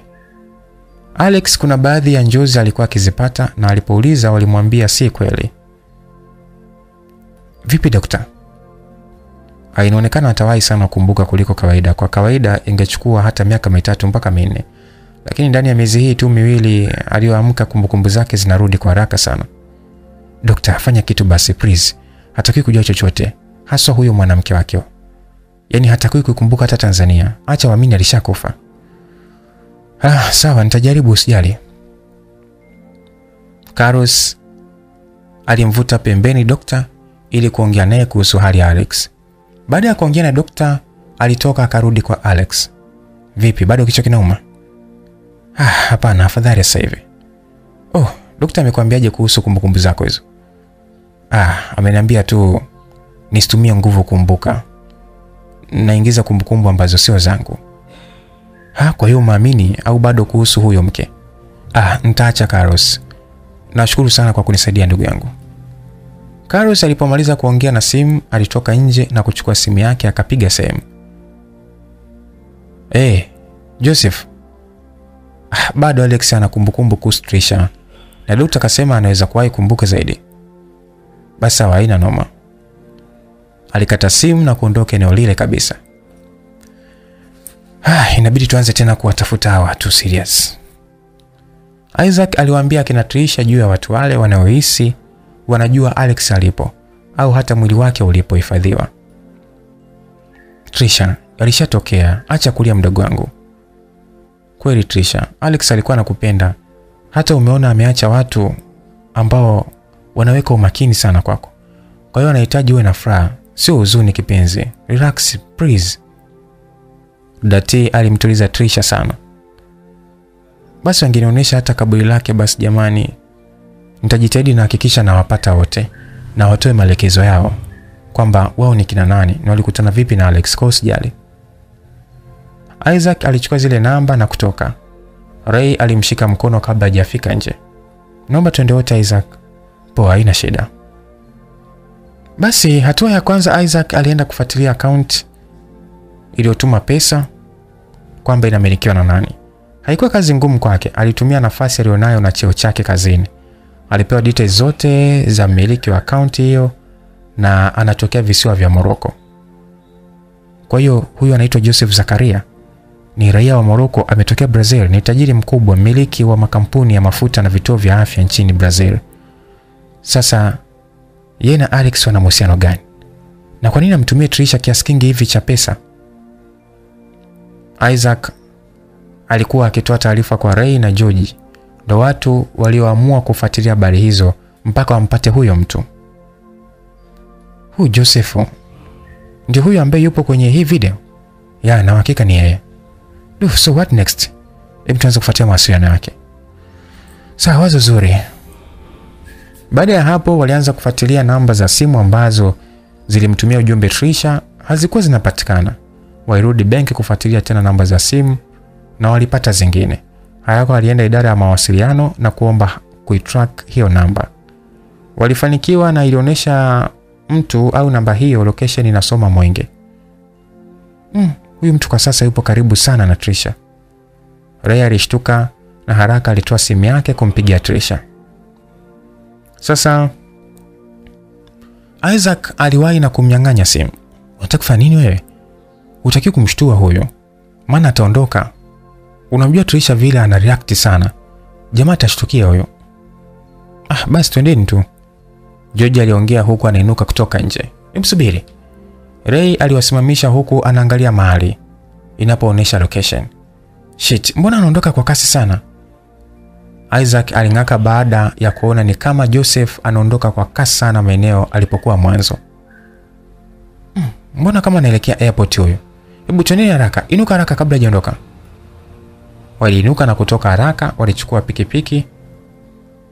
Sasa George aliendesha peke yake. Mama Are, sasa mtoto atanyonya nini? Hebu kula jamani basi. Wanafuatilia kila kitu na kila kitu kitakuwa sawa mdogo wangu. Dada, Alex mzima eti. Tangu swala hilo lianze, Trisha hakuweza hata kula. Muda wote alikuwa anamfikiria Alex wake tu. Alitamani awe hai. alimwota hata alipokuwa macho.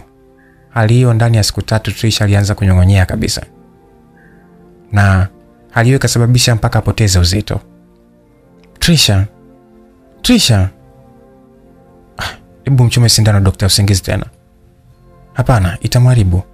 Leo nimemchoma sindano sita na anaamka kabla ya muda wa dawa kuisha, kwa siwezi kuzidisha zaidi. Aise, hebu ngoja nimcheki brother Joseph, nitarudi. Alex sasa alikuwa akiweseka na kuita jina la Trisha muda wote tu, yaani kama mtu aliyechanganyikiwa. Sasa hali hii Carlos na Joseph hawakuwa wanaitaka, ndio maana walihitaji asikumbuke maisha yake yote, wamtenge mbali na Trisha. Sasa Alex alikumbuka jina la Trisha, kipenzi chake. Carlos alimpigia simu Joseph na kumpa taarifa. Taarifa hiyo ndio ilimfanya Joseph kuondoka haraka sana mitaa ya Mwenge kuwahi kuchukua ndege itakayomfikisha kisiwani haraka. Isaac, Ray na George walikuwa njiani haraka kumwahi Joseph kabla hajatimka. Sasa Joseph alifika mpaka uwanja wa ndege. Nahitaji ndege ya kukodi, naondoka, nahitaji kufika kisiwani muda huo. Joseph aliongea huku anatoa pasipoti zake. Okay, ngoja nikuunganishe na mtu hapa. Yule dada wa mapokezi aliinua simu yake ya mezani na kupiga sehemu. Sasa wakati anaongea, Isaac alifika pale pale na kutoa kitambulisho chake kumwonyesha yule dada. Joseph baada ya kumwona Isaac alishtuka. Hakutegemea kumwona hapo. Anamjua vizuri sana kwa sababu anamfuatilia sana Trisha. Na alimjua Isaac kwa kuwa alikuwa karibu sana na Trisha. Na hata ile siku pale beach alimwona vizuri sana Isaac. Joseph, tafadhali tunaomba kuongozana na wewe tena sasa hivi. Wakati bado anafikiria la kufanya, George alimsogelea karibu na kumwambia kwa sauti ya chini. Joseph alileta ubisha kuwa tayari kuashiria kukubali safari yao iwe pamoja. No, sio kwa sasa, tafadhali sana. Ndo tafuteni wakati mwingine, kuna jambo muhimu sana nyumbani. Hapana, tunakuhitaji sana, na ukiendelea kuleta ubishi wako hapa, nitaita backup na utaenda ndani. Isaac aliongea kwa hasira sana. Joseph hakuwa mtu wa kubishana sana, alikubali kuongozana nao na safari yao ilienda mpaka Mwenge. Kwani huku ndio kituoni? Joseph aligoma kushuka kwenye pikipiki baada ya kuona safari yao inampeleka kwa Trisha. Ah, tunahitaji kuongea. Ukihitaji kwenda kituoni, unajua kesi hii ilivyo kubwa. Ah, kesi? Kesi gani? Mimi sijawahi. Na unajua mimi msiwajui na hamnijui. Nimekubali kuongozana na nyie kwa sababu tu niliona ni askari maalum. Lakini hapa sio kituoni. Hata hivyo Joseph alitia ngumu na kujifanya sasa hawajui kina Isaac. Wakati anawajua, pengine hata zaidi yao. Isaac alimsogelea karibu, alikuwa na hasira sana. Alikunja na ngumi. Sasa George na Rea walimsogelea haraka kumzuia asije kumpiga. George alitoa simu yake na kuplay video ikionyesha akiwa na Alex. Joseph alishtuka. Hakutegemea kitu kama hicho kuwa kipo. Utaingia ndani au tuende kituo cha polisi moja kwa moja? Joseph akampole na kuingia ndani. Trisha baada ya kumuona tu mtu huyo aliinuka haraka na kusogea alipo akiwa analia sana. Tafadhali niambie Alex ni mzima au la? Tafadhali naomba uniambie. Nakuomba. Au nipeleke kwenye kaburi lake. Trisha alipiga magoti chini huku kashika miguu ya Joseph. Trisha, naomba uinuke basi tuongea yote haya sawa? eh?" Ray alimuinua Trisha pale chini. Mr. Joseph, kila mtu anakujua hapa vizuri sana. Hata ile siku ya Alex nyie ndio mlichukua mwili wake, na pale kwenye maji sijui mli, mlifanyeje. Kwa hiyo tunachotaka kujua hapa, wewe na Alex mpo vipi, na mwili wa Alex mliupeleka wapi? Unajua kabisa hii ni kesi ya taifa zima. Joseph alitulia akiwa anatafakari simu yake, ilikuwa inaita mfululizo sana. Ungepokea hiyo simu au ukazima ili tuwe sawa? George alimwambia, lakini Joseph aliangalia simu yake bila kuipokea hadi ikakata. Mpigaji alikuwa ni Carlos. Hakuwa na la kumwambia, alijua fika ni kuhusu hali ya Alex. Mi na Alex sio ndugu wala tukuwa marafiki. Nilimjua Alex miaka mingi sana, akiwa kama raia na mkazi wa Brazil na mtu aliyepokea dili ya kutoa maisha yangu. Sasa siku yenyewe ilikuwa usiku tu, nikiwa nyumbani kwangu. Nilijiamini sana nikiwa kwangu, ulinzi ni mkubwa, hivyo huwa sina mashaka iwapo niko nyumbani. Katika mazingira ya kushangaza sana, nilimwona mtu akiwa kavaa nguo nyeusi na uso wake ukiwa wazi.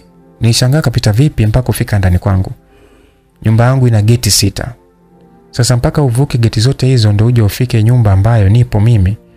Ngome yangu ni kubwa sana na ina kila aina ya ulinzi. Yote hiyo nimeweka kwa sababu ya usalama wangu, maana na maadui wengi sana katika biashara zangu, wengi sana wanawinda uhai wangu. Nilimwona akiwa ameshika bastola ndogo kaninyoshea. Niliogopa sana, kwa hakika ule ulikuwa ni mwisho wangu kabisa. Sikujua akavukaje mpaka kunifikia mimi. Nijaribu kumwomba sana niachie, lakini hakuwa na dalili zozote za kunisamehe. Nimwambia nitampa kiasi kingi zaidi alichoahidiwa na mtu aliyemtuma, wala hakuvutiwa na ofa yangu kabisa. Na kwa kipindi kile sifa za mauaji ya wafanyabiashara wengi yalikuwa kitokea sana. Nilikuwa nimeshasamehe na kukubali kufa katika hali ambayo sikutegemea kabisa. Alikuja binti yangu mdogo, na mtoto mmoja ambaye mama yake alifariki muda sana na ninamlea mimi mwenyewe. Sa baada ya binti yangu kutoka, Alex alificha silaha yake na kuanza kucheka kama rafiki yangu. Hali hiyo kiukweli ilinifurahisha sana. Sio kwamba ameniacha hai, hapana, ni kwa sababu hakuruhusu binti yangu aone ukatili naoenda kufanywa. Sa wakati huo alisogea na kumuuliza binti yangu, naitwa nani? Binti akamjibu Rania, naye akamwambia jina zuri sana. Mama yuko wapi? Baada ya kuuliza swali hilo, Rania alianza kulia sana. Kwa nini unalia? Mimi nimwambia Rania arudi ndani, lakini alikataa. Hapo nikamwambia Alex mama yake alishafariki dunia muda mrefu tu, kwa hiyo mimi mwenyewe namlea. Akaniuliza hujaoa mwingine? Nikamwambia asiwezi ruhusu binti yangu alelewe na mtu mwingine. Akikuwa nitakuwa huru kumwacha popote. Sikutegemea kumwona mtu ambaye ni muuaji anasifiwa kwa kazi yake. Alitoa chozi na akaniambia na kuacha uishi kwa ajili ya huyu mtoto, ila hata kama mimi nitakuacha, basi kuna watu watatumwa kukuua wewe.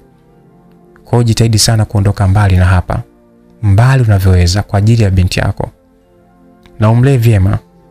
Ulinzi wako wote nimeshaua, kwa hiyo nitakulinda kuanzia hapa.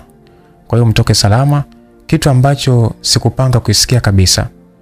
Nilikuwa pengine, yani nilihisi ni mtego wake tu, lakini alinilinda. Nilitoka na Rania mpaka uwanjani usiku huo huo, nilikodi ndege nikaenda mpaka visiwa vya Moroko na nikaweka makazi yangu hapo. Kwa hiyo tena kurudi Brazil, na hapo niliapa kuwa karibu na Alex mpaka alipopata kesi na hukumu ya kunyongwa.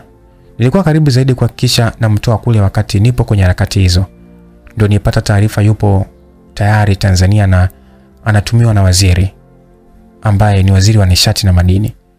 Kiukweli nilimtafuta na nilimpata, nikajitahidi kumtoa kwenye hiyo kazi. Hata niliahidi kumpa nusu za mali yangu ili tu aache hiyo kazi. Hakuwa tayari, alionekana anapenda sana kazi ya kuua kuliko utajiri.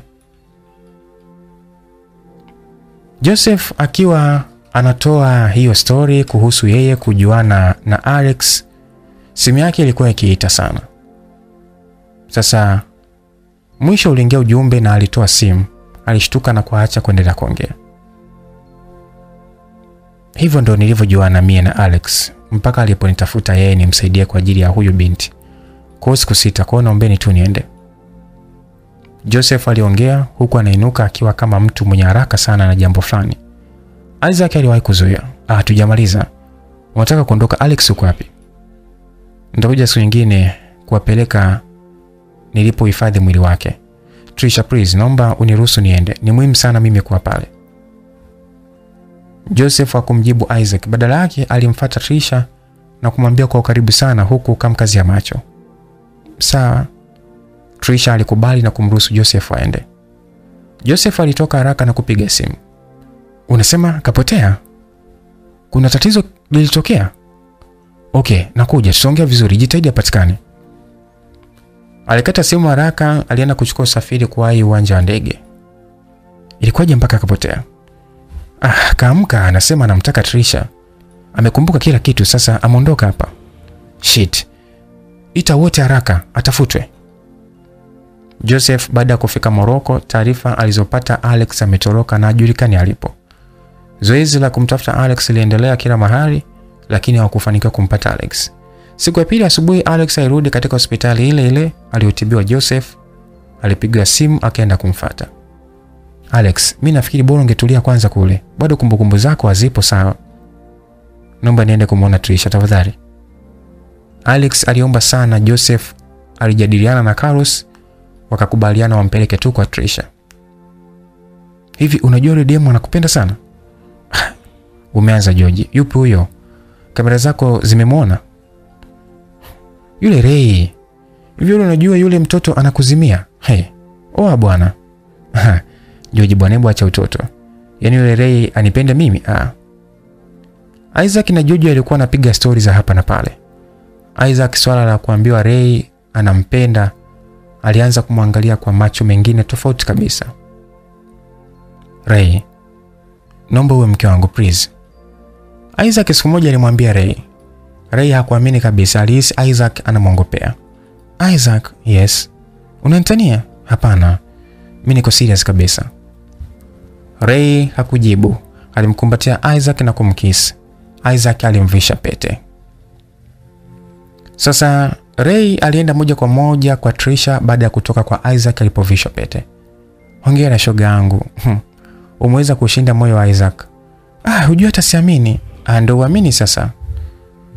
Ah, usijali. Vipi Ale kalala? Ah, katoka na dati. Hapa muda si mrefu tu. Subiri kwanza. Nakuja. Ngoja niende hapo dukani. Sawa Ray. Trisha alitoka na kumwacha Ray ndani. We nani? Baada ya kufungua geti, alikuta mtu kasimama, akamgeuzia mgongo. Taratibu alisogea na kusimama hatua tatu mbele ya mtu huyo. Nani? aliuliza tena baada ya kuona hajibiwi. Mtu huyo aligeuka taratibu na kumtazama. Macho ya Trisha aliona sura ya Alex baada ya muda mrefu sana kupita. Alijikuta anaangusha simu yake chini. Hakuwa na nguvu hata za kushika kitu. Ti, unaendelea vizuri? Alex alimuuliza. Trisha alihisi labda ni taswira ya Alex imejitokeza. Sura yako inaonekana vizuri, bila shaka unaendelea vizuri. Kwa, kwa, kwani wewe hauendelei vizuri? Trisha aliuliza kwa sauti ya kubabaika. Hakuwa na uhakika ni ndoto au ni kweli. Ah, kiukweli mimi siendelei vizuri. Dunia yote ipo kimya sana ti, yaani bila wewe sijisikii kabisa. Yaani nimekumisi mama. Alex aliongea na kushika mikono ya Trisha. Alex, ni wewe kweli? Please, naomba usiondoke, hata kama ni ndoto. Alex, tafadhali, mwanao anatakiwa kukuona pia. Unamaanisha Trisha, ni kweli ulikuwa mjamzito? Alex, wewe ukufa? Tazama hata makovu ya risasi, tafadhali ongozana mimi te. Ahadi yako utaikamilisha kweli Alex? Ulisema hata baada ya kifo bado utakuwa wote. Kweli umenijia? Najua kwamba nimechelewa sana kuja Trisha, lakini nimekuja. Twende tukafunge ndoa yetu mama. Ray alitoka nje na kukuta mazungumzo hayo. Hakuamini kama anayemwona hapo ndio yeye. Ni wewe Alex? Ray hakushangaa sana na aliamini ndiye Alex kwa sababu Isaac alimwambia kuhusu Alex yupo bado hai. Unamwona wewe pia? Trisha ndio akili ikakaa sawa kuwa ile sio ndoto. Haraka iruka na kumkumbatia Alex kwa nguvu. Kwa nini umechukua muda mrefu sana? Kwa nini Alex? Siku zote unaongea sana ti. Hey, kwa hiyo hujapenda? Ah, sijachukia hata hivyo. Waliingia ndani. Alex alimwelezea Trisha kila kilichotokea ile siku na kusaidiwa na Joseph pamoja na Carlos, na wao ndio waliomleta, ila walibaki nyuma kabisa. Hakuna mtu aliyeamini ujio wa Alex na walipanga ibaki siri yao kati ya Isaac na Ray, Dati na Joji tu, ila yasifike serikalini kuwa Alex yupo hai. Dunia itabaki kuamini Alex alishakufa zamani tu, wakati Alex mpya anaishi na familia yake. Trisha na Alex, Isaac na Ray walifunga ndoa siku moja hivi. Ilikuwa ni ndoa takatifu na maisha yao yalikuwa mazuri zaidi, na walisahau yote yaliyotokea. Msikilizaji, mpaka hapa mtunzi Malkia Osam amefikia mwisho. Ni kushukuru sana wewe ambaye ulikuwa pamoja nami mwanzo mpaka hivi sasa ndani ya Simulizi Mix. Sina la ziada. Bye bye.